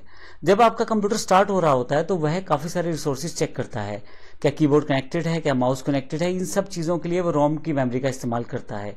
वहाँ पे दी गई इंस्ट्रक्शंस को इस्तेमाल करता है। इसीलिए इसे नॉन वॉलेटाइल मेमोरी भी कहते हैं। ये जो रोम के अंदर इंस्ट्रक्शन सेव रहती हैं, ये परमानेंट स्टोर रहती हैं। इसको आप ना हटा पाते हैं, ना चेंज कर पाते हैं। और केवल कंप्यूटर वहाँ से रीड कर सकता है, वहाँ राइट नहीं कर सकता। तो जो इंस्ट्रक्शंस हैं, उनको सिर्फ़ कंप्यूटर फॉलो करता है, जो रोम में पड़ी रहती हैं।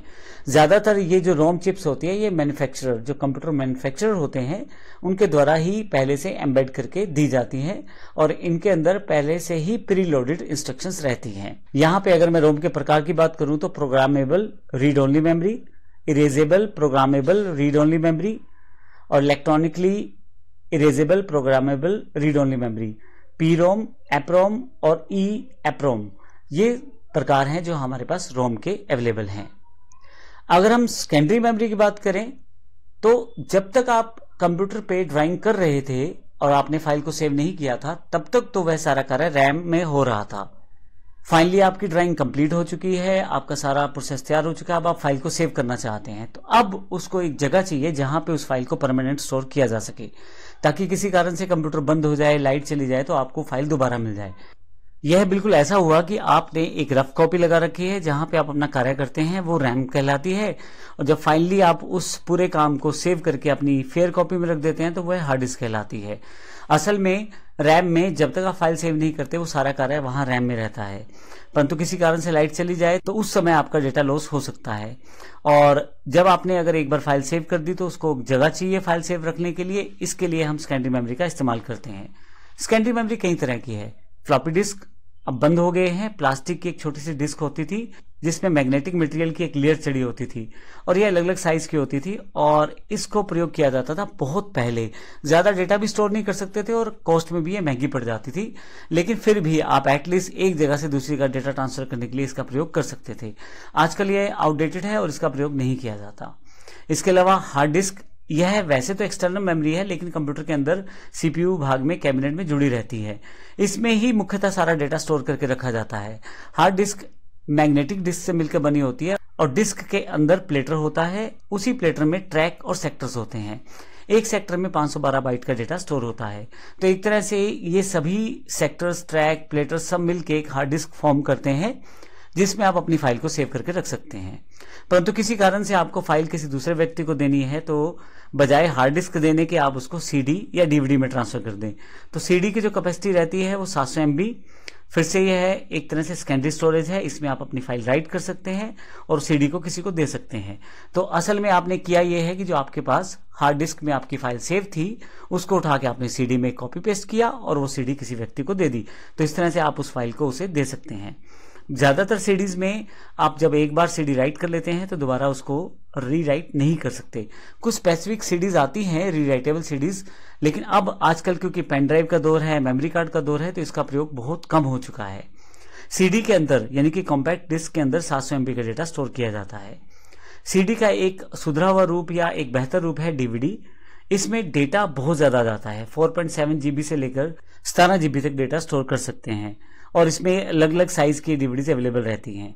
इसमें सीडी और डीवीडी दोनों में एक कॉमन इश्यू रहता है स्क्रैच का। अगर आपकी सीडी डीवीडी पे स्क्रैच आ गया तो फिर वहाँ से डेटा को रीड करना या राइट करना बड़ा टिपिकल है। दूसरा प्रॉब्लम ये रहता है, अगर आपने डीवीडी या सीडी को एक बार राइट कर दिया है तो आप दोबारा उस पर डेटा नहीं डाल सकते। वो सीडी डीवीडी वंस राइट वाला फ़ंक्शन रहता है, एक बार आपने राइट कर दिया तो बस उतना ही डेटा उसमें रहेगा। लेकिन आज की जो रिक्वायरमेंट है, उसके अकॉर्डिंग चीज़ें बदल चुकी हैं। ना अब इस वक्त सीडी का ज़्यादा प्रयोग होता है, ना डीवीडी का। इस समय पेन ड्राइव और मेमोरी कार्ड का युग है तो इनको यूज़ किया जाता है। पेन ड्राइव और मेमोरी कार्ड आपको पता होगा, क्योंकि पेन ड्राइव जो हम कंप्यूटर के डिवाइस के साथ लगाते हैं और मेमोरी कार्ड मुख्यतः मोबाइल्स के साथ प्रयोग किए जाते हैं। हालाँकि वो कार्ड रीडर के साथ आप उनको कंप्यूटर के साथ भी एज अ पेन ड्राइव भी यूज़ कर सकते हैं। पेन ड्राइव एक पोर्टेबल डिवाइस है। इसको हम यूएसबी डिवाइस या ड्राइव के नाम से भी जानते हैं। प्लग एंड प्ले डिवाइस है, इसमें आपको केवल कंप्यूटर के साथ लगाना है और आपका डेटा आपके पास दिखाई देना शुरू हो जाएगा। और इसकी सबसे अच्छी बात है, आप जितनी बार चाहे डेटा रीड करें, जितनी बार चाहे डेटा राइट करें। पुराने डेटा को उठा के आप नया डाल दें, जितना कैपेसिटी खाली है, उतना डेटा आप उसमें डाल सकते हैं। पेन ड्राइव अलग अलग साइजेज में अवेलेबल होती है, जैसे दो जीबी, चार जीबी, आठ जीबी, सोलह जीबी, दो की मल्टीपल पावर में बढ़ती जाती है, बत्तीस जीबी, चौसठ जीबी और एक सौ अठाईस जीबी। अभी तक हमारे पास ये एक सौ अठाईस जीबी तक की पेन ड्राइव अवेलेबल हो चुकी हैं। इसके अलावा दो सौ छप्पन और पाँच सौ बारह। इसकी बहुत जल्दी ही आपके पास पेन ड्राइव्स अवेलेबल हो जाएँगी मार्केट में। तो इसकी कैपेसिटी बहुत ज़्यादा बढ़ती जा रही है पेन ड्राइव्स की। इसके अलावा हमारे पास मेमोरी कार्ड है। मेमोरी कार्ड एक प्रकार का स्टोरेज मीडिया है। असल में ये छोटा सा कार्ड रहता है, बिल्कुल पेन ड्राइव की तरह, जिसमें आप वो सारे कार्य कर सकते हैं जो पेन ड्राइव में कर सकते हैं। लेकिन मुख्यतः इसका जो प्रयोग किया जाता है वो digital cameras digital camcorders, mobiles MP three players इत्यादि में डेटा रखने के लिए किया जाता है। आप मुख्यतः करते क्या है? मेमोरी कार्ड में अपने टॉपिक्स वीडियोस ऑडियोस को भर लेंगे और आप अपने मोबाइल में उसे देख सकते हैं। ये मुख्य कार्य रहता है मेमोरी कार्ड का। लेकिन मेमोरी कार्ड को कार्ड रीडर के साथ इस्तेमाल किया जाए तो पेन ड्राइव की तरह भी इस्तेमाल किया जा सकता है। तो इस पूरे सेक्शन में हमने देखा कि हमारे पास मेमोरीज कितने प्रकार की हैं किस किस तरह से हम उसे प्रयोग कर सकते हैं। मुख्यतः हमने देखा कि प्राइमरी मेमोरी है, जिसमें रैम रोम शामिल है, और सेकेंडरी मेमोरी जिसमें floppy disk hard disk CD DVD pen drive और कॉर्ड रीडर्स शामिल हैं। अगले सेक्शन में हम बात करने वाले हैं दो इंपॉर्टेंट कॉन्सेप्ट वर्चुअल मेमोरी और कैश मेमोरी की। हेलो फ्रेंड्स पिछले काफ़ी सारे सेशंस में हमने बाइनरी डिजिट्स की बात की है। कंप्यूटर अपनी सारी की सारी इंफॉर्मेशन चाहे वह कोई इमेज फ़ाइल हो यानी कि फ़ोटो हो चाहे आपने कुछ टाइप किया है यानी कि टेक्स्ट हो चाहे आपकी कोई ऑडियो फ़ाइल हो वीडियो फ़ाइल हो कुछ भी हो वह सभी इंफॉर्मेशन जो है, सारी की सारी इन्फॉर्मेशन को ज़ीरो और एक में कन्वर्ट करता है और फिर उसे सेव करता है। ये जानकारी हमने पिछले सेशंस में भी ली थी। ज़ीरो और एक क्या है? असल में कंप्यूटर को कुछ भी सेव करना है। आप चाहे कुछ भी उसे इनपुट दें, उसे उसे ज़ीरो और एक में कन्वर्ट करना पड़ेगा। ज़ीरो एक अंक का प्रयोग करने से उसके पास एक कॉम्बिनेशन तैयार हो जाएगा, जिसमें कुछ अंकों में ज़ीरो ज़्यादा रहती है, कुछ में एक ज़्यादा रहता है। यानी कि इन दो अंकों का ही मिश्रण रहता है। ऐसी जो सीरीज़ बनती है, उसे बाइनरी डिजिट्स कहते हैं, यानी कि बिट्स कहते हैं। बाइनरी डिजिट्स का प्रयोग कंप्यूटर अपने लिए करता है, सारी चीज़ों को समझता है, जो आप इसको इनपुट देते हैं, उसे फाइनली बाइनरी डिजिट्स में कन्वर्ट किया जाता है कैलकुलेशन की जाती है बाइनरी डिजिट्स पे। उसको फिर से आपके समझने लायक आउटपुट में कन्वर्ट किया जाता है, फिर आपको ये प्रोवाइड करवा दिया जाता है। तो फाइनली बाइनरी डिजिट्स में ही कंप्यूटर कार्य करता है, और हम इस सेशन में बात करने वाले हैं कि जितने भी मेमोरी डिवाइसेस के बारे में हमने पिछले सेशंस में पढ़ा है, चाहे वह हार्ड डिस्क है मेमोरी कार्ड है पेन ड्राइव है रैम है, इन सब की जो क्षमता है स्टोर करने की, उसको हम कैसे माप सकते हैं, उसके लिए हम मेमोरी यूनिट्स का इस्तेमाल करते हैं। मेमोरी यूनिट्स में बेसिकली इन्हीं बाइनरी डिजिट से मिलकर यूनिट्स बनाई जाती हैं, जिससे हम ये जानकारी प्राप्त कर पाते हैं कि कोई कार्ड या कोई पेन ड्राइव या कोई हार्ड डिस्क कितना डेटा आपका स्टोर कर सकते हैं। इसमें कुछ इंपॉर्टेंट टर्म्स हैं, उसकी जानकारी मैं आपको दे दूँ। सबसे पहले निबल। अगर आप चार बिट्स का ग्रुप बना दें तो उसे निबल कहेंगे।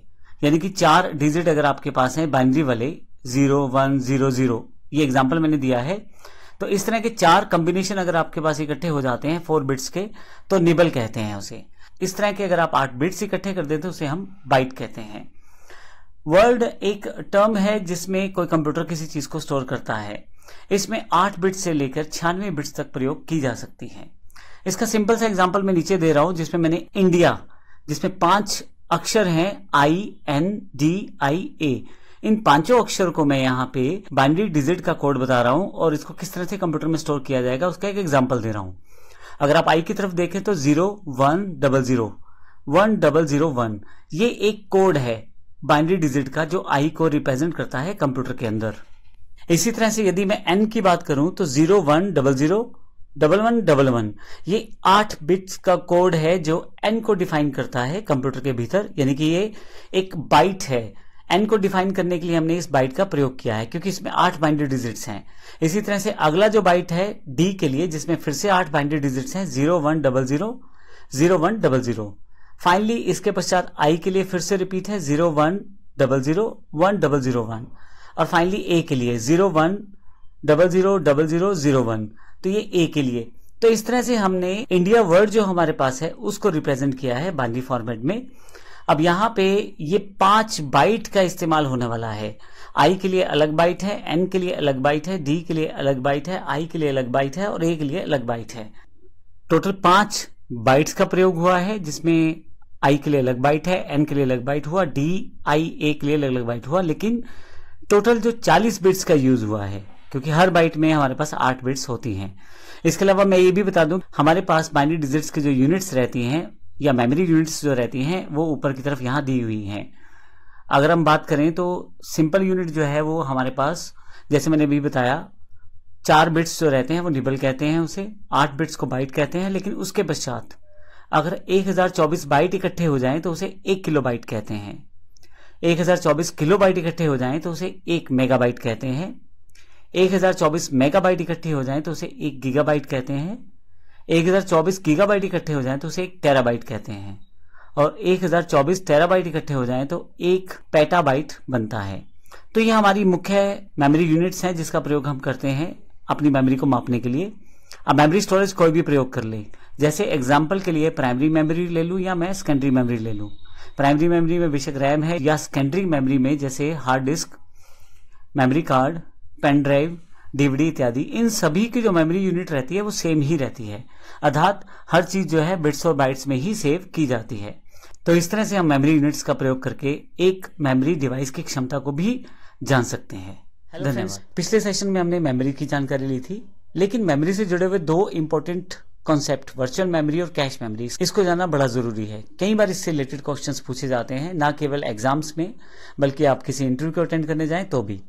तो ये सेशन में जानकारी लेते हैं वर्चुअल मेमोरी और कैश मेमोरी के बारे में। वर्चुअल मेमोरी क्या है? Basically virtual memory operating system का ही एक पार्ट है। वो ही इस वर्चुअल मेमोरी को क्रिएट करेगा, लेकिन आपकी हार्ड डिस्क पे। Virtual memory basically main memory की कैपेसिटी को इंक्रीज करता है, यानी कि रैम की कैपेसिटी को इंक्रीज करेगा। मान लीजिए आप कोई काम कर रहे थे और रैम में जगह नहीं है तो अब उसे अपना डेटा कहीं ना कहीं रखना है तो इसके लिए वो वर्चुअल मेमोरी को प्रयोग करेगा। क्योंकि रैम की कैपेसिटी कम रहती है और इस कारण से बार बार बड़ी बड़ी प्रोसेस को चलाने के लिए बड़ा सारा डेटा स्टोर करना पड़ता है। जो डेटा रैम के पास अवेलेबल रहता है, वो उसको प्रयोग कर सकता है, लेकिन बाकी प्रोसेसिंग के लिए जो डेटा उसको चाहिए, वो कुछ समय के लिए वर्चुअल मेमोरी में रख सकता है।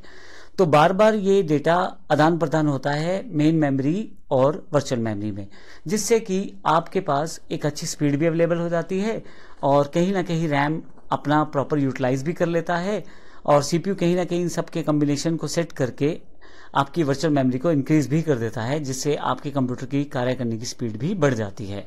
तो इसका अर्थ ये हुआ कि रैम को अगर किसी प्रोग्राम को चलाने में कैपेसिटी कम पड़ रही है तो फिर उस समय वो वर्चुअल मेमोरी का यूज़ कर लेगा।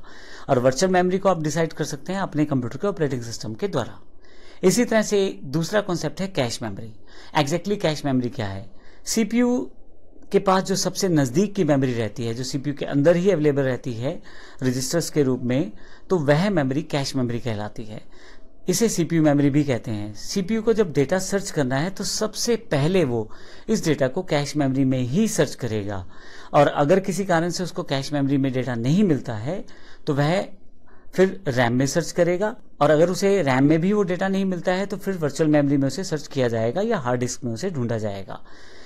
सबसे करीब कैश मेमोरी रहती है सीपीयू के, इसलिए सबसे इंपॉर्टेंट इन्फॉर्मेशन या बहुत ज़्यादा यूज़ होने वाली इन्फॉर्मेशन कैश मेमोरी में स्टोर कर दी जाती है।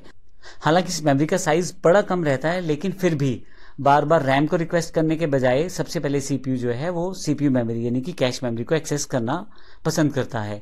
फाइनली अगर उसको डेटा वहाँ नहीं मिलता तो फिर वो रैम को, और अगर किसी कारण से वहाँ नहीं मिलता तो वर्चुअल मेमोरी या हार्ड डिस्क को डिटेक्ट किया जा सकता है। सबसे बड़ा बेनिफिट ये हो जाता है इसका क्योंकि सीपीयू के बिल्कुल पास में मेमोरी रहती है तो डेटा को बड़ी जल्दी एक्सेस किया जा सकता है। कोई इंपॉर्टेंट प्रोग्राम्स या इंस्ट्रक्शन है उन्हें बार बार यूज़ किया जा सकता है। और सीपीयू खुद ही उस इंस्ट्रक्शंस को जो बार बार प्रयोग कर रहा है या उस कमांड को जो बार बार प्रयोग की जा रही है उसको कैश मेमोरी में सेव कर लेता है। और जब भी उसको उसकी एक्सेसिबिलिटी चाहिए होती है तो कैश मेमोरी से प्रयोग कर लेता है।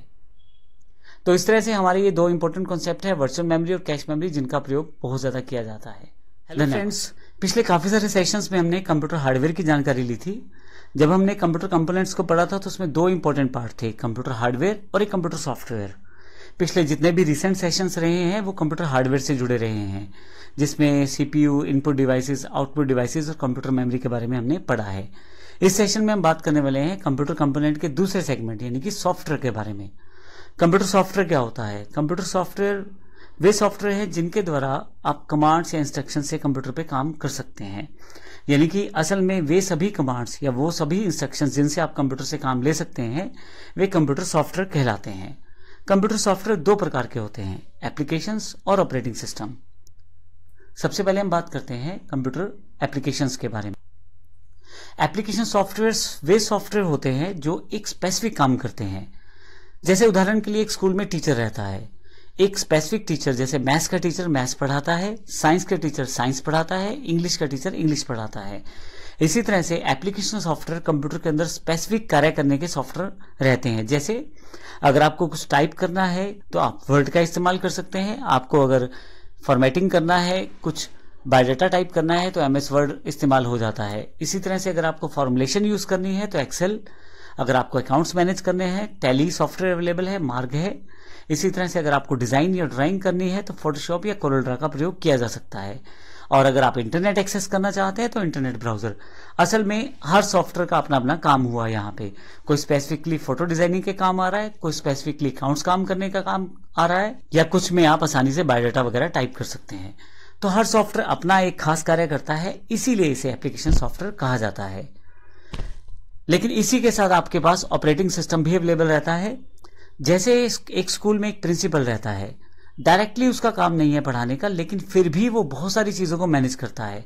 सभी कंप्यूटर के रिसोर्सेज का ध्यान रखता है, कौन सी चीज़ कहाँ रखी जा रही है, कौन सा कार्य किया जा रहा है, कौन सा कार्य नहीं हो पा रहा, ये सारी चीज़ें एक ऑपरेटिंग सिस्टम का कार्य रहता है, ध्यान रखना। तो सिस्टम सॉफ्टवेयर तो ऑपरेटिंग सिस्टम जो कि एक सिस्टम सॉफ्टवेयर है, उसका कार्य हार्डवेयर को मैनेज करना, उससे काम लेना, उसको कंट्रोल करना है विंडोज़ 10, विंडोज़ 7, एंड्रॉयड लाइनेक्स ये सभी इसके एग्ज़ाम्पल हैं जो ऑपरेटिंग सिस्टम रहता है हमारा। मैं आपको ये भी बता दूँ कि ऑपरेटिंग सिस्टम भी दो प्रकार के हैं आगे। एक सिस्टम मैनेजमेंट प्रोग्राम है जिनके एग्ज़ाम्पल मैंने अभी दिया जैसे विंडोज़ 10, विंडोज़ 7, एंड्रॉयड लाइनेक्स जिनका मेन काम जो रहता है वो एक बेस या एक मेन हेड ऑपरेटिंग सिस्टम के रूप में पूरे के पूरे कंप्यूटर के रिसोर्सेज या मोबाइल के रिसोर्सेज को प्रयोग करना रहता है। लेकिन इसके साथ दूसरा एक और ऑपरेटिंग सिस्टम का टाइप है, वो है डेवलपिंग प्रोग्राम यह एक स्पेसिफिक टाइप के सॉफ्टवेयर है जिनका प्रयोग किसी दूसरे सॉफ्टवेयर को बनाने के लिए किया जाता है.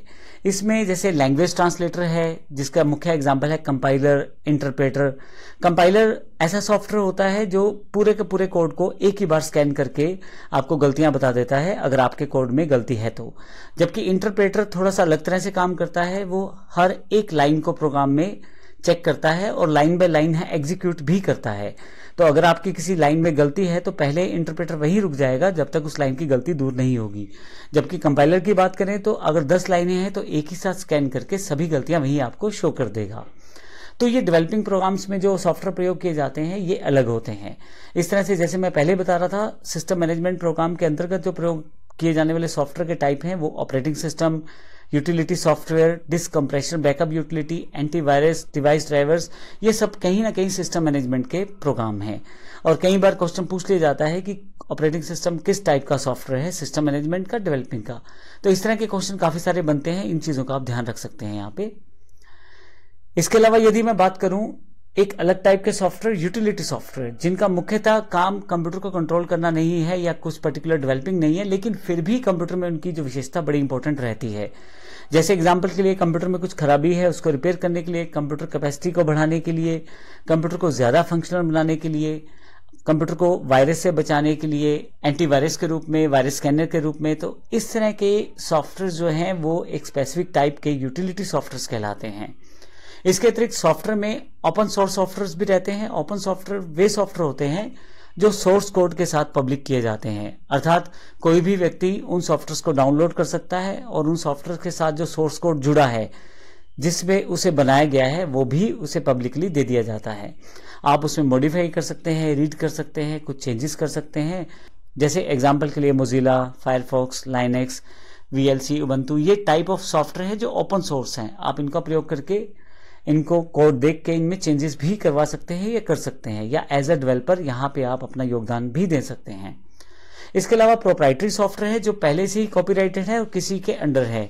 जैसे माइक्रोसॉफ्ट के अंतर्गत है विंडोज़ एमएस ऑफ़िस या इस तरह के सॉफ्टवेयर जैसे स्काइप है। इस तरह से एडोप कम्युनिटी है जिसमें एडोप फोटोशॉप एडोप डिज़ाइन और एडोब इलुस्ट्रेटर इस तरह के काफ़ी सारे सॉफ्टवेयर हैं। इस तरह के कोरल कम्युनिटी अलग से है जिसमें कोरल ड्रा सॉफ्टवेयर है। ये सॉफ्टवेयर पर्टिकुलरली प्रोप्राइटरी सॉफ्टवेयर कहलाते हैं, जो पहले से किसी कंपनी के अंतर्गत बनाए जाते हैं और पर्टिकुलरली कमर्शियली उन्हें बेचने के लिए ही बनाया जाता है। इसमें सोर्स कोड साथ में नहीं दिया जाता, केवल सॉफ्टवेयर प्रयोग करने के लिए दिया जाता है। इसलिए इसे प्रोप्राइटरी सॉफ्टवेयर भी कहा जाता है। सॉफ्टवेयर के टाइप में इनको डिस्कस करना भी बड़ा ज़रूरी है। मोबाइल एप्लीकेशन आज के युग का सबसे बड़ा इनोवेशन है। सभी लोग मोबाइल ऐप्स के साथ जुड़े रहते हैं किसी ना किसी तरह से।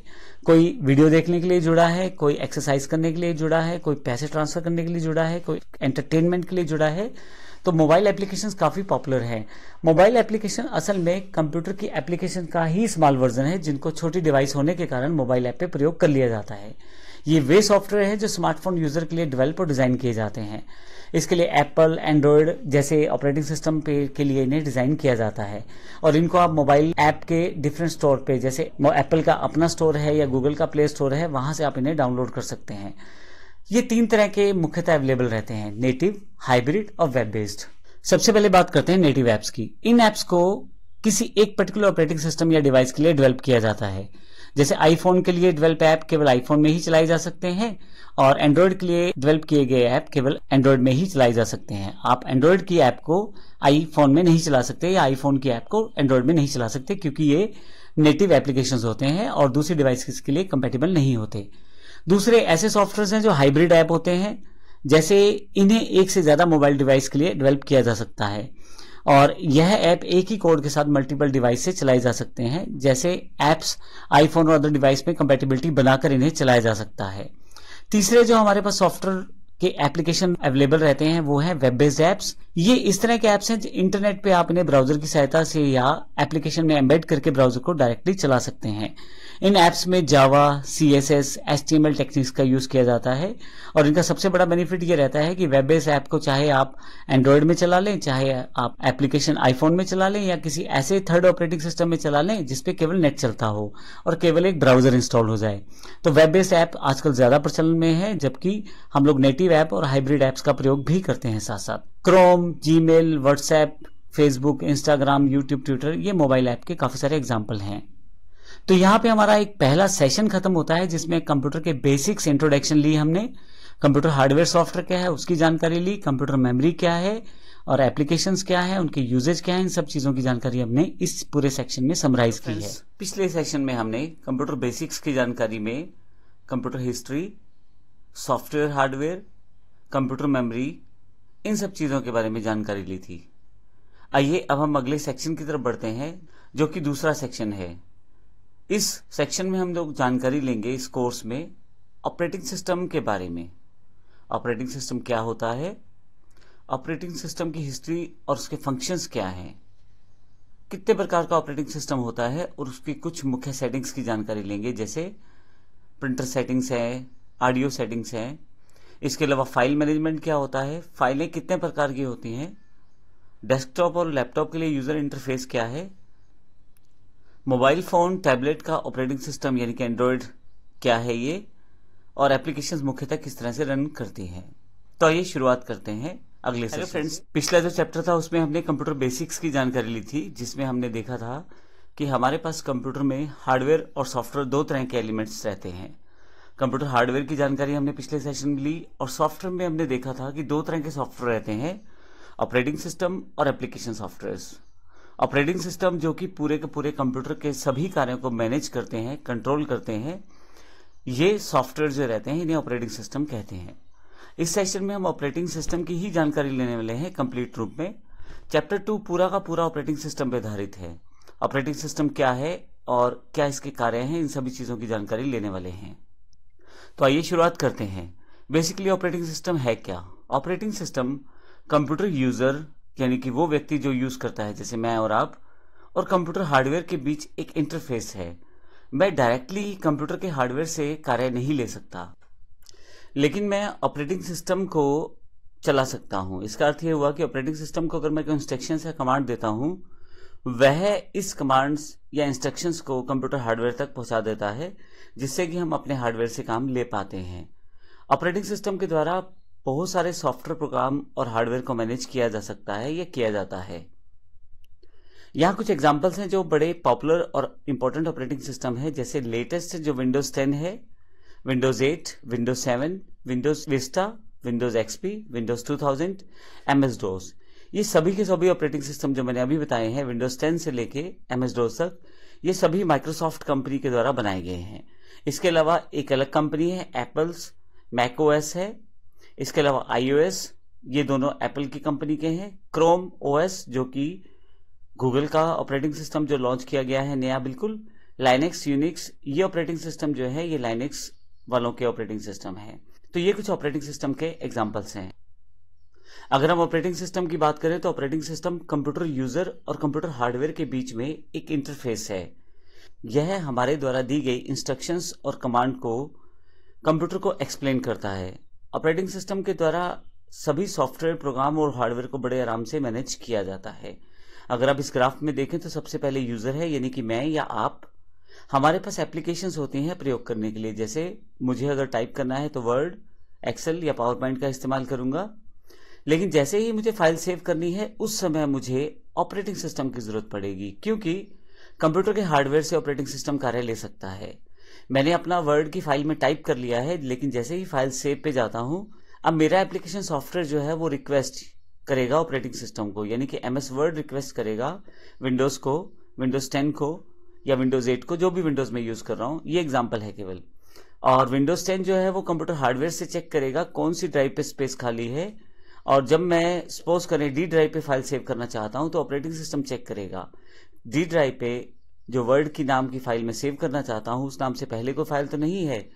या मेरे पास डी ड्राइव भर तो नहीं चुकी है?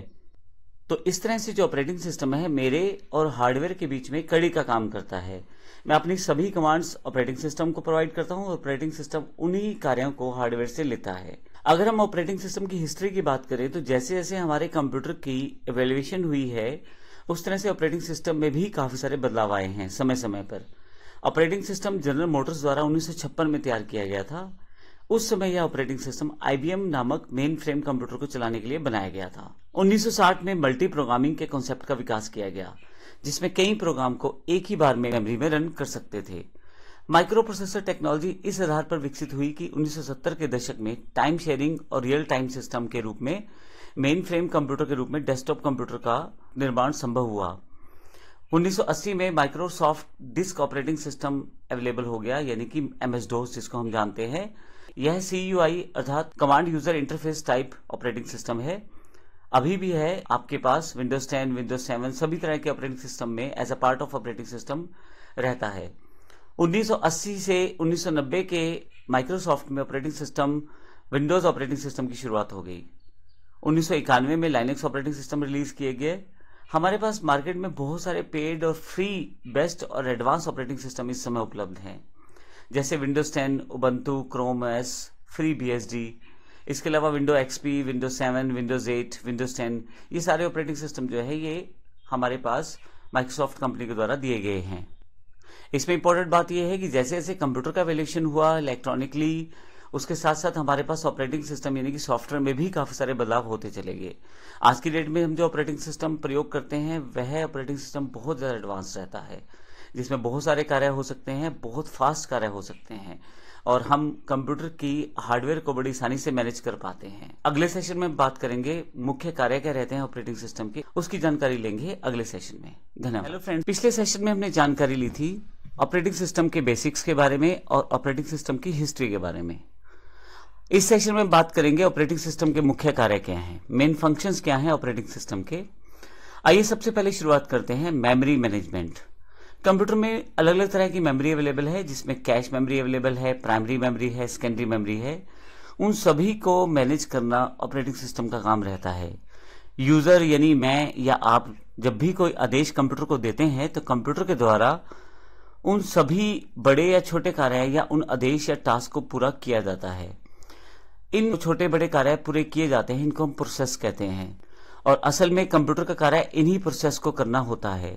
जब ये कार्य पूरा होता है, यानी कि प्रोसेस पूरी होती है तो कंप्यूटर को दिया गया टास्क कंप्लीट हो जाता है।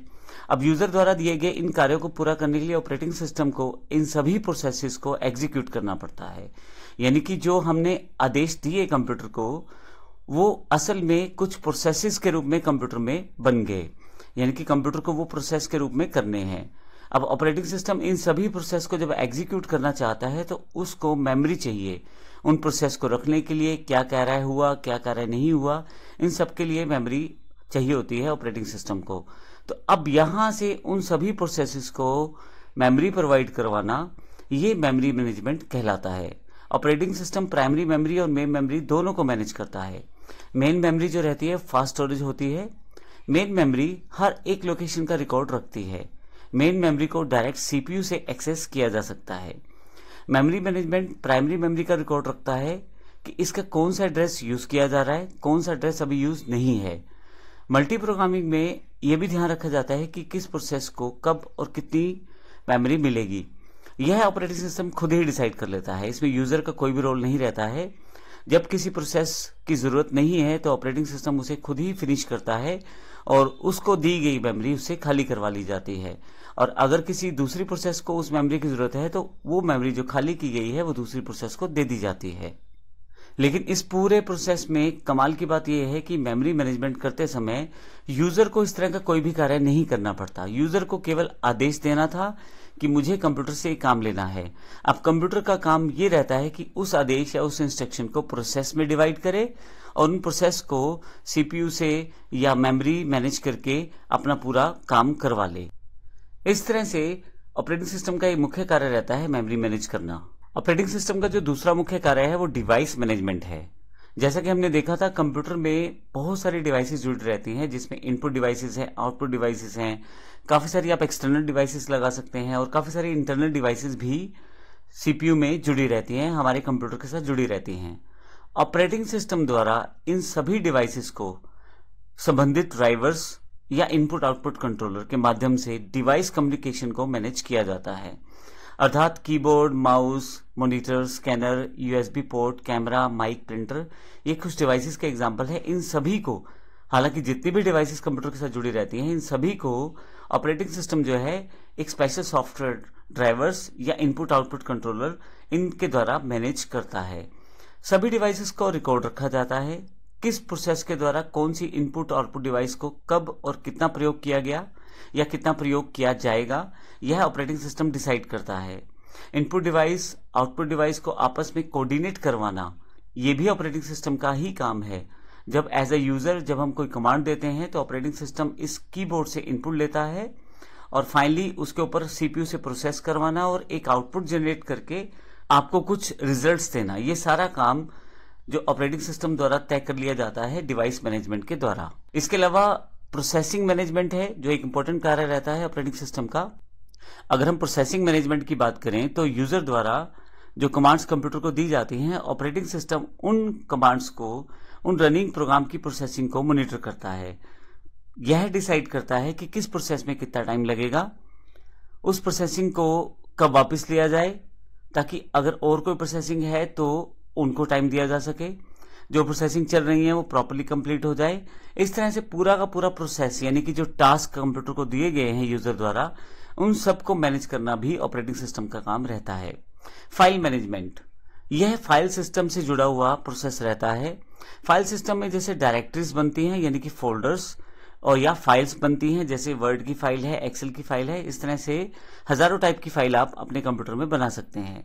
फाइल्स को ऑर्गेनाइज करके रखना हम आसानी से किसी डेटा को सर्च कर सकें, किसी फ़ाइल को सर्च कर सकें, किस तरह से हम उसकी इन्फॉर्मेशन ले सकें, उस फ़ाइल को बनाने का तारीख, उस फ़ाइल को मॉडिफाई करने का तारीख, या उसका स्टेटस इन सभी चीज़ों को ऑपरेटिंग सिस्टम द्वारा मैनेज किया जाता है। फ़ाइल क्या हार्ड डिस्क पे स्टोर होने वाली है, या फ़ाइल जो है वो एक पेन ड्राइव जो एक्सटर्नल मेमोरी है, उस पर स्टोर किया जाने वाला है। सब के सब चीज़ों को फ़ाइल एस्पेक्ट से जुड़ी हुई सारी मैनेजमेंट को ऑपरेटिंग सिस्टम अपने द्वारा ही कर देता है। यूज़र को डायरेक्टली कुछ भी नहीं बताना, उसको सिर्फ़ ये बताना है कि उसको फ़ाइल या फोल्डर बनाना कहाँ है। बाकी सारा काम ऑपरेटिंग सिस्टम द्वारा खुद ही कर लिया जाता है। अगर किसी कारण से पहले से वो फ़ाइल अवेलेबल है या उस नाम की फ़ाइल अवेलेबल है तो ये जानकारी कंप्यूटर यूज़र को दे देता है। डिलीट करते समय भी फ़ाइल को दो बार कंफर्म किया जाता है यूज़र से ताकि गलती से डिलीट ना हो जाए। डिलीट करने के पश्चात उसको रिसाइकिल बिन तक लेके जाना फाइल्स फोल्डर्स को। और अगर यूज़र को बाद में ज़रूरत पड़े तो वहाँ से वापस रिस्टोर करना। ये सारा का सारा प्रोसेस बड़ी आसानी से ऑपरेटिंग सिस्टम द्वारा कर दिया जाता है। फाइनली जो लास्ट टास्क है, वो बड़ा इंपॉर्टेंट रहता है कंप्यूटर में सिक्योरिटी से रिलेटेड कंप्यूटर एक सिक्योर डिवाइस है। कंप्यूटर डिवाइस सिक्योर इसलिए है क्योंकि ऑपरेटिंग सिस्टम ने इसे सिक्योर बना दिया है। कंप्यूटर सिस्टम में अवेलेबल जितना भी इंफॉर्मेशन डेटा रहता है, उसको प्रॉपरली पासवर्ड के थ्रू इवन एनक्रिप्ट करके उसे रखा जा सकता है। यह सब जो है ऑपरेटिंग सिस्टम के द्वारा ही संभव है। डेटा को अनऑथराइज एक्सेस नहीं मिल पाती। हर एक डेटा को एक्सेस करने के लिए अलग अलग लेवल की सिक्योरिटी सेट की जा सकती है। और जितना आप चाहें, जिस सिक्योरिटी लेवल को आप इम्प्लीमेंट करते हैं विदाउट ऑपरेटिंग सिस्टम के यह पॉसिबल नहीं होता। और यूज़र का डेटा प्रॉपरली वहाँ पे संभाल के रखा जा सकता है ऑपरेटिंग सिस्टम की सिक्योरिटी मैनेजमेंट के द्वारा। तो इस पूरे सेशन में हमने मेन फ़ंक्शंस देखे हैं ऑपरेटिंग सिस्टम के जो इंपॉर्टेंट रहते हैं जो कि ऑपरेटिंग सिस्टम के मुख्य कार्य रहते हैं। अगले सेशन से हम बात करेंगे टाइप्स ऑफ़ ऑपरेटिंग सिस्टम के बारे में। धन्यवाद। हेलो फ्रेंड्स पिछले सेशंस में हमने देखा ऑपरेटिंग सिस्टम क्या है उसके कार्य क्या है और उसकी हिस्ट्री क्या है। इस सेशन से हम बात करने वाले हैं टाइप्स ऑफ़ ऑपरेटिंग सिस्टम के बारे में। मुख्यतः हमारे पास नौ तरह के ऑपरेटिंग सिस्टम अवेलेबल हैं। Batch processing operating system single user operating system multi user operating system time sharing operating system multi tasking operating system embedded operating system real time operating system distributed operating system और network operating system इन सब की जानकारी हम इस session में बारी बारी से लेते हैं। सबसे पहले बात करते हैं सबसे पहले टाइप के ऑपरेटिंग सिस्टम जो कि पुराना था, अब प्रयोग में नहीं है बैच प्रोसेसिंग ऑपरेटिंग सिस्टम इसमें एक यूज़र रहता है, एक से अधिक यूज़र हो सकते हैं। जैसे यहाँ पे एक राइट साइड पे पिक्चर दी गई है, लेकिन मुख्यतः जो यूज़र रहता है, वह अपनी जो कार्य है, उनको एक जॉब के रूप में एक ऑपरेटर को दे देता है। यहाँ पे डायरेक्ट यूज़र ऑपरेटिंग सिस्टम से कार्य नहीं ले सकता, इसलिए वह ऑपरेटर को अपने सभी कार्य दे देता है। ऑपरेटर एक स्पेसिफिक एक स्पेशल पर्सन है जो कि जानता है कि किस तरह से बैच प्रोसेसिंग ऑपरेटिंग सिस्टम को प्रयोग किया जा सकता है, उसे कैसे ऑपरेट किया जा सकता है। इस कारण से user directly batch processing operating system से कार्य न लेके अपना जो कार्य है, वो ऑपरेटर को दे देता है। ऑपरेटर इस तरह के काफ़ी सारे यूज़र से ली गई सभी एक जैसी टास्क को एक बैच के रूप में बना लेता है, बाँध लेता है। अब इन बैचेस को ऑपरेटिंग सिस्टम को दे दिया जाता है ताकि वह बैच प्रोसेसिंग पे कार्य कर सके। यह एक पुराना मेथड था और इस ऑपरेटिंग सिस्टम में सबसे बड़ी परेशानी ही यही थी कि यूज़र सीधे सीधे कंप्यूटर या ऑपरेटिंग सिस्टम से इंटरेक्ट नहीं कर सकता। बीच में ऑपरेटर की आवश्यकता होती। अगर किसी जॉब में कोई प्रॉब्लम आ गया तो उस जॉब्स को दोबारा भरना और उन्हें ठीक करना और उन्हें फिर से एज अ बैच दोबारा सबमिट करना ऑपरेटिंग सिस्टम के साथ बड़ा टेडिशियस टिपिकल टास्क था और उसमें समय भी काफ़ी बर्बाद हो जाता था। इस तरह से इस बैच प्रोसेसिंग ऑपरेटिंग सिस्टम को शुरुआती दौर में तो इस्तेमाल किया गया, लेकिन जैसे ही इसके अल्टरनेटिव आने शुरू हुए, इसका प्रयोग लगभग बंद हो गया। इसके पश्चात हमारे पास सिंगल यूज़र ऑपरेटिंग सिस्टम है। सिंगल यूज़र ऑपरेटिंग सिस्टम का अर्थ यह है, जिसमें एक यूज़र जो है, वो ऑपरेटिंग सिस्टम से कार्य ले सकता है। इस ऑपरेटिंग सिस्टम में मल्टी यूज़र कार्य नहीं कर सकते, अर्थात एक से ज़्यादा लोग एक साथ कार्य नहीं कर सकते। आजकल जो यूज़ आप कंप्यूटर करते हैं, जो पीसीज हैं, घर वाले कंप्यूटर रहते हैं, वो जो मुख्यतः रहते हैं, वो आपके पास सिंगल यूज़र ऑपरेटिंग सिस्टम के रूप में ही रहते हैं। इसका यूज़ कई ऑफ़िस घरों में किया जाता है। जब आपको कोई काम करना है, आप कंप्यूटर के सामने बैठते हैं और कर लेते हैं। यह एक तरह से सिंगल यूज़र ऑपरेटिंग सिस्टम का ही उदाहरण है। मल्टी यूज़र ऑपरेटिंग सिस्टम ऐसा सिस्टम होता है जिसमें एक से अधिक लोग एक टाइम पे उस ऑपरेटिंग सिस्टम का प्रयोग कर पाए। अब वो ऑपरेटिंग सिस्टम का प्रयोग करते हुए सैकड़ों यूज़र भी एक साथ अपना अपना कार्य कर सकते हैं। इसमें यह ऑपरेटिंग सिस्टम जो है स्पेशली डिज़ाइन रहते हैं और अलग कैटेगरी के रहते हैं। यूनिक्स लाइनिक्स उबंतु मैक ये सब इसी तरह के ऑपरेटिंग सिस्टम के उदाहरण है। मल्टी यूज़र ऑपरेटिंग सिस्टम का प्रयोग जो मुख्यतः रहता है वो नेटवर्क में किया जाता है। जैसे कि एक बड़ी कंपनी में काफ़ी सारे लोग एक कंप्यूटर के ऊपर कार्य कर पाए जिसमें वो सबके पास एक टर्मिनल के रूप में जुड़ा हो सकता है। तो मुख्यतः इसमें एक नेटवर्क की ज़रूरत रहती है, जिसमें काफ़ी सारे यूज़र उस नेटवर्क के ज़रिए उस पर्टिकुलर ऑपरेटिंग सिस्टम से जुड़ पाते हैं, जो मल्टी यूज़र ऑपरेटिंग सिस्टम का फ़ायदा दे सकता है। नेक्स्ट टाइप जो ऑपरेटिंग सिस्टम का है, वो है टाइम शेयरिंग ऑपरेटिंग सिस्टम इसमें ऑपरेटिंग सिस्टम में मल्टी यूज़र एक ही समय में एक ही प्रोग्राम का यूज़ करते हैं, जिसमें ऑपरेटिंग सिस्टम के द्वारा यूज़र के अकाउंट क्रिएट कर दिए जाते हैं। यदि आप यहाँ राइट हैंड साइड पे देखें तो यहाँ मैंने चार यूज़र दिखाए हैं। इसमें एक एक्टिव यूज़र है। उस समय जो उस कंप्यूटर प्रोग्राम को प्रयोग कर रहा है, लेकिन उससे अगला यूज़र जो है वो रेडी स्टेट में है। अर्थात जैसे ही इसका टास्क खत्म होगा तो टाइम शेयरिंग ऑपरेटिंग सिस्टम के द्वारा अगला यूज़र जो है वो इस कार्य को कर पाएगा। बाकी जो अगले दोनों यूज़र हैं, वो वेटिंग में है। उनका जब बारी आएगा, तभी वो इसका प्रयोग कर पाएगा। यह इस तरह से संभव हो पाता है कि इस प्रकार के ऑपरेटिंग सिस्टम में यूज़र के अकाउंट्स क्रिएट कर दिए जाते हैं, जिससे कि पहले से पता होता है कि यूज़र को सॉफ्टवेयर को यूज़ करने के लिए कितनी परमिशन हैं। इसके अलावा यह भी पहचानना आसान हो जाता है कि किस समय पे कौन सा यूज़र लॉगिन था, उसने क्या क्या कार्य किया। अगला जो ऑपरेटिंग सिस्टम है, वो मल्टी टास्किंग ऑपरेटिंग सिस्टम है। मल्टी टास्किंग ऑपरेटिंग सिस्टम में एक ही समय में एक से अधिक टास्क कराए जाते हैं। यह इन सभी टास्क को बड़ी फास्ट करता है, जिससे कि सीपीयू के खाली समय अगर रह जाए तो वो यूज़ हो जाता है। इसमें यूज़र ऑपरेटिंग सिस्टम या किसी प्रोग्राम को डायरेक्ट कमांड या इंस्ट्रक्शन देता है और साथ ही उसका रिज़ल्ट मिल जाता है। यूज़र को लगता है कि सारे कार्य कंप्यूटर एक साथ कर रहा है, पर असल में ऐसा नहीं होता। असल में सीपीयू सभी कार्यों को एक एक करके थोड़ा थोड़ा टाइम बारी बारी से बांट रहा होता है, जिससे लेकिन सीपीयू की स्पीड इतनी तेज होती है कि हमें, यानी कि एज अ यूज़र हमें पता ही नहीं लगता कि वह बीच में टाइम बांट के इन कार्यों को कर रहा है। हमें ऐसा लगता है कि कार्य एक साथ ही साथ साथ चल रहे हैं, क्योंकि सीपीयू की स्पीड बहुत फास्ट होती है, वह बड़ी तेज़ी से इन सभी कार्यों को कर देता है, जबकि यूज़र जो ऑपरेटिंग सिस्टम का प्रयोग करता है, उसे लगता है कि सभी कार्य जो हैं वो एक साथ किए जा रहे हैं, जबकि सीपीयू जो है इन सभी कार्यों को बारी बारी से कर रहा होता है। इसमें जैसे एग्ज़ाम्पल के लिए मैंने एक सिस्टम पे गाने लगा लिए, जिसमें मैं गाने सुन रहा हूँ, साथ ही टाइपिंग का काम मैं करना चाहता हूँ तो टाइप कर रहा हूँ साथ साथ। एक मैंने गेम भी डाउनलोड लगा ली है और साथ में इंटरनेट का प्रयोग भी कर रहा हूँ। तो इस तरह से मल्टीटास्किंग ऑपरेटिंग सिस्टम में एक से अधिक टास्क आप बड़ी आसानी से कर पाते हैं। नेक्स्ट जो ऑपरेटिंग सिस्टम है, वो एम्बेडेड ऑपरेटिंग सिस्टम है। आजकल काफ़ी सारी डिवाइसेस ऐसी हैं जिनमें चिप में पहले से ही इंस्ट्रक्शंस को सेव करके रख दिया जाता है। असल में यह एक ऑपरेटिंग सिस्टम के रूप में ही कार्य करती हैं। इन्हें किसी स्पेशल वर्क के लिए ही डिज़ाइन किया जाता है। ऑपरेटिंग सिस्टम किसी भी इलेक्ट्रॉनिक डिवाइस के अंदर एक रोम यानी कि चिप के रूप में अवेलेबल रहती है। इसका एक सिंपल सा एग्जांपल माइक्रोवेव्स हैं डिजिटल वॉशिंग मशीन जो डिजिटल अवेलेबल हैं ट्रैफ़िक कंट्रोल सिस्टम जो अवेलेबल है।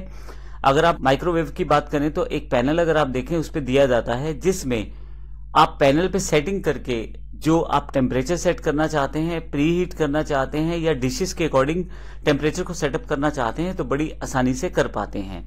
इसमें माइक्रोवेव के अंदर जो एक चिप के रूप में ऑपरेटिंग सिस्टम पहले से अवेलेबल है, उसका प्रयोग करके ही ये सारे कार्य संभव हो पाते हैं। इसी तरह से मैं वॉशिंग मशीन का एग्ज़ाम्पल ले लेता हूँ।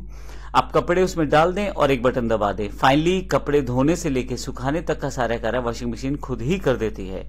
और इसके लिए आपको समय समय पर अलग अलग बीप्स के साथ जानकारी देती रहती है कि अब वॉशिंग मशीन कौन से फेस में कार्य कर रही है।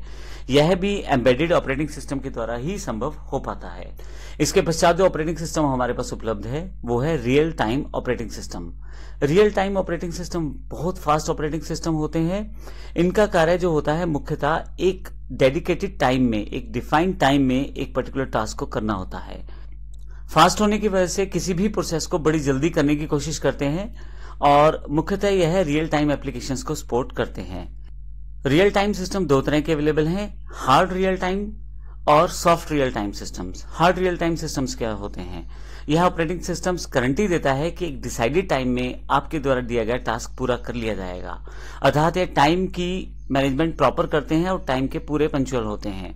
सॉफ्ट रियल टाइम सिस्टम थोड़ा सा टाइम को अप डाउन कर सकते हैं, लेकिन फिर भी यह डिसाइडेड टाइम में टास्क को पूरा करने की कोशिश करते हैं।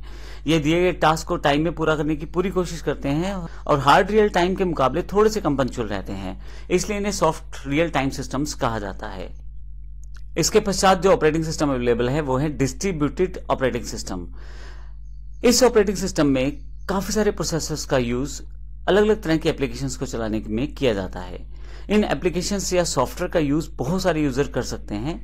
यह प्रोसेसर वेरियस कम्युनिकेशन लाइन से एक दूसरे से जुड़े रहते हैं। अर्थात ये सभी जो इसके प्रोसेसर्स रहते हैं अलग अलग माध्यम से सभी यूज़र से जुड़े रहते हैं। इसलिए इन्हें लूजली कपल्ड सिस्टम्स भी कहा जाता है। यह प्रोसेसर कोई कंप्यूटर साइट नोड और अदर डिवाइस के रूप में भी हो सकते हैं। तो इस तरह से इन्हें डिस्ट्रीब्यूटेड ऑपरेटिंग सिस्टम कहा जाता है, क्योंकि इसमें ऑपरेटिंग सिस्टम जो है अलग अलग एप्लीकेशन चलाने में करता है और ये एप्लीकेशन एक साथ बहुत सारे यूज़र यूज़ कर सकते हैं। अगला जो ऑपरेटिंग सिस्टम हमारे पास है नेटवर्क ऑपरेटिंग सिस्टम है। नेटवर्क ऑपरेटिंग सिस्टम एक ऐसा सिस्टम है, जो एक पर्टिकुलर सर्वर पर रन होता है। और data users group security applications और अदर नेटवर्किंग फ़ंक्शंस को मैनेज करने की एबिलिटी भी देता है। यानी कि एक स्पेशल टाइप का ऑपरेटिंग सिस्टम होता है। नेटवर्क ऑपरेटिंग सिस्टम जिसका कार्य ही नेटवर्क बेस में या नेटवर्किंग में कार्य किस प्रकार से लिया जा सकता है, उसमें किस तरह से उस कार्य को मैनेज किया जा सकता है, इस तरह की सभी एबिलिटीज रहती हैं। इस ऑपरेटिंग सिस्टम का मुख्य उद्देश्य है लैन में, यानी कि लोकल एरिया नेटवर्क में बहुत सारे कंप्यूटर्स के बीच फ़ाइल शेयर करना डेटा शेयर करना प्रिंटर शेयर करना, और नेटवर्क पे जुड़े हुए सभी यूज़र्स को डेटा की सिक्योरिटी भी प्रोवाइड करना। इस तरह की सारी एबिलिटीज से ये हमारे नेटवर्क ऑपरेटिंग सिस्टम लैस होते हैं।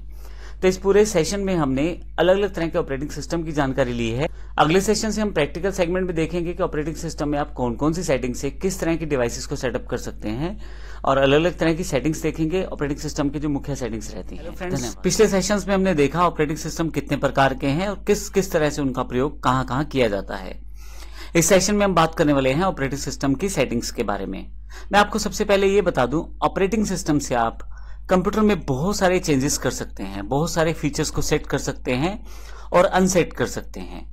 इसके लिए हमारे पास इस पूरा सेशन जो है, ये इसी चीज़ों को लेके है कि हम क्या क्या मुख्य कार्य ऑपरेटिंग सिस्टम के द्वारा कर सकते हैं। लेकिन मैं आपको ये भी बता दूँ, इसी सीरीज़ में हम आपको विंडोज़ 10 की कंप्लीट सीरीज़ देने वाले हैं, जिसमें आप इसको प्रैक्टिकली सीख सकते हैं।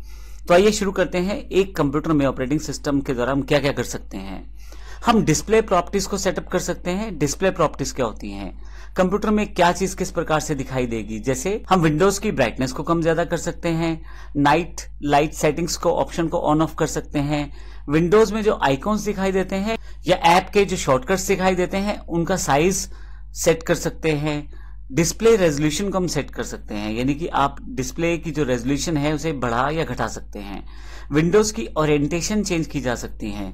कई बार हमारे पास टच डिवाइस है तो हम उसकी ओरिएंटेशन सेट करके भी उसको ऑपरेट कर सकते हैं। ये सारी प्रॉपर्टीज़ की जानकारी विंडोज़ 10 की कंप्लीट सीरीज़ में अवेलेबल है, जो इस सेशन के बाद आप देख सकते हैं। ऑपरेटिंग सिस्टम से आप अपने सिस्टम का टाइम और डेट भी सेट कर सकते हैं। विंडोज़ 10 में डेट टाइम की सेटिंग्स के लिए कंप्यूटर में राइट साइड नीचे की तरफ़ डेट टाइम शो किया जाता है। मैं आपको फिर से बता दूँ, यहाँ पे मैं केवल वो चीज़ें या वो सेटिंग्स जो की जा सकती हैं, उनकी जानकारी दे रहा हूँ। प्रैक्टिकल रूप में आप विंडोज़ 10 की कंप्लीट सीरीज़ देखें, आपको सारे ऑप्शंस कंप्लीट पता लग जाएँगे। इसके साथ ही आप आसानी से ना केवल एग्ज़ाम दे पाएँगे, बल्कि किसी इंटरव्यू में प्रैक्टिकल रूप में पूछे हुए सारे क्वेश्चन के आंसर भी बड़ी आसानी से आप हल कर पाएँगे। और इसी के साथ आपकी स्किल्स भी बढ़ जाएँगी, जिससे आप आसानी से किसी भी जॉब में काम करना भी आपके लिए आसान हो जाएगा। तो राइट साइड पे जो ऑप्शन शो किए जा रहे हैं, नीचे की तरफ़ वहाँ से सिस्टम का डेट टाइम आप सेटअप कर सकते हैं। आप उसको ऑटोमेटिकली भी कर सकते हैं और मैनुअल भी सेट कर सकते हैं। अगर आप टाइम जोन सेट कर देते हैं तो डेट और टाइम जो है वो ऑटोमेटिकली चेंज होता रहेगा। परंतु यदि आप मैनुअल सेट करते हैं तो जो डेट टाइम आप डिसाइड करेंगे कंप्यूटर उसी डेट टाइम को शो करेगा। इसके अलावा कंप्यूटर में जब नए प्रोग्राम्स डाले जाते हैं तो आप नए प्रोग्राम्स को ऐड करने के लिए कंट्रोल पैनल में ऐड और रिमूव प्रोग्राम को सेट कर सकते हैं। आप विंडोज़ 10 में आसानी से नए प्रोग्राम्स को ऐड कर सकते हैं और पुरानों को हटा सकते हैं। विंडोज़ में काफ़ी सारी एप्लीकेशन ऐसी होती हैं, जैसे जो हम इंस्टॉल तो कर लेते हैं, लेकिन बाद में प्रयोग नहीं होती। तो ऐसी जो एप्लीकेशन होती हैं, आप उन्हें हटा सकते हैं। और वो एप्लीकेशन जो आपको चाहिए, वो इंस्टॉल कर सकते हैं। इसके लिए कंट्रोल पैनल में दी गई प्रोग्राम एंड फीचर के ऑप्शन का प्रयोग करते हैं। इंस्टॉलेशन के लिए भी आप इस फीचर का प्रयोग कर सकते हैं, और अनइंस्टॉलेशन के लिए भी इस फीचर का इस्तेमाल किया जा सकता है। इंस्टॉलेशन के लिए वैसे आप जब भी किसी प्रोग्राम को डाउनलोड करेंगे या पेन ड्राइव या मेमोरी कार्ड से उठाएँगे तो उस केस में सेटअप फ़ाइल दी होती है। परंतु अनइंस्टॉल करने के लिए आप कंट्रोल पैनल में जाएँ और वहाँ से आप प्रोग्राम एंड फीचर्स ऑप्शन के साथ उस पर्टिकुलर प्रोग्राम को सिलेक्ट करें और अनइंस्टॉल कर दें। इसकी जानकारी भी विंडोज़ 10 की सीरीज़ में दी गई है। विंडोज़ 10 में काफ़ी सारी डिवाइसेस ऐड हो जाती हैं। यहाँ विंडोज़ 10 मतलब ऑपरेटिंग सिस्टम से है क्योंकि विंडोज़ 10 जो है बड़ा ही पॉपुलर और न्यूएस्ट ऑपरेटिंग सिस्टम है, इसलिए मैं इसका एग्ज़ाम्पल लेके चल रहा हूँ। आप लगभग किसी भी ऑपरेटिंग सिस्टम में सारे कार्य कर सकते हैं जो मैं यहाँ पे बता रहा हूँ। ऑपरेटिंग सिस्टम कोई भी हो, चाहे विंडोज़ 10 है विंडोज़ 8 है विंडोज़ 7 है लाइनेक्स है यूनिक्स है उबंतु है, कोई भी ऑपरेटिंग सिस्टम प्रयोग करें आप, मुख्य कार्य यही रहने वाले हैं जिनकी आप सेटिंग्स ऑपरेटिंग सिस्टम से कर पाएँगे।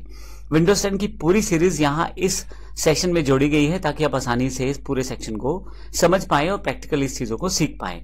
जब आप किसी जॉब या बिज़नेस में कार्य करते हैं तो इस तरह के ऑपरेटिंग सिस्टम से कार्य करना और आसान हो जाता है। तो विंडोज़ 10 में आप प्रिंटर ऐड कर सकते हैं प्रिंटर रिमूव कर सकते हैं। इसके लिए आप डिवाइसेस एंड प्रिंटर ऑप्शन को प्रयोग कर सकते हैं कंट्रोल पैनल के अंतर्गत।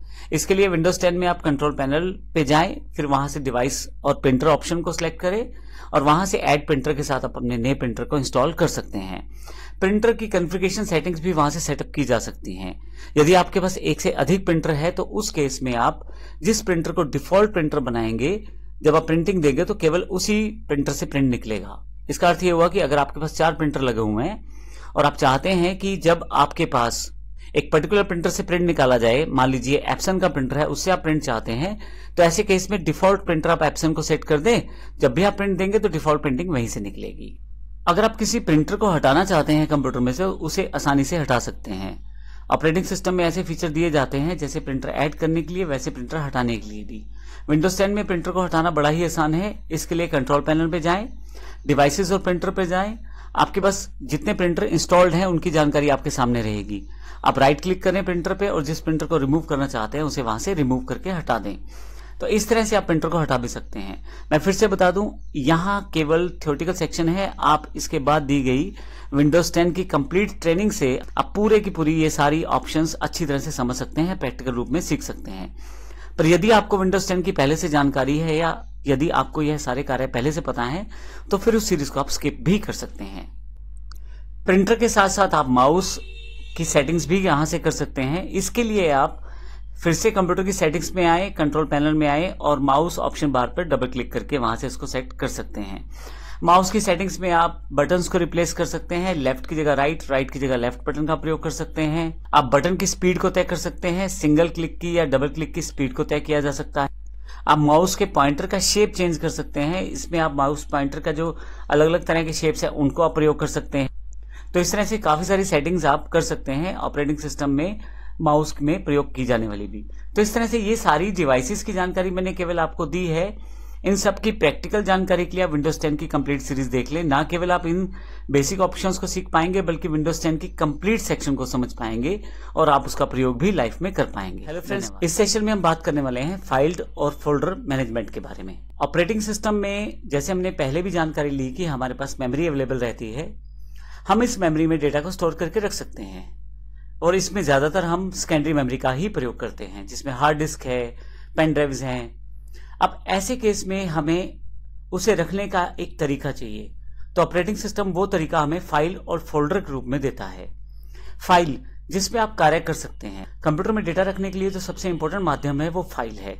हम फ़ाइल में कोई भी टाइप करके मटेरियल कुछ भी फॉर्मुलेशन करके, कुछ भी ड्राइंग करके बना के रख सकते हैं। अब इस डेटा को संभाल के रखने के लिए और दोबारा यूज़ करने के लिए हम अपने कंप्यूटर में फ़ाइल बनाते हैं।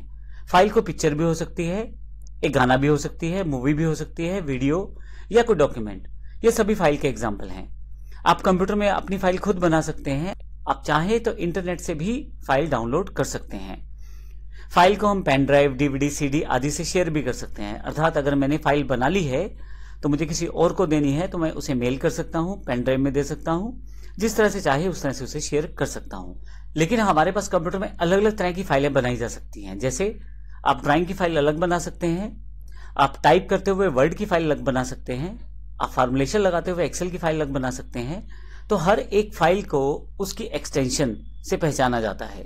एक्सटेंशन अर्थात उस फ़ाइल का प्रकार, वो फ़ाइल किस प्रकार की है। ऑपरेटिंग सिस्टम में हर फ़ाइल को अलग पिक्चर के रूप में भी रिप्रेजेंट किया जाता है, जो कि एक्चुअली उसका आइकॉन रहता है। अगर आप यहाँ राइट हैंड साइड पे देखें तो ये वर्ड की फ़ाइल है तो यहाँ डब्ल्यू दिया गया है छोटा सा, अगर आप यहाँ देखें माउस एरो की तरफ़। इसी तरह से एक्सेल में यहाँ एक छोटा सा एक्स और इसी तरह से पावर पॉइंट में यहाँ पे अलग से इंडिकेटेड है पावर पॉइंट का सिंबल तो इस तरह से एक आइकॉनिक इमेज के द्वारा आप फाइल्स को पहचान सकते हैं कि कौन सी फ़ाइल वर्ड की है, कौन सी एक्सेल की और कौन सी पावर पॉइंट की। हम एक दूसरा तरीका रहता है एक्सटेंशन जिसको हम अभी आने वाले सेशन में पढ़ेंगे। एक्सटेंशन के द्वारा भी फ़ाइल को जान सकते हैं, वो किस प्रकार की फ़ाइल है। एक्सेल की या वर्ड की या पेंट की हर फ़ाइल के साथ अलग से एक्सटेंशन और उसकी पिक्चर जुड़ी रहती है। तो अगर मैं इसको दूसरे तरीके से कहूँ तो जब आप अलग अलग तरह के सॉफ्टवेयर एप्लीकेशंस अपने कंप्यूटर में इंस्टॉल करते हैं, और जब उनके द्वारा बनाई गई फ़ाइल को आप सेव करते हैं तो उसी सॉफ्टवेयर का एक छोटा सा लोगो एम्बेड होकर उस फ़ाइल के साथ जुड़ जाता है। और अगर आप देखें तो इसका अर्थ ये हुआ कि एमएस वर्ड में जो कि एक एप्लीकेशन सॉफ्टवेयर है, उससे टाइपिंग का कार्य किया जा सकता है। जब आप अपना बायोडाटा टाइप करते हैं एमएस वर्ड में और उसे सेव करते हैं तो उस फ़ाइल के साथ ये डब्ल्यू जुड़ जाता है, जो ये बताता है कि ये वर्ड की फ़ाइल है। इसी तरह से कोई भी हिसाब किताब रखने के लिए एक्सेल का प्रयोग किया जा सकता है बेसिक कैलकुलेशंस के लिए। एक्सेल एक अलग सॉफ्टवेयर है, जब इसके द्वारा बनाई गई फ़ाइल को आप सेव करते हैं तो उसके साथ एक्स सिंबल जो है वो अटैच हो जाता है। कुछ इस तरह की पिक्चर उसके साथ जुड़ जाती है। इसका बेनिफिट ये रहता है कि कई तरह की फाइलें आपके पास कंप्यूटर में हैं, आप कैसे अलग अलग पहचानेंगे, इससे आप आसानी से फ़ाइल को पहचान जाएँगे कि ये वर्ड की फ़ाइल है, या ये हमारी एक्सेल की फ़ाइल है, या पावर पॉइंट की फ़ाइल है, या ये कोई ऑडियो है, या वीडियो है। तो इस तरह से ये सारे आइकॉन सॉफ्टवेयर के अनुसार पहले से ही तय रहते हैं। दूसरा जो हमारे पास फ़ाइल फोल्डर मैनेजमेंट में प्रोसेस है, वो है फोल्डर का। फोल्डर बेसिकली एक बॉक्स एक कंटेनर एक बैग की तरह, जिसमें आप फाइलों को रख सकते हैं। इससे आप फाइलों को कैटेगराइज कर सकते हैं अलग अलग बांट के रख सकते हैं, जिससे कि आपकी इन्फॉर्मेशन जो है वो प्रॉपरली एक कंटेनर में अलग से रखी जाए, ताकि आप जब चाहें उस फोल्डर पर जाके उसे दोबारा प्राप्त कर पाएँ। जैसे उदाहरण के लिए मेरे पास पाँच स्टूडेंट्स आते हैं तो पाँचों अपने अपने नाम से फोल्डर बना सकते हैं और सभी लोग अपने अपने फोल्डर में अपनी एक्सरसाइज फाइल्स को रख सकते हैं। और मुझे दिखाया जा सकता है कि ये मेरा फोल्डर है और उसमें मेरी फाइलें पड़ी हैं। तो बड़ी आसानी से मैं चेक कर सकता हूँ। इसके लिए मुझे सारे कंप्यूटर में सारी फाइल्स को एक साथ देखने की ज़रूरत नहीं है, बल्कि उन पर्टिकुलर फोल्डर पर जाकर ही मैं चेक कर सकता हूँ। तो अगर मैं सिंपल भाषा में कहूँ तो फोल्डर एक बैग की तरह है, जैसे आप स्कूल में एक बैग लेके जाते हैं कॉपीज को रखने के लिए। फोल्डर एक बैग की तरह है और फ़ाइल जो है वो उसके अंदर रखी गई कॉपीज हैं, जिसमें आप अपना डेटा रखते हैं। तो स्कूल में अलग अलग स्टूडेंट के पास अलग अलग बैग होता है, ताकि एक स्टूडेंट की किताबें दूसरे स्टूडेंट से ना मिक्स हो जाए। इस तरह से कंप्यूटर में फाइल्स को अलग अलग रखने के लिए फोल्डर को आप प्रयोग कर सकते हैं, ताकि आप अपने फोल्डर में अपनी फाइल्स रख पाए या स्पेसिफिक फ़ाइल किसी स्पेसिफिक फोल्डर में रख पाए। तो इस तरह से हम फ़ाइल और फोल्डर के द्वारा बड़ी आसानी से फाइल्स मैनेजमेंट कर सकते हैं और अपनी फाइलें जो इंपॉर्टेंट है उन्हें अलग से रख के बड़ी आसानी से दोबारा प्राप्त कर सकते हैं। तो अगले सेशन में हम फ़ाइल फोल्डर के साथ साथ अब एक्सटेंशन की बात करेंगे किस तरह की फाइल्स बनती हैं और किस तरह की एक्सटेंशन होती हैं इसके साथ जुड़ी हुई। हेलो फ्रेंड्स पिछले सेशन में हमने देखा था कि फ़ाइल फोल्डर क्या होता है। फोल्डर एक कंटेनर की तरह जिसमें आप फाइल्स को स्टोर करके रख सकते हैं और फ़ाइल एक्चुअल एंटिटी जिसमें आप काम करते हैं। अलग अलग सॉफ्टवेयर की फाइल्स अलग अलग हो सकती हैं। वर्ड की फ़ाइल अलग रहेगी एक्सेल की अलग रहेगी और पावर पॉइंट की अलग रहेगी। हम इसको किस प्रकार से पहचानेंगे? इसके लिए हम ना केवल उसके आइकॉन इमेज से पहचान सकते हैं किसी फ़ाइल को, बल्कि इसके साथ साथ हम उसके एक्सटेंशन से भी पहचान सकते हैं। एक्सटेंशन फ़ाइल नेम के बाद डॉट के पश्चात तीन से चार अक्षरों का ऐसा कॉम्बिनेशन है जिससे आप बड़ी आसानी से फ़ाइल के प्रकार को पहचान सकते हैं।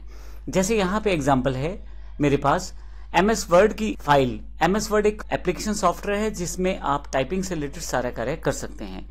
मान लीजिए आपको बायोडाटा टाइप करना है, कोई लेटर टाइप करना है तो टाइपिंग से रिलेटेड कार्य आप आसानी से एमएस वर्ड में कर सकते हैं। अब इसको आप पहचान सकते हैं डब्ल्यू से। अगर आप यहाँ देखें तो डब्ल्यू सिंबल जो है, ये जानकारी दे रहा है, ये वर्ड की फ़ाइल है। दूसरे वाला वर्ड का फ़ाइल नहीं है। तीसरे वाला जो फ़ाइल है, वो भी वर्ड की फ़ाइल का प्रकार नहीं है। पहले वाला क्यों? क्योंकि यहाँ पे डब्ल्यू दिया गया है। तो जब आप किसी सॉफ्टवेयर में काम करते हैं और उसमें फ़ाइल को सेव करते हैं तो वही सॉफ्टवेयर का एक चिन्हित आइकॉन उस फ़ाइल के साथ जुड़ जाता है, ये बताने के लिए कि फ़ाइल किस प्रकार की है। तो पहला तरीका है इस आइकॉन के द्वारा पहचान लेना कि ये फ़ाइल जो है वर्ड की है। इसी तरह से दूसरे जो प्रकार का फ़ाइल है, वो पावर पॉइंट का है और तीसरे प्रकार का फ़ाइल हमारे पास यहाँ पे एक्सेल का दिया गया है। परंतु इसके अलावा हम एक्सटेंशन से भी जानकारी ले सकते हैं कि फ़ाइल किस प्रकार की है। इसके लिए आप फ़ाइल के नाम के पश्चात तीन से चार अक्षरों का जो कॉम्बिनेशन एक्सटेंशन कहलाता है। जैसे वर्ड की अगर फ़ाइल को आप ढूंढना चाहते हैं तो आप वर्ड की फ़ाइल के नाम के बाद डीओसी या डीओसी एक्स दिखाई देगा। अब मैं यहाँ एक एग्जांपल ले लेता हूँ जो यहाँ पे मैंने क्रिएट किया है। फ़ाइल का नाम और फिर एक्सटेंशन तो अगर मेरी फ़ाइल का नाम माई डेटा है तो यहाँ रेड कलर में मैंने माई डेटा नाम से फ़ाइल रखी है। परंतु डॉट के पश्चात उसकी एक्सटेंशन उसका टाइप ऑफ़ फ़ाइल बताना चाह रही है। ये वर्ड की फ़ाइल है तो इसलिए डीओसी एक्स यहाँ पे दिखाई दे रहा है। लेकिन अगर आपके पास एक्सएलएस लिखा रहा है तो एक्सेल की फ़ाइल है टीएक्सटी लिखा रहा है तो टेक्स्ट की फ़ाइल है। और अगर कोई इमेज की फ़ाइल है तो पीएनजी भी लिखा सकता है जेपीजी लिखा सकता है। और ध्यान रखिएगा, दो चीज़ें बड़ी इंपॉर्टेंट है। एक तो वो आइकॉन दिखाई देने वाला फ़ाइल का, और दूसरा टाइप ऑफ़ फ़ाइल यानी कि एक्सटेंशन फ़ाइल की। तो इस तरह से आप फाइलों को अलग अलग तरह से पहचान सकते हैं।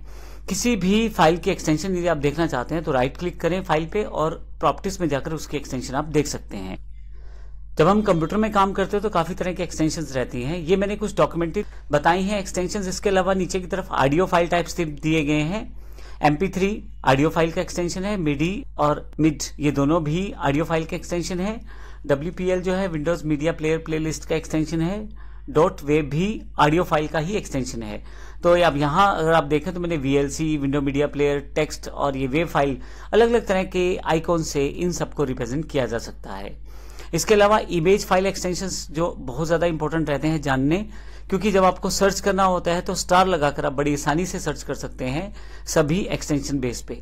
मैं आपको फिर से बता दूँ, इन सभी कॉन्सेप्ट के लिए आप हमारी विंडोज़ 10 की सीरीज़ देखेंगे तो प्रैक्टिकल रूप में हर एक टॉपिक को उसमें कवर किया गया है, जो कि इस पूरे कोर्स के साथ अवेलेबल है। आप नीचे दी गई वेबसाइट से डाउनलोड कर सकते हैं, या जो भी आपके पास लिंक है या जिस टीचर से आप कनेक्टेड हैं, उन टीचर से आप ये प्राप्त कर सकते हैं। तो यहाँ पे इमेज फ़ाइल एक्सटेंशन जैसे जेपीजी या जेपीईजी पीएनजी बीएमपी जीआईएफ और आइकॉन फ़ाइल के लिए आईसीओ तो ये कुछ इंपॉर्टेंट इसके अलावा एग्जीक्यूटेबल फ़ाइल एक्सटेंशन भी हैं जिसके द्वारा आप कुछ प्रोग्राम्स को रन कर सकते हैं। जैसे एमएस डॉस के लिए डॉट कॉम फ़ाइल रहती है एंड्रॉइड पैकेज के लिए डॉट एपीके और बाइनरी फ़ाइल के लिए डॉट बिन भी रहता है। इसके अलावा आप सेटअप फाइल्स जो रहती हैं डॉट ई के नाम से अवेलेबल रहती हैं। तो इस तरह से फ़ाइल फोल्डर मैनेजमेंट में फ़ाइल के एक्सटेंशन से हम फ़ाइल का प्रकार जान सकते हैं और अलग अलग प्रकार से हम फाइल्स को बड़ी आसानी से ढूंढ भी सकते हैं। आप जब कोई बल्क ऑपरेशन करते हैं फाइल्स पे, मान लीजिए सबको सबको इकट्ठा ढूंढना चाहते हैं या डिलीट करना चाहते हैं, तब फ़ाइल की एक्सटेंशन के हिसाब से ढूंढ के आप बड़ी आसानी से उन सबको डिलीट कर सकते हैं या हटा सकते हैं या कॉपी कर सकते हैं। ये बड़ा आसान हो जाता है एक्सटेंशन के साथ काम करने के द्वारा। तो इस सेक्शन में हमने फ़ाइल फोल्डर के साथ साथ फ़ाइल एक्सटेंशंस और उनके साथ दिखाई देने वाले आइकॉन्स की जानकारी ली। अगले सेशन से हम ऑपरेटिंग सिस्टम के डिफरेंट तरह के एग्ज़ाम्पल देखेंगे उनके फीचर्स को देखेंगे जैसे विंडोज़ 10 के फीचर्स हैं या बाकी अन्य ऑपरेटिंग सिस्टम है उनकी जानकारी लेंगे। हेलो फ्रेंड्स इस सेशन में हम यूज़र इंटरफेस की बात करेंगे। डेस्कटॉप और लैपटॉप में काम करते समय हमें दो तरह के इंटरफेस मुख्यतः मिलते हैं। और इसको मैं इस तरह से कह दूँ, कंप्यूटर में दो तरह के यूज़र इंटरफेस रहते हैं। इंटरफेस होता क्या है? कंप्यूटर की वो स्क्रीन जिससे हम काम करेंगे, हमारे सामने जो स्क्रीन दिखाई देगी, वो असल में इंटरफेस कहलाएगी। तो हमारे सामने मुख्यतः दो तरह के इंटरफेसेस अवेलेबल रहते हैं। पहला है C U I character user interface ऐसा इंटरफेस ऐसी स्क्रीन जिसमें हम कमांड्स देकर अपना कार्य कंप्यूटर से करवाते हैं। अपनी इंस्ट्रक्शन जो है, हम टाइप करके कंप्यूटर को देते हैं। यहाँ यदि आप पहला पिक्चर देखें तो एक कमांड प्रॉम्प्ट का पिक्चर है विंडोज़ में। यह विंडोज़ में एक करेक्टर यूज़र इंटरफेस माना जाता है डोज एमएस डोज मैं यहाँ पे एमएस डोज की बात कर रहा हूँ। एमएस डोज एक करेक्टर यूज़र इंटरफेस है, यानी कि सीयूआई है। इसमें मैं कमांड्स दे के कोई भी काम कंप्यूटर से ले सकता हूँ। दूसरा इंटरफेस जो है वो ग्राफिकल यूज़र इंटरफेस है, जिसमें हमारे पास आइकॉन्स या फ़ोटोज़ या पिक्चर्स या शॉर्टकट्स या स्क्रीन या डेस्कटॉप के रूप में हमारे सामने काफ़ी सारे ऑप्शंस रहते हैं। मुझे कोई भी काम लेने के लिए इनको प्रेस करना है क्लिक करना है, या होल्ड करना है। और यदि आप इसको इस तरह से समझे कि ग्राफिकल यूज़र इंटरफेस जो विंडोज़ है, वो हमारा एक ग्राफिकल यूज़र इंटरफेस है, जबकि डोज जो है, अगर आपने डोज पे काम किया हुआ है तो डोज एक सी यू आई यानी कि करेक्टर यूज़र इंटरफेस है। मैं फिर से बताता हूँ करेक्टर यूज़र इंटरफेस इसमें इनपुट यूज़र द्वारा दिए जाने वाले इंस्ट्रक्शन कमांड या करेक्टर को कीबोर्ड द्वारा टाइप करके हमें देना है। डोज या सी यू आई एग्जाम्पल्स हैं जो कमांड्स और इंस्ट्रक्शंस को हम लोग टाइप करके कंप्यूटर को देते हैं। दूसरा इंटरफेस जो जी यू आई है ग्राफिकल यूज़र इंटरफेस है, इसमें यूज़र को कंप्यूटर डिवाइसेस से, जैसे विजुअल इंडिकेटर ग्राफिक आइकॉन को शो करने का काम किया जाता है। अर्थात एक तरह से मैं ये कह दूँ स्क्रीन पे आपके पास आइकॉन्स अवेलेबल रहेंगे स्क्रीन पे स्टार्ट बार अवेलेबल रहेगी। स्टार्ट बार की जगह कोई और बार भी हो सकती है, ये एग्ज़ाम्पल दे रहा हूँ मैं विंडोज़ का। इसके अलावा डेस्कटॉप स्क्रीन अवेलेबल रहेगी डेट टाइम आपके सामने इंडिकेटेड है, यानी कि आप माउस से वो सब चीज़ें देख के क्लिक कर सकते हैं। आइए इसको प्रैक्टिकल रूप में मैं आपको दिखा देता हूँ। यदि आप विंडोज़ 10 का प्रयोग कर रहे हैं तो यहाँ पे स्टार्ट बार पे आ जाएँ और यहाँ पे आप कमांड टाइप करें तो आपके पास कमांड प्रॉम्प्ट आ जाएगा। अगर मैं इसे क्लिक कर दूँ तो मेरे सामने जो इंटरफेस खुलेगा एग्जैक्टली ये सीयूआई इंटरफेस है करेक्टर यूज़र इंटरफेस ये मैं फुल स्क्रीन कर लेता हूँ इसे। यहाँ पे एक्चुअली कमांड देकर मुझे कोई भी काम लेना है कंप्यूटर से तो ये कमांड्स मैं कीबोर्ड के ज़रिए इसे दे सकता हूँ। जैसे एग्जांपल मैं यहाँ सी डी डॉट डॉट करता हूँ तो एक स्टेप बैक डायरेक्टरी आ जाएगी। तो इस तरह से मैं अगर C D I S S T करता हूँ, असल में डायरेक्टरी का मतलब यहाँ फोल्डर से है तो ये करता हूँ तो फिर से मैं एक अलग फोल्डर में आ जाता हूँ। तो मुझे फोल्डर में जाने के लिए कमांड्स का प्रयोग करना पड़ा है सी डी डॉट डॉट उस फोल्डर से बाहर आने के लिए और सी डी फिर से उस फोल्डर में जाने के लिए। सी डी का फुल फॉर्म होता है चेंज डायरेक्टरी तो ये एक सी यू आई यानी कि कमांड यूज़र इंटरफेस का एग्ज़ाम्पल है। ये एम एस डोस है जो मैंने प्रयोग किया है एग्ज़ाम्पल के लिए। इसके अलावा यदि आप, मैं इसे हटा देता हूँ स्क्रीन से मिनिमाइज करके, मेरे पास यहाँ पे डेस्कटॉप की स्क्रीन अवेलेबल है। ये जो है मेरे पास जी यू आई है, यानी कि ग्राफिकल यूज़र इंटरफेस इसमें हर चीज़ अगर आप देखें तो आइकॉन्स में अवेलेबल है। माउस लेके जाएँगे तो पता रहेगा कि आपके पास कौन सा आइकॉन यहाँ पे है। नीचे की तरफ़ यहाँ पे स्टार्ट बार दी गई है डेट टाइम दिया गया है, पीछे बैकग्राउंड में एक वॉलपेपर सेट है। तो ये एक ग्राफिकल यूज़र इंटरफेस का एग्ज़ाम्पल है, जिसमें मैं माउस के साथ देख कर क्लिक करके अपना काम ले सकता हूँ। जबकि सीयूआई में आपके पास कीबोर्ड ही अवेलेबल रहता है कमांड देने के लिए। तो दोनों में ये डिफरेंस है। तो इस तरह से बात की जाए तो कंप्यूटर से जब कोई कार्य हमें लेना है तो दो तरह के इंटरफेसेस मुख्यतः रहते हैं सी यू आई और जी यू आई मैं आपको ये भी बता सी यू आई यानी कि करेक्टर यूज़र इंटरफेस इस समय ज़्यादा प्रचलन में नहीं है। बहुत कम लोगों द्वारा या बहुत कम डेवलपर्स द्वारा ही इनका प्रयोग किया जाता है। सभी तरफ़ यदि आप देखें तो ग्राफिकल यूज़र इंटरफेस का ही प्रयोग किया जाता है। अब अगले सेशन में हम फिर से देखेंगे मुख्य मुख्य ऑपरेटिंग सिस्टम कौन से हैं और कौन कौन सी कंपनी ने इन्हें बनाया है। धन्यवाद। फ्रेंड्स इस सेशन में हम बात करने वाले हैं ऑपरेटिंग सिस्टम जो कि प्रयोग किए जाते हैं मुख्यतः डेस्कटॉप और लैपटॉप में। जब मैं डेस्कटॉप और लैपटॉप की बात करता हूँ तो इसका मतलब मैं कंप्यूटर की बात कर रहा हूँ। डेस्कटॉप और लैपटॉप में यूज़ किए जाने वाले ऑपरेटिंग सिस्टम मुख्यतः सिंगल यूज़र ऑपरेटिंग सिस्टम होते हैं यानी कि एक व्यक्ति इन सिस्टम पे बैठ के बड़ी आसानी से काम कर सकता है। डेस्कटॉप या लैपटॉप में सबसे ज़्यादा यूज़ किया जाने वाला ऑपरेटिंग सिस्टम जो रहता है, वो माइक्रोसॉफ्ट कंपनी का विंडोज़ ऑपरेटिंग सिस्टम है। आप यदि देखें तो घर में या ऑफ़िस में सबसे बेहतर जो टूल्स और सेगमेंट प्रोवाइड किए जाते हैं विंडोज़ ऑपरेटिंग सिस्टम के द्वारा, इस कारण ये बहुत ज़्यादा पॉपुलर है। चाहे मुझे पर्सनल यूज़ करना है या चाहे मुझे ऑफ़िस वर्क के लिए यूज़ करना है विंडोज़ ऑपरेटिंग सिस्टम के साथ ही मैं अपना कार्य कर पाता हूँ। दूसरे नंबर पर यूज़ किया जाने वाला ऑपरेटिंग सिस्टम जो है वो एप्पल कंपनी का मैक ऑपरेटिंग सिस्टम है। इसका यूज़ एप्पल कंपनी के डेस्कटॉप और लैपटॉप में किया जाता है। मैं आपको ये भी बता दूँ कि एप्पल कंपनी का हार्डवेयर सॉफ्टवेयर थोड़ा अलग है विंडोज़ से। तो विंडोज़ यूज़र जो है वो अलग तरह से काम कर पाते हैं और एप्पल वाले अलग तरह से काम कर पाते हैं। हालाँकि कि अगर हम बेसिक्स की बात करें तो कुछ बेसिक चीज़ें ग्राफिकल यूज़र इंटरफेस में कॉमन रहती हैं।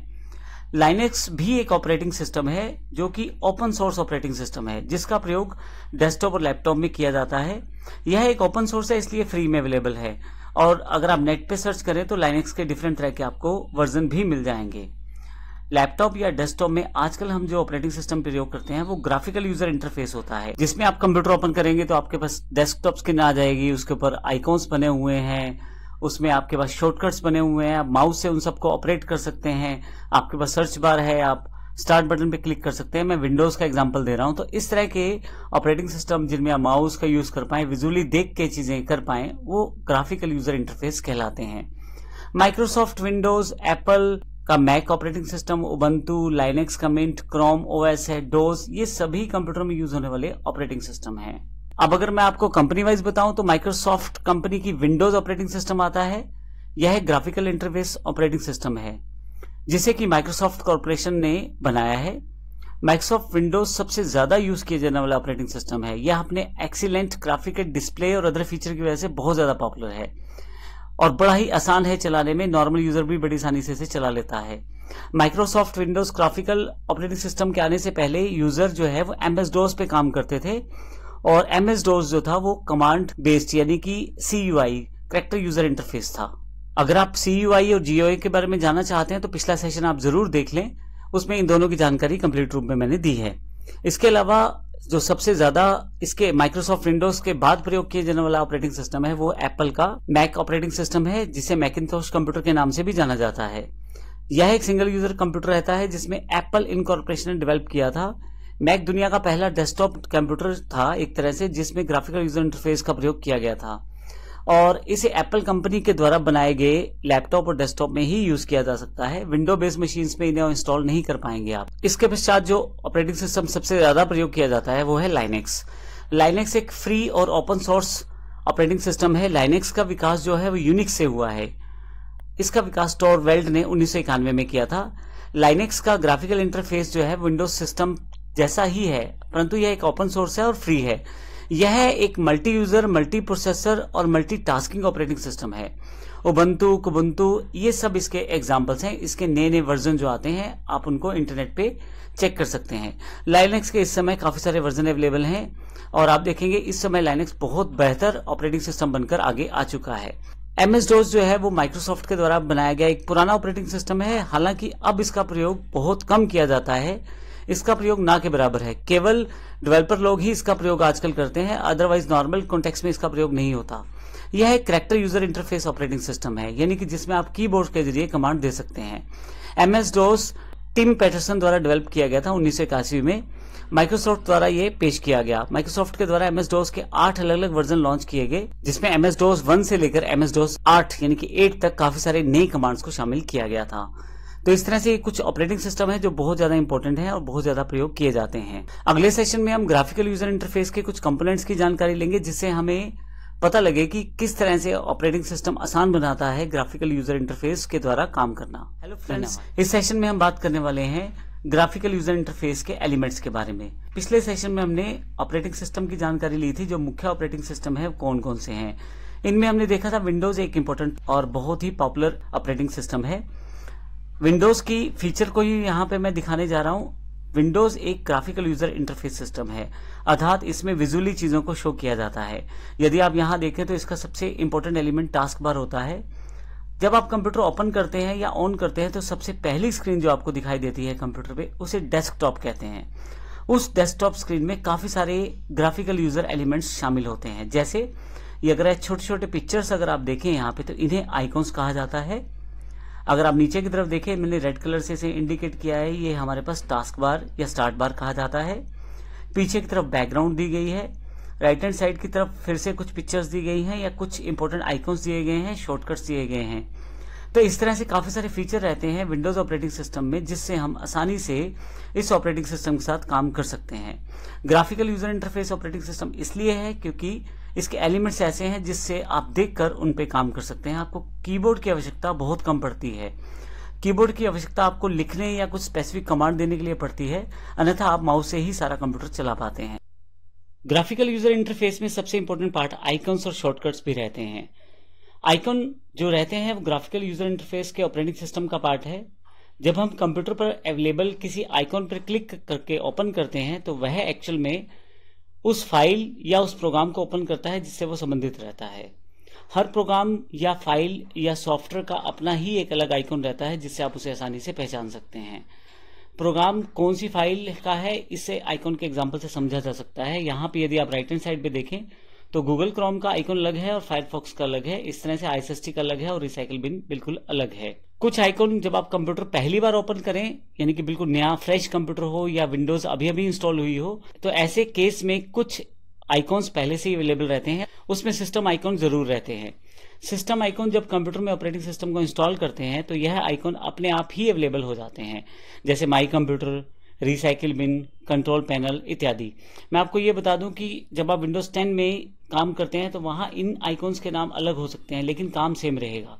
जैसे विंडोज़ 7 में माई कंप्यूटर रहता है, लेकिन विंडोज़ 10 में दिस पीसी या शो माई पीसी के नाम से आपको अवेलेबल रहता है। और रिसाइकिल बिन सेम रहता है दोनों में कंट्रोल पैनल जो रहता है वो थोड़ा सा डिफरेंट इंटरफेस के साथ अवेलेबल रहता है विंडोज़ 10 में। तो जब भी आप ऑपरेटिंग सिस्टम चेंज करते हैं या चेंज होता है तो वहाँ पे इन आइकॉन के लुक एंड फील में चेंज हो सकता है। कुछ फंक्शनैलिटी में चेंज हो सकता है, लेकिन मोटे तौर पे काम वो सेम ही करते हैं। इसके अलावा ड्राइव आइकॉन्स रहते हैं। जैसा कि हमने कंप्यूटर हार्डवेयर में पढ़ा था कि हमारे पास हार्ड डिस्क रहती है। एक हार्ड डिस्क में हम पार्टीशन कर सकते हैं कि हम कितनी मेमोरी में क्या क्या सामान रखना चाहें। जब आप विंडोज़ को इंस्टॉल करते हैं अपने कंप्यूटर पे तो वह डिफ़ॉल्ट रूप से सी ड्राइव पे इंस्टॉल होती है। आप चाहें तो इसे डी या ई पे इंस्टॉल कर सकते हैं, लेकिन डिफ़ॉल्ट इंस्टॉलेशन पाथ जो विंडोज़ का रहता है, वो सी ड्राइव रहता है। तो इस तरह से आप हार्ड डिस्क के कुछ हिस्से बना सकते हैं जो पहले से ही तय कर सकते हैं, जैसे सी डी ई यहाँ पे मैंने तीन हिस्से यहाँ पे दिखाए हैं। सी ये पार्ट है, डी ये बीच वाला और ई ये वाला। इनमें मैं पहले से डिसाइड कर सकता हूँ कि कितने जीबी मुझे इनका साइज़ चाहिए। जैसे पहले सी ड्राइव का जो साइज़ है वो लगभग इकहत्तर जीबी है, सत्तर पॉइंट नौ। दूसरी डी ड्राइव का जो साइज़ है वो एक सौ पचानवे जीबी है और तीसरी का जो साइज़ है वो एक सौ सतानवे जीबी है। यहाँ पे ये जानकारी भी दी गई है ड्राइव्स के साथ कि कितना जीबी इस वक्त फ्री है। 36.1 जीबी, ये लगभग 36 जीबी फ्री है 70 जीबी में से। इस तरह से यहाँ 10 जीबी फ्री है लगभग, एक सौ पचानवे जीबी में से, और इसमें साढ़े सात जीबी फ्री है, एक सौ सतानवे जीबी में से। तो ये असल में जो ड्राइव्स रहती हैं, ये हार्ड डिस्क का पार्ट रहती हैं, और आप इन्हें चेक कर सकते हैं। कुछ ड्राइव्स एक्सटर्नल मेमोरी का पार्ट भी रहती हैं, जैसे यहाँ पे जी दिखाया गया है। ये कोई डीवीडी अगर हम डालें तो उसको डिटेक्ट कर लेगा, लेकिन ये जो जी ड्राइव है, असल में हमारी डीवीडी राइटर ड्राइव है। यानी कि कुछ एक्सटर्नल डिवाइस अगर आप साथ में लगाएँगे तो वो हमारे पास फिर से एक ड्राइव के रूप में आ जाएँगी। यहीं पे अगर मैं पेन ड्राइव लगा दूँ तो उसके पश्चात एक अल्फ़ाबेट उसे साइन कर दिया जाएगा, शायद एफ़ तो एफ़ ड्राइव जो है, हो सकता है वो हमारी पेन ड्राइव की ड्राइव हो जाए। तो इस तरह से ड्राइव आइकॉन से आप पहचान सकते हैं कि आपकी ड्राइव कौन सी है, जिसमें आप सामान रखना चाहते हैं, और उसका साइज़ क्या है, उसमें कितना स्पेस बचा हुआ है। इससे आपका काम करना बहुत आसान हो जाता है। इसके अलावा प्रोग्राम आइकॉन्स अवेलेबल रहते हैं। यह आइकॉन किसी प्रोग्राम या एप्लीकेशन को शो करते हैं। आप उस पर्टिकुलर प्रोग्राम के आइकॉन पे क्लिक करके उस पर्टिकुलर प्रोग्राम को खोल सकते हैं। इन आइकॉन पर उसका लोगो यानी कि सॉफ्टवेयर का लोगो या फ़ाइल का नाम भी शो हो रहा होता है। जैसे एग्ज़ाम्पल यहाँ पे कोलड्रा जो है, उसका एक शॉर्टकट है और जब आप इसे क्लिक करेंगे तो यह ओपन हो जाएगा। इस तरह से एनी डेस्क है, नाम भी है और आइकॉन भी है। गूगल क्रोम में नाम भी है और आइकॉन भी है। तो इस तरह से आप आसानी से इस प्रोग्राम को पहचान सकते हैं, यह प्रोग्राम क्या ओपन करेगा या किस एप्लीकेशन सॉफ्टवेयर से रिलेटेड है। इसके अलावा कुछ हार्डवेयर आइकॉन्स अवेलेबल रहते हैं हमारे पास। जैसे आप कंट्रोल पैनल में अगर आप चले जाएँ विंडोज़ 10 या विंडोज़ 7 में तो आपके पास काफ़ी सारे आइकॉन दिखाई देंगे हार्डवेयर में जाकर। हार्डवेयर और सेटिंग्स में अगर आप देखें ध्यान से तो डिवाइस प्रिंटर्स माउस कीबोर्ड तो आपकी जो डिवाइसेस जुड़ी हुई हैं आपके कंप्यूटर या लैपटॉप के साथ उनकी इंपॉर्टेंट इंफॉर्मेशन वहाँ पे अवेलेबल हो जाती है। जैसे, अगर आपके कंप्यूटर में कोई प्रिंटर इंस्टॉल है तो डिवाइस एंड प्रिंटर से उसे देखा जा सकता है। एक से अधिक प्रिंटर इंस्टॉल होने पे सारे प्रिंटर्स की जानकारी वहाँ मिल जाएगी। और यहाँ से आप सेटिंग भी कर सकते हैं किसी पर्टिकुलर प्रिंटर के बारे में। जैसे, आपके पास चार प्रिंटर हैं, आप चाहते हैं कि एप्सन प्रिंटर पर ही प्रिंट दिया जाए तो आप उसे डिफ़ॉल्ट प्रिंटर सेट कर सकते हैं। इस तरह की छोटी और बड़ी इंपॉर्टेंट इन्फॉर्मेशन सारी की सारी आपके पास विंडोज़ 10 की कंप्लीट ट्रेनिंग में उपलब्ध है। इसके पश्चात आप उस ट्रेनिंग को देख सकते हैं। इसके पश्चात फोल्डर आइकॉन्स हमारे पास अवेलेबल होते हैं। येलो कलर के जो आइकॉन्स आपके पास अवेलेबल रहते हैं, वो मुख्यतः फोल्डर आइकॉन ही रहते हैं। फोल्डर या डायरेक्टरी एक ही बात है। जब हम लोग कमांड यूज़र इंटरफेस में कार्य किया करते थे तो इसे डायरेक्टरी कहा जाता था, लेकिन आज के समय में इसे फोल्डर कहा जाता है। अब मोबाइल में जो यूज़ करते हैं, वो फोल्डर ही है। फोल्डर आइकॉन यूज़र द्वारा क्रिएट किए जाते हैं, यानी कि आप अपनी मर्ज़ी से फोल्डर बना सकते हैं। कुछ फोल्डर कंप्यूटर द्वारा पहले से बनाए जाते हैं, अपनी सारे जो फाइल्स हैं उनको मैनेज करने के लिए। पर आप अपनी मर्ज़ी से कोई भी फोल्डर बना सकते हैं, बशर्ते उस नाम से पहले कोई फोल्डर ना हो। और एक फोल्डर के अंदर आप दूसरा फोल्डर, दूसरे फोल्डर के अंदर तीसरा फोल्डर, या एक फोल्डर के अंदर फाइलें, इस तरह के डेटा को आप आसानी से ऑर्गेनाइज कर सकते हैं। तो फोल्डर एक बैग की तरह है, एक कंटेनर की तरह है, जिसमें आप कुछ भी संभाल के रख सकते हैं। और फाइल्स वो कॉपीज की तरह है जिसमें आप काम करते हैं। तो एप्लीकेशन सॉफ्टवेयर जैसे Word Excel PowerPoint Tally इत्यादि, ये फाइल्स क्रिएट कर देंगे आपके कंप्यूटर में। अब आपको इन्हें संभाल के रखने के लिए फोल्डर का प्रयोग कर सकते हैं। आइकॉन और शॉर्टकट आइकॉन में कोई खास फ़र्क नहीं है, सिर्फ़ ये कि एक छोटा सा तीर का निशान उसके लेफ़्ट साइड पे नीचे की तरफ़ दिखाई देगा, जिससे आप पहचान सकते हैं कि ये शॉर्टकट आइकॉन है।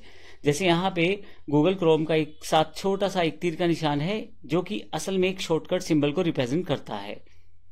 आप अगर इस शॉर्टकट पे क्लिक करेंगे तो गूगल क्रोम ओपन हो जाएगा। अगर मैं इस शॉर्टकट को डिलीट कर दूँ तो ओरिजिनल सॉफ्टवेयर वही है। ओरिजिनल सॉफ्टवेयर डिलीट नहीं हुआ, सिर्फ़ ये शॉर्टकट आइकॉन ही डिलीट हुआ है। तो ये ज़रूर ध्यान रखिएगा शॉर्टकट आइकॉन को डिलीट करते वक्त आप फ़ाइल को डिलीट नहीं करते, आप सॉफ्टवेयर को डिलीट नहीं करते, सिर्फ़ वो आइकॉन ही डिलीट होता है। इसके अलावा मैं आपको ये भी बता दूँ कि किसी भी ऑपरेटिंग सिस्टम में आप किसी भी प्रोग्राम को रन करने के लिए बहुत सारे तरीके हैं। ग्राफिकल यूज़र इंटरफेस में आप माउस से डबल क्लिक करके किसी भी प्रोग्राम को ओपन कर सकते हैं या खोल सकते हैं या रन कर सकते हैं। इसके अलावा यदि आप स्टार्ट बटन पे क्लिक करें विंडोज़ की तो वहाँ से आपके पास एक स्टार्ट बार लॉन्च हो जाएगी, जहाँ पे वे सभी सॉफ्टवेयर्स वे सभी एप्लीकेशन वे सभी ऐप आप डबल क्लिक करके ओपन कर सकते हैं और उन्हें चला सकते हैं। तो इस तरह से आप एप्लीकेशन को आसानी से रन कर सकते हैं। मैं आपको ये भी बता दूँ कि इस सीरीज़ में हम विंडोज़ 10 की कंप्लीट सीरीज़ आपको दे रहे हैं ताकि आप आसानी से कंप्लीट और हर एक कमांड को सीख पाएँ। तो आप विंडोज़ 10 के सभी चैप्टर बारी बारी से देखें और उनमें हर चीज़ को आप समझ पाएँगे। प्रैक्टिकली किस तरह से हम इन सभी चीज़ों को प्रयोग करते हैं। फ्रेंड्स इस सेशन में हम बात करने वाले हैं ऑपरेटिंग सिस्टम मोबाइल और फ़ोन के लिए कौन कौन से इस्तेमाल किए जाते हैं। आपके पास नई तरह की डिवाइसेस जो आज की डेट में अवेलेबल है कॉम्पैक्ट डिवाइसेस में मोबाइल है, आपके पास टेबलेट्स हैं, इसके अलावा उनमें अलग अलग तरह के हार्डवेयर और ऑपरेटिंग सिस्टम है। जैसा जैसा आपके पास हार्डवेयर है, उसकी कंपेटेबिलिटी के अकॉर्डिंग ही आपके पास ऑपरेटिंग सिस्टम भी अवेलेबल है। काफ़ी सारे ऑपरेटिंग सिस्टम कंपनीज़ पे भी डिपेंड करते हैं। अगर आप किसी एंड्रॉयड मोबाइल को लेते हैं, जो एंड्रॉयड सॉफ्टवेयर और हार्डवेयर को सपोर्ट करता है तो उसमें आपके पास गूगल की सभी एप्स चल जाती हैं। और इसी तरह से यदि आप एप्पल के हार्डवेयर बेस्ड मोबाइल को लेते हैं तो उसमें एप्पल बेस्ड सभी एप्लीकेशन चल जाती हैं। थर्ड पार्टी आपके पास काफ़ी सारी कंपनीज़ हैं जो इस तरह के एप्स का प्रयोग करती हैं, जैसे नोकिया है। ये कंपनी नोकिया खुद अपना एक ऑपरेटिंग सिस्टम बनाती है और कुछ फ़ोन ऐसे भी हैं जो एंड्रॉइड बेस्ड भी हैं। कुछ फ़ोन इसके नोकिया के विंडो बेस्ड भी हैं। तो मैं इस तरह से कह दूँ कि मोबाइल ऑपरेटिंग सिस्टम में काफ़ी सारी कंपनियाँ हैं, जैसे गूगल जिसका ऑपरेटिंग सिस्टम एंड्रॉइड है एप्पल जिसका ऑपरेटिंग सिस्टम आईओएस है। इस तरह से सैमसंग इलेक्ट्रॉनिक्स है बाडा के नाम से एक ऑपरेटिंग सिस्टम लॉन्च किया है उसने। नोकिया और इंटेल ने मिलकर मैगो के नाम से ऑपरेटिंग सिस्टम लॉन्च किया है। पहले इनका एक ऑपरेटिंग सिस्टम सिम्बोनियन के नाम से आता था, अब वो थोड़ा सा आउटडेटेड है। विंडोज़ यानी कि माइक्रोसॉफ्ट ने एक विंडोज़ के नाम से ऑपरेटिंग सिस्टम है, जिसको आप यूज़ कर सकते हैं अपने मोबाइल पे। और इस तरह के ऑपरेटिंग सिस्टम जो है, बड़े पॉपुलर हैं। डिपेंड करता है आपको किस तरह का रिक्वायरमेंट है। लगभग सभी तरह के रिक्वायरमेंट चाहे वो पर्सनल हो या प्रोफेशनल हो, इस तरह के ऑपरेटिंग सिस्टम पूरा करते हैं। मैं आपको ये बता दूँ दुनिया में सबसे ज़्यादा चलने वाला जो ऑपरेटिंग सिस्टम है, वो एंड्रॉयड है, क्योंकि गूगल ने ये एंड्रॉइड इस तरह से प्रोसेस बना रखा है कि काफ़ी सारे डेवलपर्स से जुड़कर अपनी एप्स डालते रहते हैं और दुनिया में हज़ारों एप्स लाखों एप्स हर रोज पब्लिश होती हैं। और अगर आप देखें तो किसी भी तरह की रिक्वायरमेंट हो, किसी भी ऐप की, आपको उसका एक फ्री और पेड दोनों तरह के वर्जन अवेलेबल हो जाएँगे एंड्रॉइड ऑपरेटिंग सिस्टम पे। तो इस तरह से हम कुछ मुख्य ऑपरेटिंग सिस्टम की जानकारी ली हमने, जो मोबाइल फ़ोन और टैबलेट दोनों पे चलते हैं। टैबलेट एक थोड़ा सा बड़ा डिवाइस है, सात से आठ इंच, बारह इंच, पंद्रह इंच, जो डिफरेंट साइजेस में अवेलेबल रहता है। ये जो टैबलेट रहता है, ये एंड्रॉयड एप्लीकेशंस के साथ चल सकता है आईओएस के साथ चल सकता है। फिर से इसको किस कंपनी ने मैन्युफैक्चर किया है, ये इंपॉर्टेंट हो जाता है। अगर यह एंड्रॉयड बेस्ड है तो इस पे गूगल ऐप चल जाएँगे और अगर यह आईओएस बेस्ड है तो इस पे एप्पल बेस्ड ऐप सारी चल जाएँगी। मैं आपको ये बता दूँ ऑपरेटिंग सिस्टम की हमारी सीरीज़ यहाँ पे खत्म होती है थियोटिकली प्रैक्टिकली आप हर एक टॉपिक और कंसेप्ट को हमारे इसी कोर्स में शामिल विंडोज़ 10 की कंप्लीट ट्रेनिंग को अवश्य देख लें। और अगर आप पहले से विंडोज़ टेन की ट्रेनिंग ले चुके हैं, या पहले आप देख चुके हैं, या पहले से आपको आता है तो फिर आप उस ट्रेनिंग को स्किप कर सकते हैं।